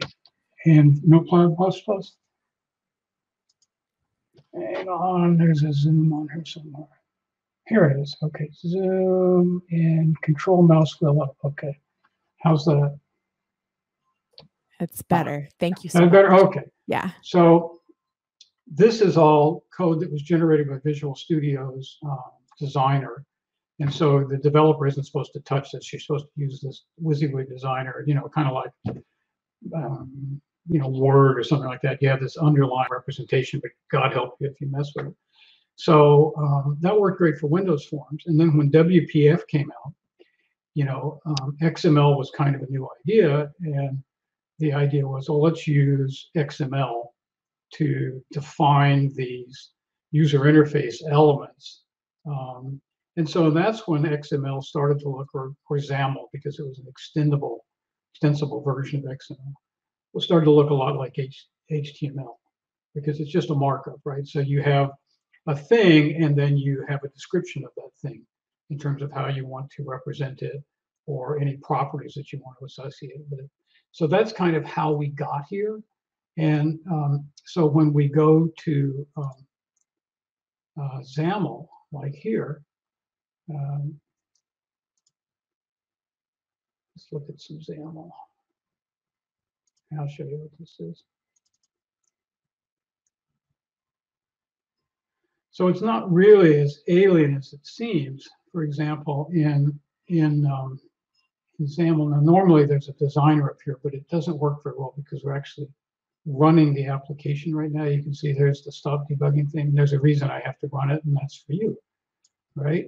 so that you can access it. but um, kind of like XML, I mean, kind of like HTML, you start out with some information about the, the you know, in, in HTTP or in, in HTML, this would be sort of the, the doc schema that you'd have, right? So we have some schema stuff here. And then you get down and like you have stack panels. Here, this is kind of like a flex box in um, CSS, uh, where it can be a stack vertically or a stack horizontally. This is a stack, a horizontal stack. Um, and you have things like margins. Um, and so basically, kind of like HTML, you have a, a property and you open it up with some braces, you know, some carrots, and then you have some data, and then you close it and you say that's the end of the information about this thing. So that's kind of what um, what WPF tried to do. And then, as Sam was saying, or others, Laurent was saying, um, uh, Silverlight was built on top of WPF to provide a browser way to run these similar rich applications. WPF itself was a way to get past those Windows forms, which themselves were sort of a um, uh, built on top of the, the Visual Basic uh, interactive design forms, drag and drop objects, and set properties on. So that's kind of the, the paleontology of this whole thing.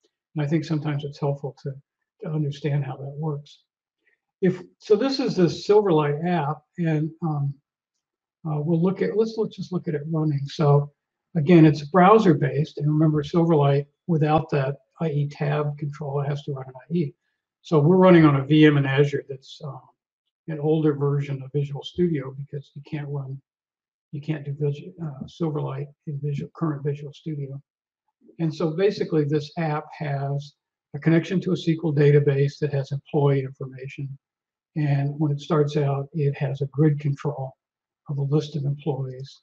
And we can sort the grid by different features. And we can look at individual application or individual employees. And then we have a um, another stack panel down here where we show uh, stuff on each individual employee. And we have paging controls here um, where you can scroll through the applications thing. And we have a filter query field up here. If I type in a value like 40, uh, it will automatically sort uh, and filter the uh, results in the grid to only employees that have at least 40 hours of vacation time. Yeah, I think it's, I think it's one of those end columns, right? Yeah, that that shows your vacation hours. Yeah. Did I pass it? Or is it? Uh, I didn't even see it being an idiot. Huh. There it is, vacation hours. Okay. It's, oh, it's right at the beginning. I didn't expect that. I didn't either. Did it change the? It didn't used to sort? be. I. It didn't know. used to do that, right? Yesterday it wasn't doing that. Okay, I don't know. All right. So, um, and then there's a there's a home and an about, and this is sort of a byproduct of the fact that this is really a um, it's really an ASP.NET web application. Okay, with this client side stuff sitting on top of it. So if we were to look over here in Visual Studio at the application, um, and for some reason, let me pin Solution Explorer up here. And is that readable over here on the right? This is the part I can't really zoom. Uh, I think so. Okay. Let us know in the chat if you can't, but I think it's okay. Okay. And so what's kind of typical in a Silverlight app is you have two projects in your solution. You have an app and you have a app.web. And so if you think about this is a kind of a classic sort of model view thing where the app here, this is all of the front end code. So this is the UI, this is the client code, this is the stuff that's going to run um, in this particular world and the in the inside the browser, inside IE. Um, and so you can see that you've got models and you've got views um, and you've got controls and things like that. So there's a lot of stuff in here. A lot of it is kind of um, boilerplate for any Silverlight application. Um, you've got things like, for example, you get um, resource strings. So if you want to have a, if you want to put all of your strings into a resx files to localize it, this is sort of automatic. Um, and, but basically, you get these individual files where you have the good stuff. And then down here, you have your HR web app. So this is all the C sharp code. And so by de definition, uh, let's see up here. So up in here, for example, back in the front end, for every XAML file, you'll have a XAML.cs file. Okay. And this is the code behind, as Sam was talking about earlier. So here you can see where every um, uh, control that's actionable, for example, we have two buttons on this particular form, an OK button and a cancel button. And both of these have an event handler. Okay. Now, the event handler here doesn't do anything. It's basically going to send that event back to the to the back end side of the code, and it's going to go like, well, "What do you want me to do with this?"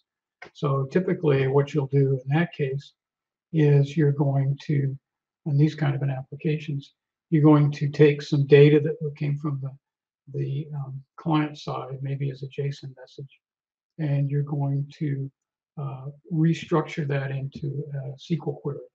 Okay, and you'll send the SQL query to the database, and then you'll take whatever gets returned, and you'll restructure that into something that the view can handle, and send it back again as a, as a JSON message. So there's your state management there.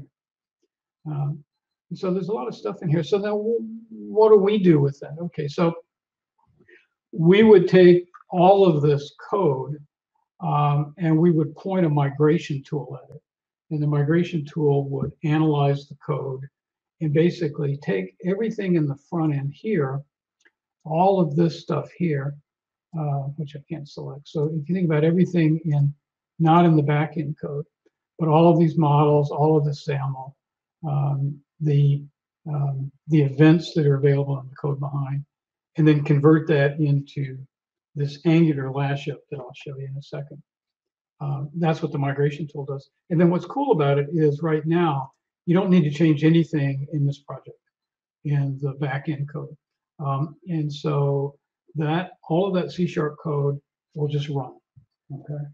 And now the front end, instead of being XAML stuff, Silverlight stuff in a plugin running on IE, it's going to be pure Angular talking via JSON messages to this backend. Okay. So in order for that to work, we have to continue to run this application, but this front end code is no longer necessary. So I could just, I could strip it out of the application if I wanted. Now you are probably going to want to go in over time and do some refactoring here because it wasn't designed necessarily for what we're doing. But this is a quick way to take all of this code and imagine that it isn't this big, but it's huge. Take all of this code and get it running in Angular, get it running in something that's that's truly cross-platform because it'll run on browsers without plugins uh, and all the issues associated with that. Um, and run it with with uh, breaking any of the business logic. The user interface is going to be pretty faithful but it'll leave a little headroom for some cleanup stuff.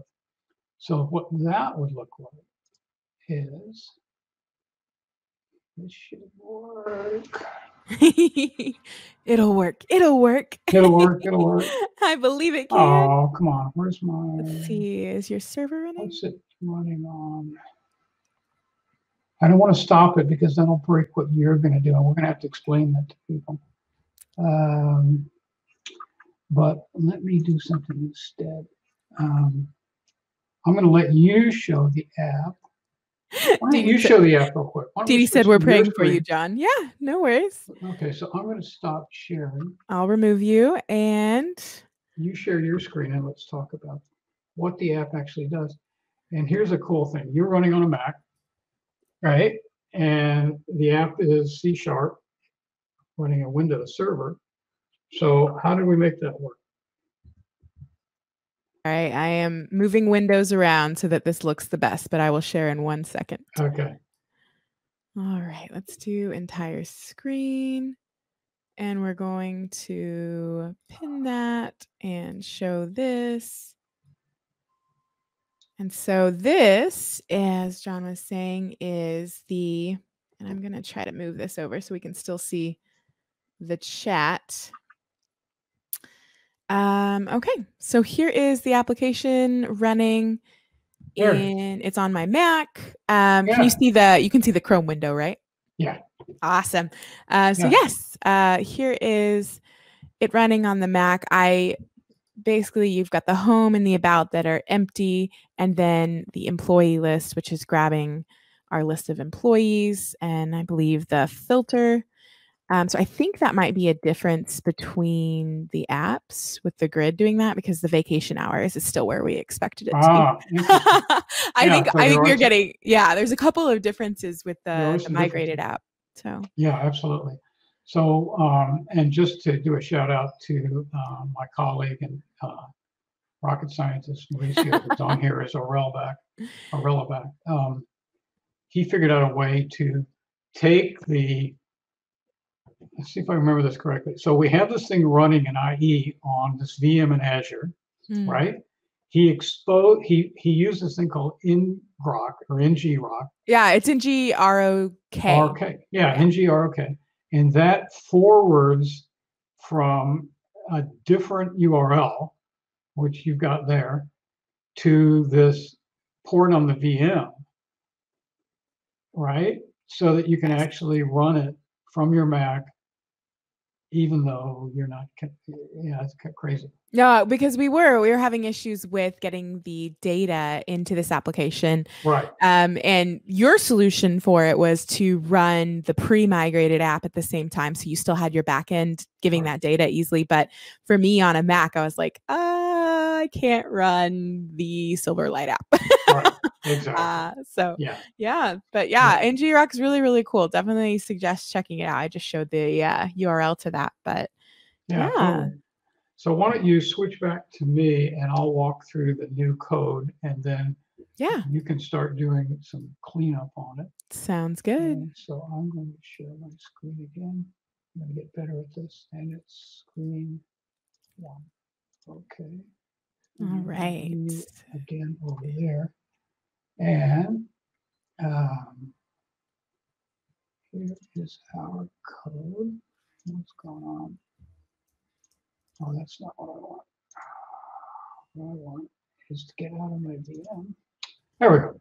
Okay, sometimes I get confused. Am I looking at a VM or am I looking at my desktop? What is reality, right? Where have you ever done that where you wake up and you're like, where am I? What's yeah, happening?" exactly. only every day, Alyssa, only every day. Okay, so um, uh, are you watching the? Are you watching the? The chat, channel? yes. I don't know if anybody has any questions. Okay. Yes. Oh, inside the matrix. Yeah. Thank you, Mauricio. You're right. We are inside the matrix, and it's your matrix, dude. So you made it. You made this matrix. Um, so what we've created over here, you know, this is the the output of the migration tool, and I want to make sure, make it clear to people that again, we're still building on the tool. Mauricio had to do uh, some handwork here, but the idea was to create uh, a sample application that um, would generate that would show the same code that we're going to generate in the uh, product as we build it. Uh, so when we get done, so we know exactly how it's going to end up Uh, it's just that there's a lot of steps to get from here to there. Um, so you can see that we have a number of the, sort of the pieces that are typical in an Angular application, uh, like our packages and our configs and stuff like that. Up here in projects, we have two. We had this HR app, which was the name of our original um, Silverlight application, but we have also this SM components, and I want to just talk about this briefly because this is sort of the the magic here. Do you know what This SM ca- stands for? I kept calling it small components in my head, but yeah, me too. Well, um, I don't know if that's the namespace that we'll end up with, but our other products that generate these Angular front ends and these ASP.NET backends uh, use WM for WebMap. Okay. Um, and so this, I think, is SM for Silverlight Map, map being an internal abbreviation for uh, modernization acceleration program. Okay, as a way to modernize things. We haven't really worked out the naming on this yet, but for now, let's just say it's SM. And so you can see it's a lot of, um, it's a, basically, it's a library of things that are all in TypeScript. And so this is where we build our layer on top of Angular. So we're letting Angular do the, the lifting and carrying most of the water under the sheets. But we are going to build sort of an abstraction layer on top of that uh, to make the code just a little bit cleaner for the developers that were used to the original application that jump into this thing. And so that's why when we go up to the HR app and we go into our source and we go into our app, we'll see that we basically have um, folders here, just like we did in the original thing. So we have assets, controls, whoops, assets, controls, the generated code helpers, models, views, and so forth. Um, and then inside of views, we again, where before we had a XAML file and a XAML.cs file, now what we have is an HTML file and a TS file and a component file. So if we look at, for example, the TypeScript file, this is where we're going to uh, create all of our, um, in effect, handling those clicks, those events, right? And then we're going to use our library of helpers that are in that SM components library to send this event to an Angular uh, event handler. Okay, it's going to do something interesting with it. Um, and that's where you're a lot smarter about this stuff than I am. So over in the HTML, you can see that every, um, this looks almost exactly like the, the XAML. Here's our, um, look, here's our flex box right here. That was our stack column before. Now it's a flex box, right? And it's horizontal, or it's a column. so are those Um, things that the uh, like will be automated with the migration tool that your team's building, or is Yeah. that something that you have to go in? No, no, this would all be done by the automated migration tool. Okay. This is kind of the easy stuff because we parse the XAML file and we map it back to. Wait, I just lost you. here. I just lost you. Am I here? Can you hear me? Yeah. Now. Oh, sorry. I mute sometimes in case Oh, uh, in case the pup makes noise or something. So I'm here. I'm here. Okay. So yeah, great question. This would all be automated. Um, this is actually fairly straightforward because the the XAML description of the uh, all of the objects on the window are really really um, you know you have a rich amount of data and it maps very easily over here to HTML. Like for example, uh, the margin looks exactly like the the XAML margin uh, data and so forth, right? Um, now it doesn't mean that it's going to look perfect because as we know um, in different browsers, you know, there's different defaults, and maybe um, you're going to wind up with um, something that gets overridden and it gets a little bit broken. But generally, this is all pretty much straightforward. So here's all your HTML. And so you can see that every uh, particular object, like all these input types and things like that, are going to map to these uh, grid control items, okay, back in the grid control. Now, what are we doing for grid control? We're using Kendo. Hooray! for- yeah. And so we started doing this desktop to web automation stuff about six or seven years ago with the very first prototypes that got hacked out. And when we were looking for a control library uh, written in JavaScript, Kendo was a really natural choice because first of all, it was very full, uh, it was well supported, and it had a nice mapping to the uh, the native Windows controls that the applications that we were working from used. And so we used the Kendo control set. Um, and uh, we love you guys because you've been super. You've been a great partner with us. Um, it doesn't mean that somebody couldn't replace Kendo with another competing product whose name I won't mention, but. Um,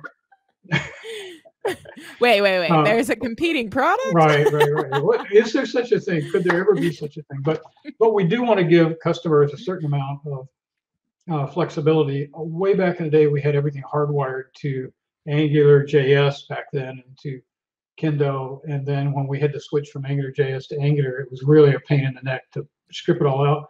So we redid the whole architecture around basically plugging these things in a little bit. So even today, Angular is sort of plugged in as an import, and you could replace it with Vue or something if if you had to do that. We have a, a very large customer that has their own framework, and so the projects that we do for them, they want to replace Angular with their own internal framework.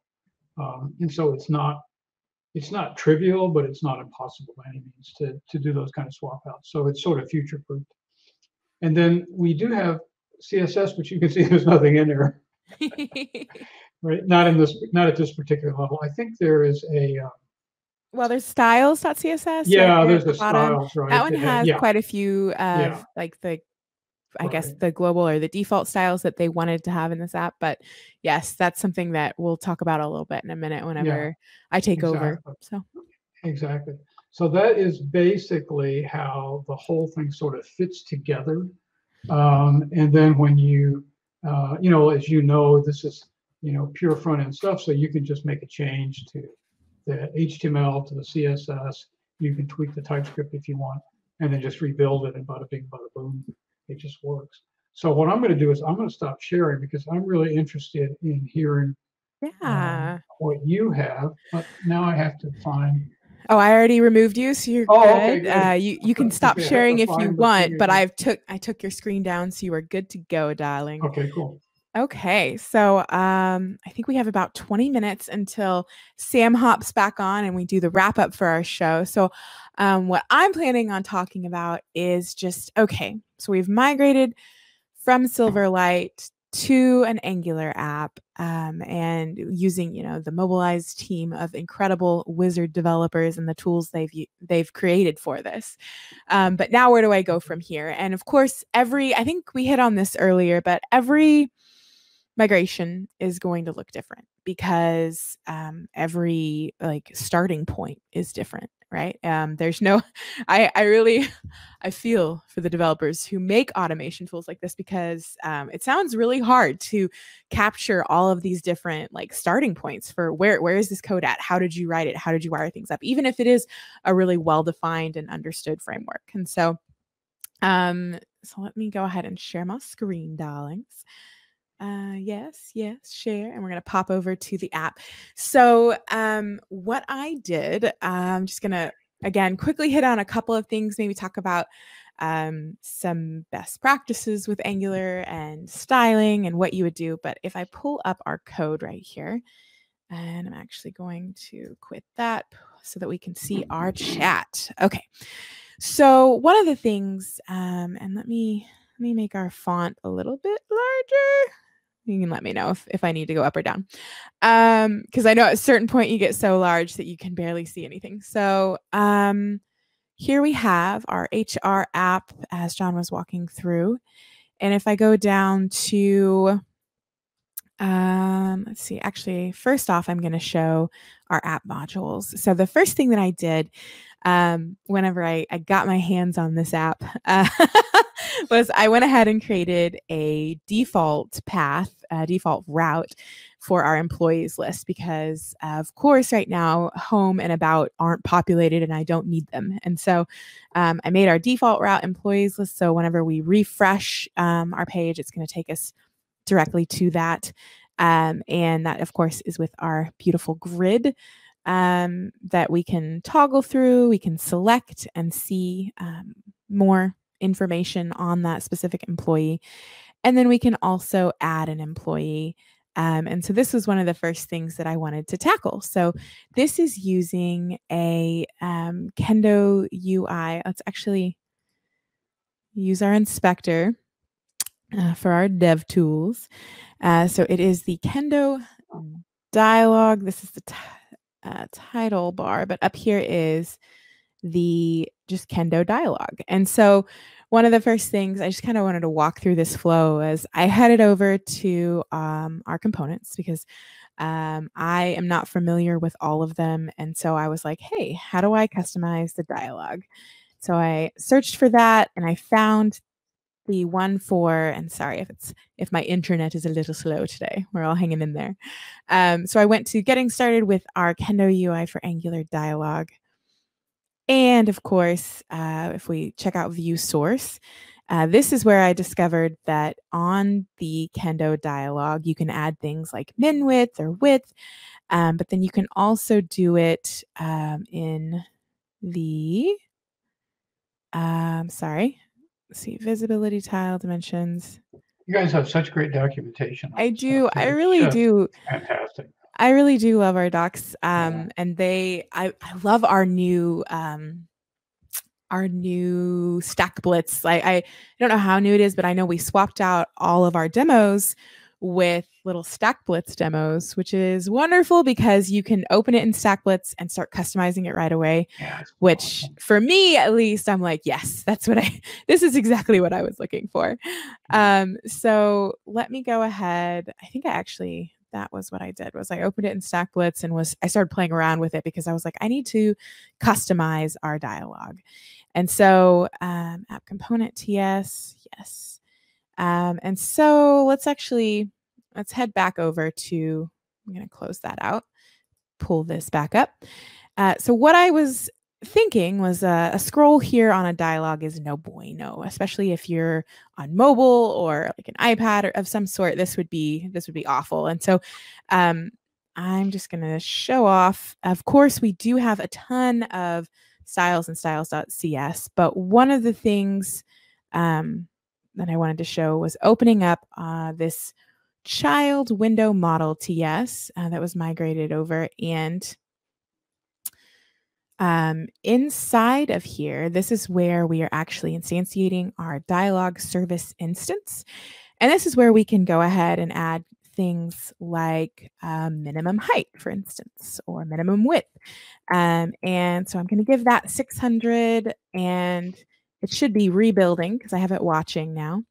And uh, actually, let me double check my terminal. There goes. We were waiting on the chunk optimization, as you Angular fans know we often are waiting on. uh, so now if I click add employee, ah, it's still too stubby. Let me see what I did wrong. All right. Kendo dialog. So it doesn't have the 600. Let me see if I added it to the wrong thing. Do, do, do. Let's try height. Um, because I don't see it actually in what we should see is on the element itself. Um, it should go ahead and add that height. Refresh. Add employee. Give it a moment. It's pondering its life.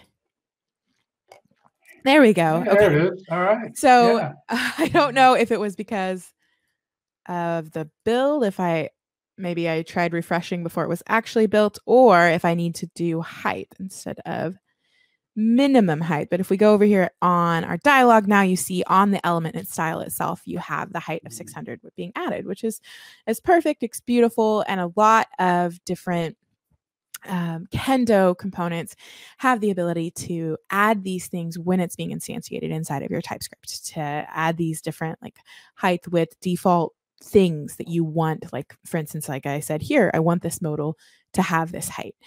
Um, and so we don't have a scroll anymore. But you also have the option, uh, if we go over here, um, and let me know, John, if anyone says anything in the chat that I need to be aware of, because I am just chugging along.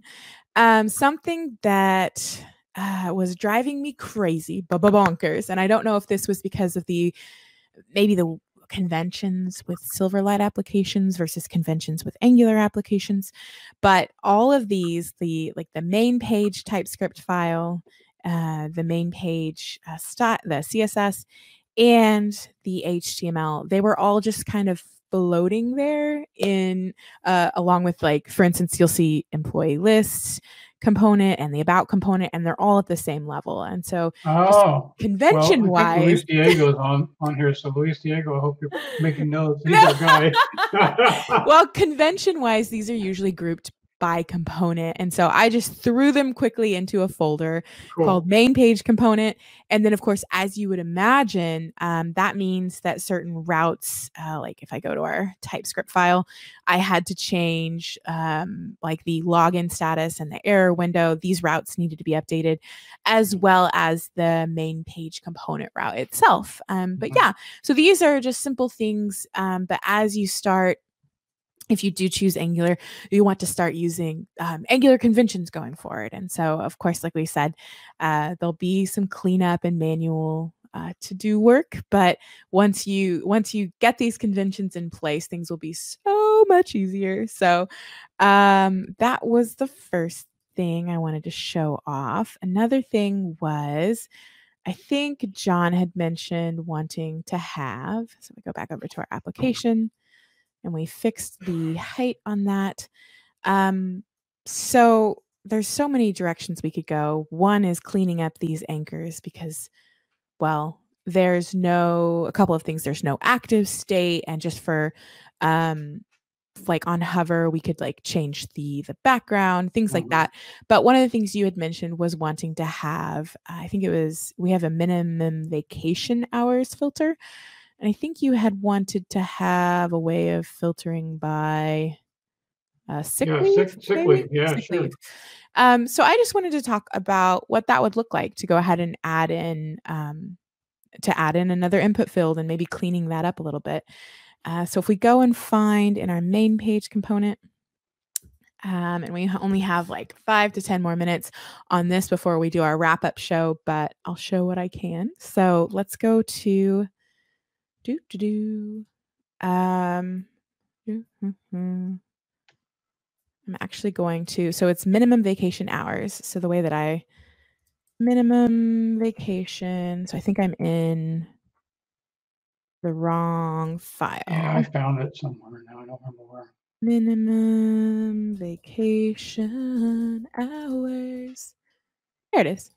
Yeah, right. Uh, yeah, it's an employee list. Pardon, was in the wrong HTML file. So here we would go ahead and grab. Looks like, and like you said, these were uh, flex styles that were generated uh, for our converted app. So I would go ahead and find. I think this div right here is what's wrapping. Let's see, Kendo Grid. Um, our label and oh i see what's happening. So this label is for the whole thing itself but this is the div that's wrapping our label and input. So i'm going to grab this one that one yes okay. So what i would do is i would go ahead and grab this gorgeousness copy paste and we're going to change this to i think we said sick leave. So minimum sick leave. Woo. Um sorry, I think I got rid of my I got rid of my There it new. I was trying to figure out. Where'd it go? Ah, It's gone. you It's gone forever. Sick leave hours. Um and let's make that match. Of filter. Okay, so now um, we need to go ahead and check it out, see what we're looking at. Um, it will refresh in its own good time. Okay, beautiful. Right, This is what I love to see. So I love it when I'm adding new functionality and everything just looks jank. And I'm being completely serious because it means we get to go in and we get to just clean up some styles, which is very cathartic for me. So, uh, so the first thing um, that I would do is, uh, um, I would give both of these buddies a wrapper. Call it. Oh, usually I get some auto completing goodness. There we go. I was like, it's gone. It's gone forever. Um, with a class of uh, filters wrapper. And we need to close our div here and tab that over. And now we're going to go ahead and find our, hmm, hmm, hmm, our CSS file, which is so handy. And like you were saying, we only have position relative, but one of the things that I would do is um, I think, again, based on need, a lot of the styles were placed inside of styles.css. So, one of the first things that I would do is I would start to choose some of these styles that aren't actually global styles and move them over into our employees list component. But as you build out new things, of course, like your filters wrapper, um, wrapper, and then we're going to say um, display flex, please. Uh, and I would also recommend, um, as you have the time, to go ahead and move things like uh, these inline styles um, just move them over into the style sheet. It not only cleans up your markup, but it also can make it, you might notice, hey, we're using display flex with flex direction column uh, often on divs. Maybe we need to create a class and go ahead and use that uh, throughout our components. So definitely things to work on. I'm going to go ahead and come back here. So now that it's display flex, these are side by side. We're like, yay, we're getting there. However, you'll notice that our employee list is floating in space, floating above the thing where it should be. And so if we go ahead and look in our styles.css file, we have position absolute and position float that are being given to our header text style. Um, but if we take both of those off, and I think actually we might want to bump up our bottom margin, um, then we can go ahead and leave it inside the flow of the docs, um, inside the flow of the DOM, excuse me, uh, while also um, still having the look that we want to go for. So we're going to go ahead and I think open up our uh, styles, uh, CSS. I think I'm in the wrong one. I think there's a capital styles and a lowercase styles. That's also something to be fixed. Yeah, that's confusing right there. Huh? yeah, it is. I think um, the lowercase is definitely what is generated by default and what you should stick with with Angular. So I think my first step um, in this app IRL would be deleting capital styles.css, moving everything over to our styles, our smaller global one, and then actually cleaning up. Um, but then at this point, I think it was called header text style. So I would find header text style. I'm going to go ahead and just comment these out and maybe double, triple, whatever you will, on our margin bottom. Um, so we should have those styles that we want persist, and then we could even continue. I don't know if 10 was probably not enough, question mark. Yeah, a little bit more. Um, and then, you know, I just keep chugging, chugging down this road of we've got these two things inside of our flex container um, but we probably could give them a little bit more space. And I would bring in, um, I don't know if like this is a Kendo UI input. And so I would definitely want to swap that out. Um, I think it's just a regular one question mark. Yeah, looking at it, style equals. So um, I'd swap them out for Kendo UI labels and inputs. Um, that would give us a bit of more cleaner default styles. But yeah, I think we might be ready. Let me double check. Double check. Uh, I think we might be ready to do our wrap up. Sorry, I didn't have a ton of time there to dive in, but just really, as you know, as with anything, uh, the migration might be a little painful um, on the tail end because you have things to clean up you've got conventions to follow you're no longer in silverlight right? So things things will change but it's definitely well worth it um, in the long run. So i think we're ready to welcome sam onto the stage. Uh, hello hello. Hi sam. Hi sam. Hello. Oh hello. my goodness. How are you darling?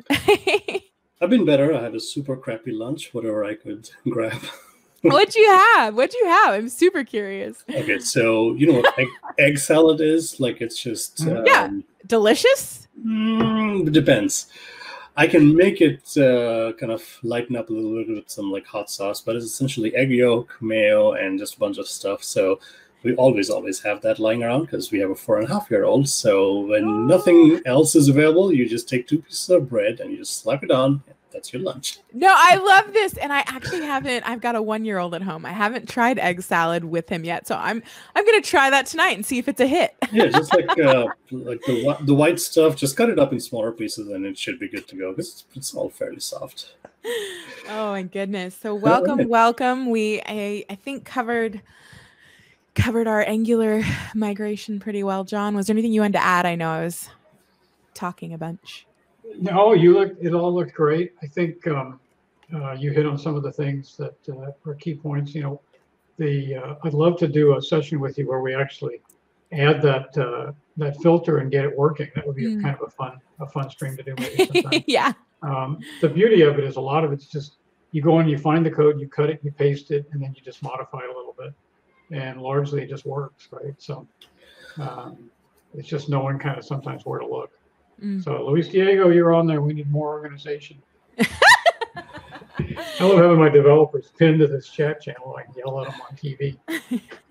And uh, Mr. Spoof, you're right. Egg, uh, chicken salad beats egg salad anytime. yeah. Oh, I was I I was like pr- I prefer salad.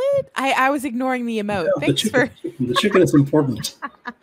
Oh, did you see? Yum Yum also said good point on cleanup. Changes in coding conventions should not be overlooked. So, Yeah. but uh, also, again, I do not envy the developers uh, who have to create these automation tools because it sounds like not only like where are you coming from, but where are you going and what conventions do you need? It it sounds um intense.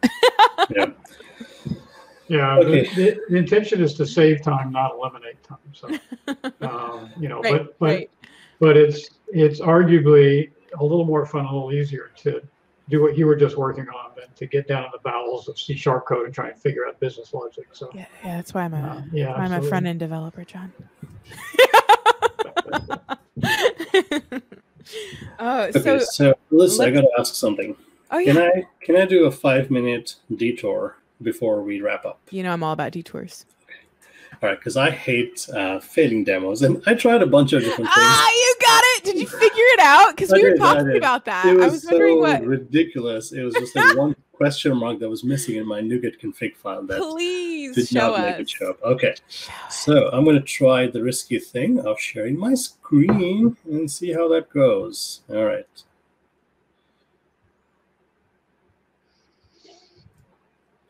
All right. Let me know when you see my screen. You see it? Okay, perfect. Oh, do you want to do that? That's just like a matrix taking you inside with Inception. Okay. But if you see my browser, uh, this is what we're up to. So this is the thing I was trying to show off. So we looked at Silverlight and we looked at controls, uh, UI controls that you can, for the most part, find one-on-one correspondence to uh, other UI, be it in Xamarin Forms, be it in uh, in WPF, be it in UWP, Uno platform. It's it's all there. It's uh, it's for you to take and then try to modify and see where you can get the closest possible match. Now, if you were doing something something custom, and just to kind of give you a flavor of uh, what Blazor life could look like, because I, I feel bad because I cannot fail on Blazor demos with Ed being around. So uh, I'm picking just two very simple custom controls and see if I can port it over. So I'm looking at uh, our Telerik UI for Silverlight tool, and if I click on these demos, it doesn't work in Chrome unless you have um, this particular plugin, which is called IE tab, which we talked about. So I'm going to go in here and uh, just talk about two very basic things. So we have an autocomplete box, which I think uh, spurned the whole conversation about favorite movies, and I stick to it. The Matrix still wins. Uh, so it's just a drop down, right, of all the things, and then um, I so really don't know how you can ignore all of the Lord of the Rings and all of the Hobbit, but Actually, okay. know, Lord of the Rings is really, really good. So we're going to look at just one line of code in here and see how close that is, and we'll probably look at one more like UI component. So that is the um, RAD autocomplete box that's lighting up the suggestion box. And if you had to take this application, uh, considering that you have all other services and all other aspects of this moved off, and you're just wanting to move the UI, what can you do in Blazor? So this is uh, Blazorland. So um, again, Microsoft has docs, and if you were to find a corresponding autocomplete uh, drop-down thing, we have one in our Telerik UI for Blazor. So Ed and all the team uh, out there for Blazor, they have put together docs, and the thing that I was failing on was to get the NuGet package in. So we have uh, a project where this is just a simple Hello World Blazor app. Doesn't have anything else. It's just the .NET New Blazor Wasm. And then I have a package reference here that says, go get me Telerik UI for Blazor. And the thing I was trying to do was uh, to point it to our NuGet source. And I was trying not to show this file because, because of the way .NET command line tools work and the NuGet package references work, this password is meant to be encrypted like it's meant to be a hash of your actual password but it just does not work all the time reliably. So you end up having to just type in this password uh, for whatever Telerik account that you may have and that's all i needed. And the thing that i was missing was a question mark. Can you believe it? Like this little question mark up on the top was why NuGet package restore was failing. So I put that back, and that is my NuGet file with the exception of that password. Um, Alyssa, can you still see my screen? Are we good? Yeah. Okay. We see, Yeah, you're we great. see your password, Sam. It's all X's. Yes, yes, that is my password. Uh, other than one, two, three, four, Sound- five. Yeah. Sounds legit. so that's the NuGet file I have. So with that in place, I can go into the folder um, and uh, let's see, where am I looking at? Okay, so I'm actually inside the project where I have, uh, oh, let me bump this up a little bit. There you go. yeah, that's better. Yeah. Okay, so now if I look at, uh, the, this is the project that Blazor gives you, and now I can do a .NET restore. So now we are asking the .NET CLI to go get the bits from NuGet, which is our NuGet, and restore the packages. So hopefully this works and it says, yep, I'm good. And at this point, I can do a .NET run, which means uh, bootstrap the app, start it up, and let me have access to it. So it says I'm up, and I'm up at localhost 5000. So uh, before I go look at that, here's the code that we're looking at. So we have that one package reference, and then in our index HTML, which is kind of like a default uh, in, in our www root, we throw in this file to say, here's where all of the global stuff belongs. So all that we're doing is putting in one CSS and one JavaScript file. So with that, I can do like an import. So I'm pulling in um, Telerik Blazor components if I wanted to. And in here is my um, index.razor page, which is just a sample page here. And this comes with some boilerplate stuff, but I added just two things to it. Uh, so let's go look at this in our uh, browser, localhost 5000. So this is a Blazor application. This is completely WebAssembly, uh, completely WASM, nothing server-side going on. This is working purely C-sharp in the browser, just like JavaScript. It's it's just like two brothers uh, who, who now belong in the browser together.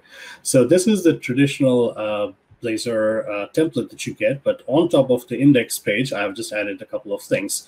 First up, this is just a button, which again, I mean, our buttons are a little more like functional. They have more features. So uh, adding a button is as simple as just adding a generic button. Now, if you had a button like this in Silverlight, it will look like this almost looks like XAML at this point, right? It's, it's very, very similar. It's it's HTML, but the markup, the Razor markup It always looks comes like, back to XAML. Yes, it all comes back. XAML is beautiful. You cannot escape XAML. Yes. Now take a look at this one here. This is the other user input, and this is uh, straight out of our docs. So enter the role in which uh, you work, and in here is this suggestions list, which is just like hard coded right now to all of the different uh, roles you might have in the software industry. Obviously, this list could include just the matrix because that's the only thing you want. But uh, when I come down here for user input um, for the type of role you have, and as I start typing, you see that list come up, right? This is Blazor again, uh, but it is client-side Blazor. And take a look at uh, this code. It's just one line, Telerik autocomplete instead of data binding, instead of item source, we just say data and then add suggestions. And compare this to what we had, uh, for example, in here. It's just a little more verbose, but we are doing the same exact thing. We are choosing selection mode. We are choosing uh, the search mode. We are choosing a watermark if we wanted to, and then we're choosing the item source, which is the binding. And then let's take a look at uh, one more uh, control here, uh, just for kicks. This is Silverlight control. Let's do um, a date time picker because every app needs a date time picker. So this one is Silverlight, and it just does what it's meant to do. It lets you pick the date and it lets you pick the time. And if you look at the code here again, Uh, it has a bunch of like uh, styling things if you wanted to, like storyboards and styles. But at the end of the day, it comes down to just one line of code. And if I can find it uh, somewhere here, am I scrolling past it? Yeah, let's see. No, I did scroll past it. Let's look for a date time. Yeah, right there.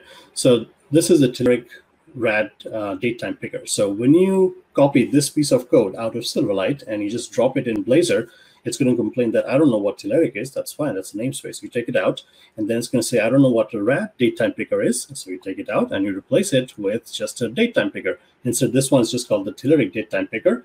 And notice how like simple and easy these things are. It has a min and a max, so you can choose what date ranges you want to let the user pick and you choose like a bind value, which is the select time. So all of this adds up being uh, on this one here. So when I, uh, it starts out being with the like present date and time.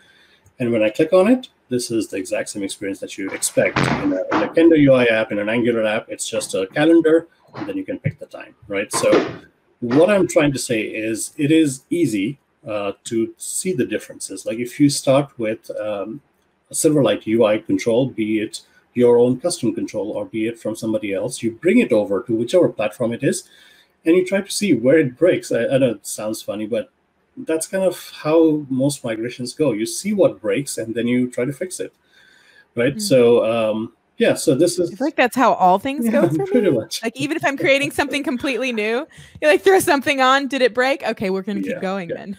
so this is like very very easy like even like coming from a xaml background that i have this looks very familiar even though it's web like i have my list of things uh, which could come from a data source i have properties that i can bind to so this is blazor and this is how if you are careful in how you want to structure your app and if you absolutely have to be on the web uh, in a browser and you want to be cutting edge then this is your way out to bring controls over. Um, most controls, um, you would find a one-on-one correspondence, whichever platform that you're on, and you have to clean up the namespaces, clean up the properties, and make sure you can build, and yeah, off you go. So I didn't want to fail um, Ed by uh, not showing a Blazor demo, so here it is. Uh, it's simple. It's a little bit of manual work, but it, it's very doable. All right, That so looks awesome. yeah, let's switch over to our um, faces, or maybe uh, maybe Alyssa, do you want to, to um uh, stay with this uh, uh, with the flow one more time? oh yeah, Yeah, so let's the uh, flow the flow, the flow. So let's recap where we started. So I think in the morning you had uh, Laurent, uh, Laurent, uh, we should say his name right. His, uh, I don't know actually his descent. Like he he lives in Switzerland, but I think he is like part uh, German maybe. Mm. Uh, but uh, he has so much experience in, in, in Silverlight back in the days. He's written, and a killer hat.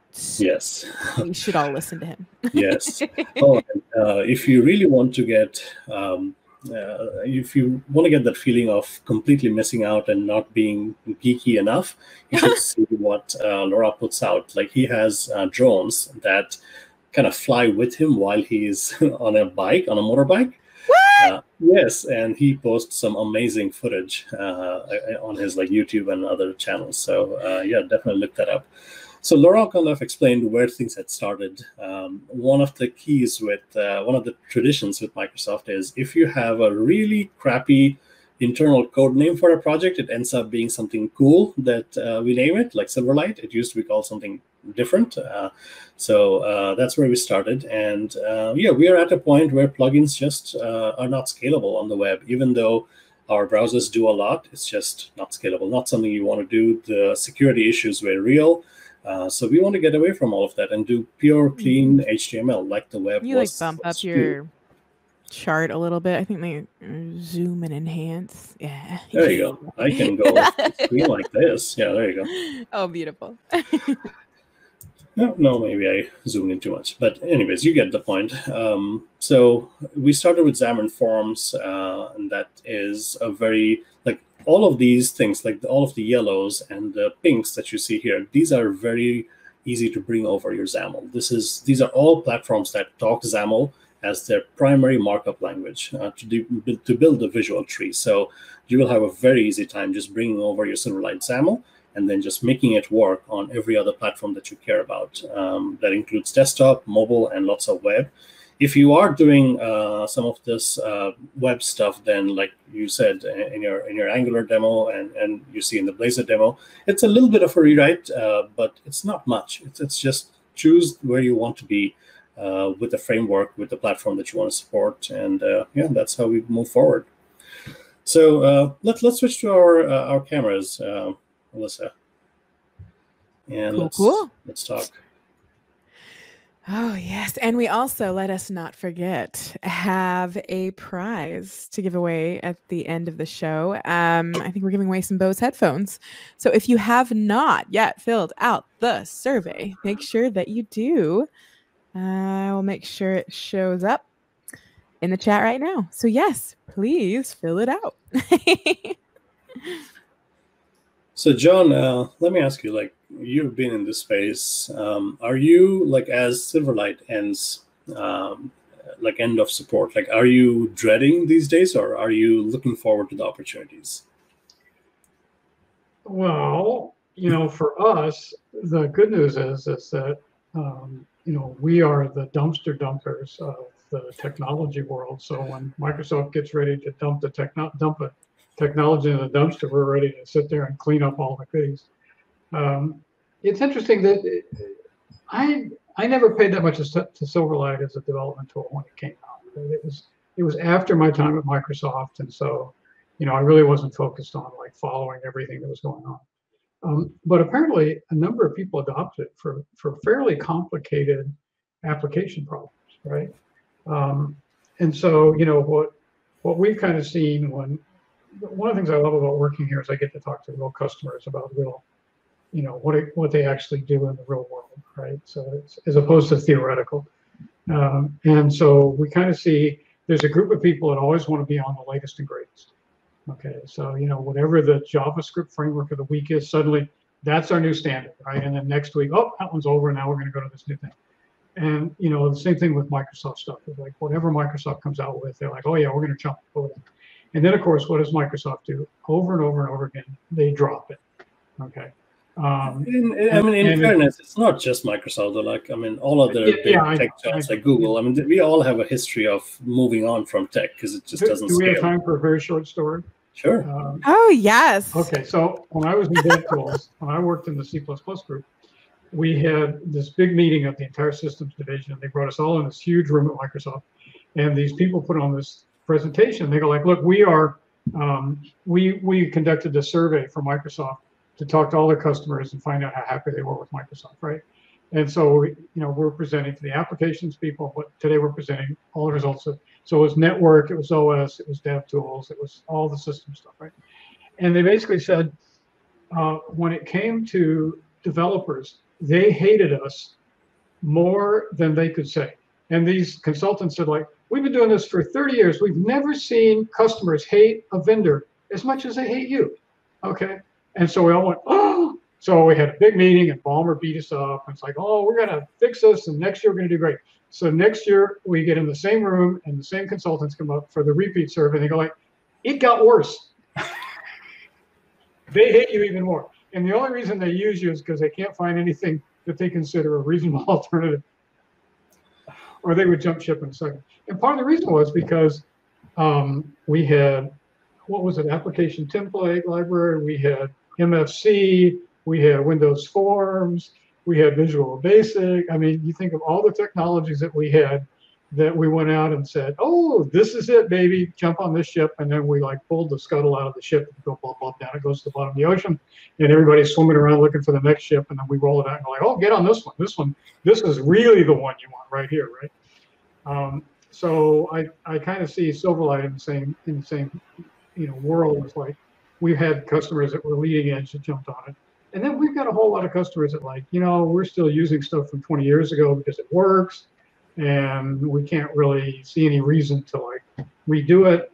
And and what happens is the developers that know that technology, they are all in nursing homes. I mean, they're they're they're older than I am, right? And so suddenly they're like, where are we going to find people to work on this stuff? I guess we have to bring it into the modern era. And so they're like dragging, kicking, and screaming into the next thing. And there's probably a middle ground that makes a lot more sense, right? So, yeah, and I think that's like, kind of how I look at Silverlight. Yeah, I think that's the reality. I think for lots of enterprises, like when we go to Microsoft forward-facing events or even like community-driven like tech conferences, and we look at all this like cool stuff that's coming out, and then you talk to developers who are actually building full-sized enterprise solutions. They're like, we can't do this stuff. It's too far ahead. We need the reliability. We need the tools and the ecosystem to be mature before an enterprise can jump on. So yes, you're right. I mean, uh, a lot of what we are seeing Silverlight that's still around is just because the ROI has been hard to show for folks to migrate, and now is the time. So yes, it might be a little painful, and yes, uh, I mean, tools might help, but at some point uh, you, you have to cross the bridge. Yep, yep, yeah, absolutely. Do.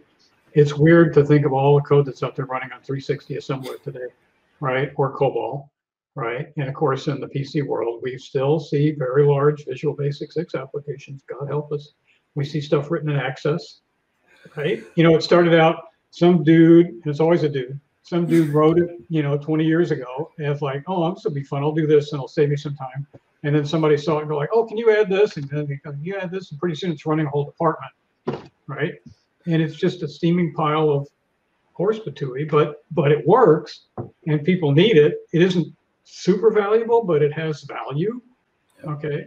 And then at some point, somebody goes like, "Oh my God, this is a huge security vulnerability. This thing's running on an XP box under that dude's desk, right? And it's connected to our CorpNet, and you know, pull the pull the cable quick." You know, uh, one of these days we can like sit down with a, a, few drinks and just like share stories of all the horror things that we see. Yeah. Oh, yeah. I won't name uh, the city, but like a major, major city in in Ohio uh, has their entire uh, like the transportation department uh, has their entire payroll running off an Access and an Excel solution, and I mean this is not a like a one-off thing. This is the reality. Uh, so we just need to be patient with uh, with enterprises. We just need to be taking our time to move things forward, and eventually, like for lots of enterprises who don't want to touch apps that are not causing them pain. They're just running in a box in a server.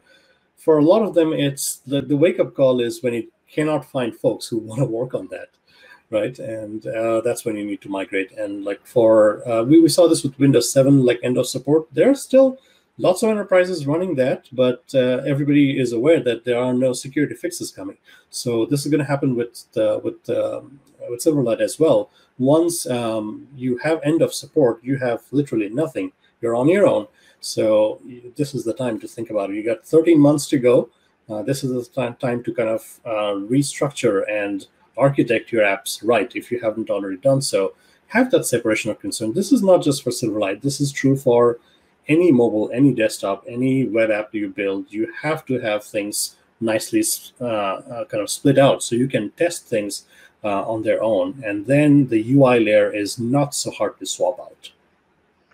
Yeah, I, I, one of the things that I think about is the fact that if you think about a factory that has old machinery, you know, the CEO is walking through the factory, they can see this really, really old, maybe it's painted green, you know, with, you know, uh, pebbly paint and stuff like that, and they know it's old, right? Or they see their trucks and they know, you know, the truck's old and it's smoky and it's filthy and it's broken down all the time. Software is just hidden. I mean, the developers see it, maybe the IT people see it, but management, you know, to them, it's just like it's this thing. And it's so hard to convince them no, this is like an old broken down piece of machinery. And set aside the fact that it's old and creaky, if we replace this with something new, regardless of how we get there, we can get all these things like DevOps and CI/CD and, and app monitoring and like real-time data collection with custom. I mean, you can get all these advantages that you cannot get with some of these older patterns, some of these older architectures, right? Like a Windows desktop app is a beautiful thing for one user on one computer, right? yeah. Yeah, that's, right. That, that's the reality. Yes. And uh, speaking of uh, things that are not always the shiniest, um, yeah, we, we got a question about uh, reporting, and and this is uh, interesting because like you you don't always see like the shiniest thing being reporting, but that's what enterprises need uh, to keep the clog like the cogs going. Like that's what your C-level folks need. That's what your users need. Um, so um, you take that back. It's perfectly shiny. yes, no, uh, it, it, can be based on what you're using. Um, so yes, um, to answer your question, be a Ukraine, uh, we will have a, a, dedicated webinar. Actually, we are planning. I think it's the end of August. Um, so we'll talk about reporting a lot more, and I think we we're gonna skimp over it because it's uh, we want to show the latest and greatest with like web, desktop, and mobile. But this is so such a core part of businesses. So we will dedicate more time to talk about reporting and like Telerik reporting in particular. So thank you for that. All right, so we had a whole day. Alyssa, what were your thoughts? Like, I think I completely pulled you into a rabbit hole uh, spiral with you mean amazed me with how many you were like hey you're gonna do one migration i'm gonna do 12 so. Well, I mean, that, that, was pretty impressive sam. I gotta admit that you pulled yeah, all those off. Yeah, I mean, essentially, what, what I like is just just the portability. I mean, we essentially just took one like Hello World app uh, with one list view that pulled down data from a web source, and that same code runs on iOS, Android, Mac, uh, WPF, web as WASM, and I like that because like as a developer, I mean, yes, I mean this is like a shiny demo. The reality maybe you have to make sure you go over a bunch of roadblocks to make sure things are working fine in every environment but the possibility is there. It, the tech is there uh, to start using. Yeah, it's like cross-platform is finally real after all these years. You know? right. We've been we've been promised and promised, but now it's like it's actually it's, it's working. Yeah. Like you know, when um, like again, folks who are jaded, like uh, maybe you and me, John here, uh, Alyssa thinks like Angular JS is legacy, so we'll give her. Uh, I, know, I know, I know, I know, I know you joke, but for real, whenever whenever you say legacy, like that's as far back as legacy goes for me. So it's it's great that you can explain a little bit and give some context because I didn't know those kind of applications existed. You've heard about them, right? You've heard of them. Uh, yes, from today on the stream. so, folks who are jaded, uh, whenever we look at something that uh, somebody brings out a shiny box and says, write once and run it everywhere, mm. we hear that and we're like, oh, write once and you kind of suck everywhere. yeah, exactly. Right? But yeah. It, it, doesn't need to be so bad. Like it, it is may not be so painless, but if you do your due diligence and if you know exactly the strengths of each platform that your code runs on, maybe slowly, it's going to take time, but bite-sized pieces, and you can start having your applications light up in more and more platforms. And I think that's kind of what we're looking for in 2020. Although, like this is the year we all want to forget, but we are looking for cross-platform reach. Because Did you see how fast he recalled the year just there? I just wanted to point that out. Yeah, we, we want to skip over this year in history as quickly as we can. Well, what, what, what do you think is different, Sam? Because I would guess that part of it is open source.net. Okay, not just .NET, but definitely open source.net's been a big difference. Just in time, so just in time compile, right? So you're not having a runtime layer because when you think about how slow those things were. And then basically all the hardware is like extra fast now. It's unnecessarily powerful unless you're doing something super cutting edge like, you know, high-end gaming or sims or modeling or stuff, right? So you're old enough and I'm old enough, Alyssa's not, but you remember when the hardware was always trying to catch up to the software. Mm-hmm. Right. Yeah. And you always had the reason you bought a new laptop or a new PC was because it wasn't that you got tired of it, it's that you couldn't run the current software that was actually news to me earlier today when they were talking about Flash and yeah. plugins wouldn't actually run on the first iPhone because like it couldn't handle it. Right. And I was like, oh, wait, what? Like exactly. yeah. that's amazing. Exactly. yeah, and, and me, me dissing on the original Mac, the problem was it was just too limited. It was this great idea, but the hardware just couldn't you, you couldn't do anything on it. You had an eight inch screen and you had this tiny little bit of memory, you know, and you had a floppy disk was your only storage. And so, you know, people did things on it, but they suffered mightily mm. to, to do things on it. we have we have come a long long yeah. way. We, okay, we have to do our prize giveaway before yes, yes, our time wraps up. Um, so are you all are you all ready? We're gonna drum roll. Oh, headphone. And the winner is at Larry I think it's Leo. Leo. Larry Lou. Larry Lou. There you go. Not, not Mr. Smoofy. Sorry, Mr. I'm Smoofy. sorry, Snoopy. I picked Yeah, a random didn't number. It was I actually had Google pick a random number, and the number was 27. Oh, What kind of And headphones are they? Are they like these? Are they the Quiet Comfort? These are really Yeah. sweet. Yeah. Oh yeah, they those are. are those are you that's a nice ride right there. Yeah. Yeah, So and we, we all have our tech toys, but I cannot live without my Bose headphones. The, the noise cancellation is really, really good. Yeah. So Love congratulations, Larry Lou. Yeah. Well, so gentlemen, closing remarks. I mean, definitely reach out to Mobilize if you are in need of a Silverlight migration, no matter which path you're going to take. Any Um, migration, we'll do anything. Even my colleague that keeps trying to do COBOL, which we do not do, but it won't stop him from telling it. Oh boy, COBOL. Yes, I did some COBOL. It was, it was fun while it lasted. I mean, you, you'll be surprised like how many healthcare systems, um, some core systems still run on mainframes. Oh yeah, Yeah. and banking, definitely banking. Yeah. Yeah, banking as Oh well. yeah. So, you know, I mean, what I will say is like this year has been like we, we tend to joke about it, but it, this these are really hard times for everybody, like especially kids, uh, families with kids or um, elders that you're taking care of. So, be kind to yourself, be gentle. Uh, let's take our take our time. So, I think most employers are trying to be as sensitive as they can. So, uh, yeah, let's uh, be easy on ourselves. And when it comes to Silverlight migration, like this is the first time we actually took this on um, head first, right? But this is not going to be the last. We will uh, throughout this year, and I'm sure going into next year, we will do many more streams. We'll do many more uh, migrations of like individual apps that we do kind of do end to end. So yeah, keep an eye out. And if you are one of those people who's maintaining those apps, and again, keep in mind this is not like end of support does not mean end of life. Your Silverlight apps are going to be fine, but you should really think about migration. So if you are uh, using Silverlight, I mean, there, there are still uh, controls that can light up and make your apps better. And I mean, we will keep on shipping Silverlight and maintaining Silverlight, but you really should think about migration. So you have, as we have talked throughout the day, you have lots and lots of choice. And that's not a bad thing because you get to choose what stack you want and you can mix and match. Uh, and depending on what platforms you want to run on desktop, web, mobile, IoT, uh, uh, wearables, you get to mix and match and choose what works for you and your team. Yeah. Well, I'll just wrap up by saying I agree with what Sam said, which is, you know, be kind to yourself and be kind to other people. Everybody's on edge. It's a hard time we're going through. I know no one's gone, no one alive has gone through anything really like this, almost no one. And so it's, we'll, we'll all get through it. Okay. Yeah. We'll get through it and we'll be a better people and a better human race for it at the end.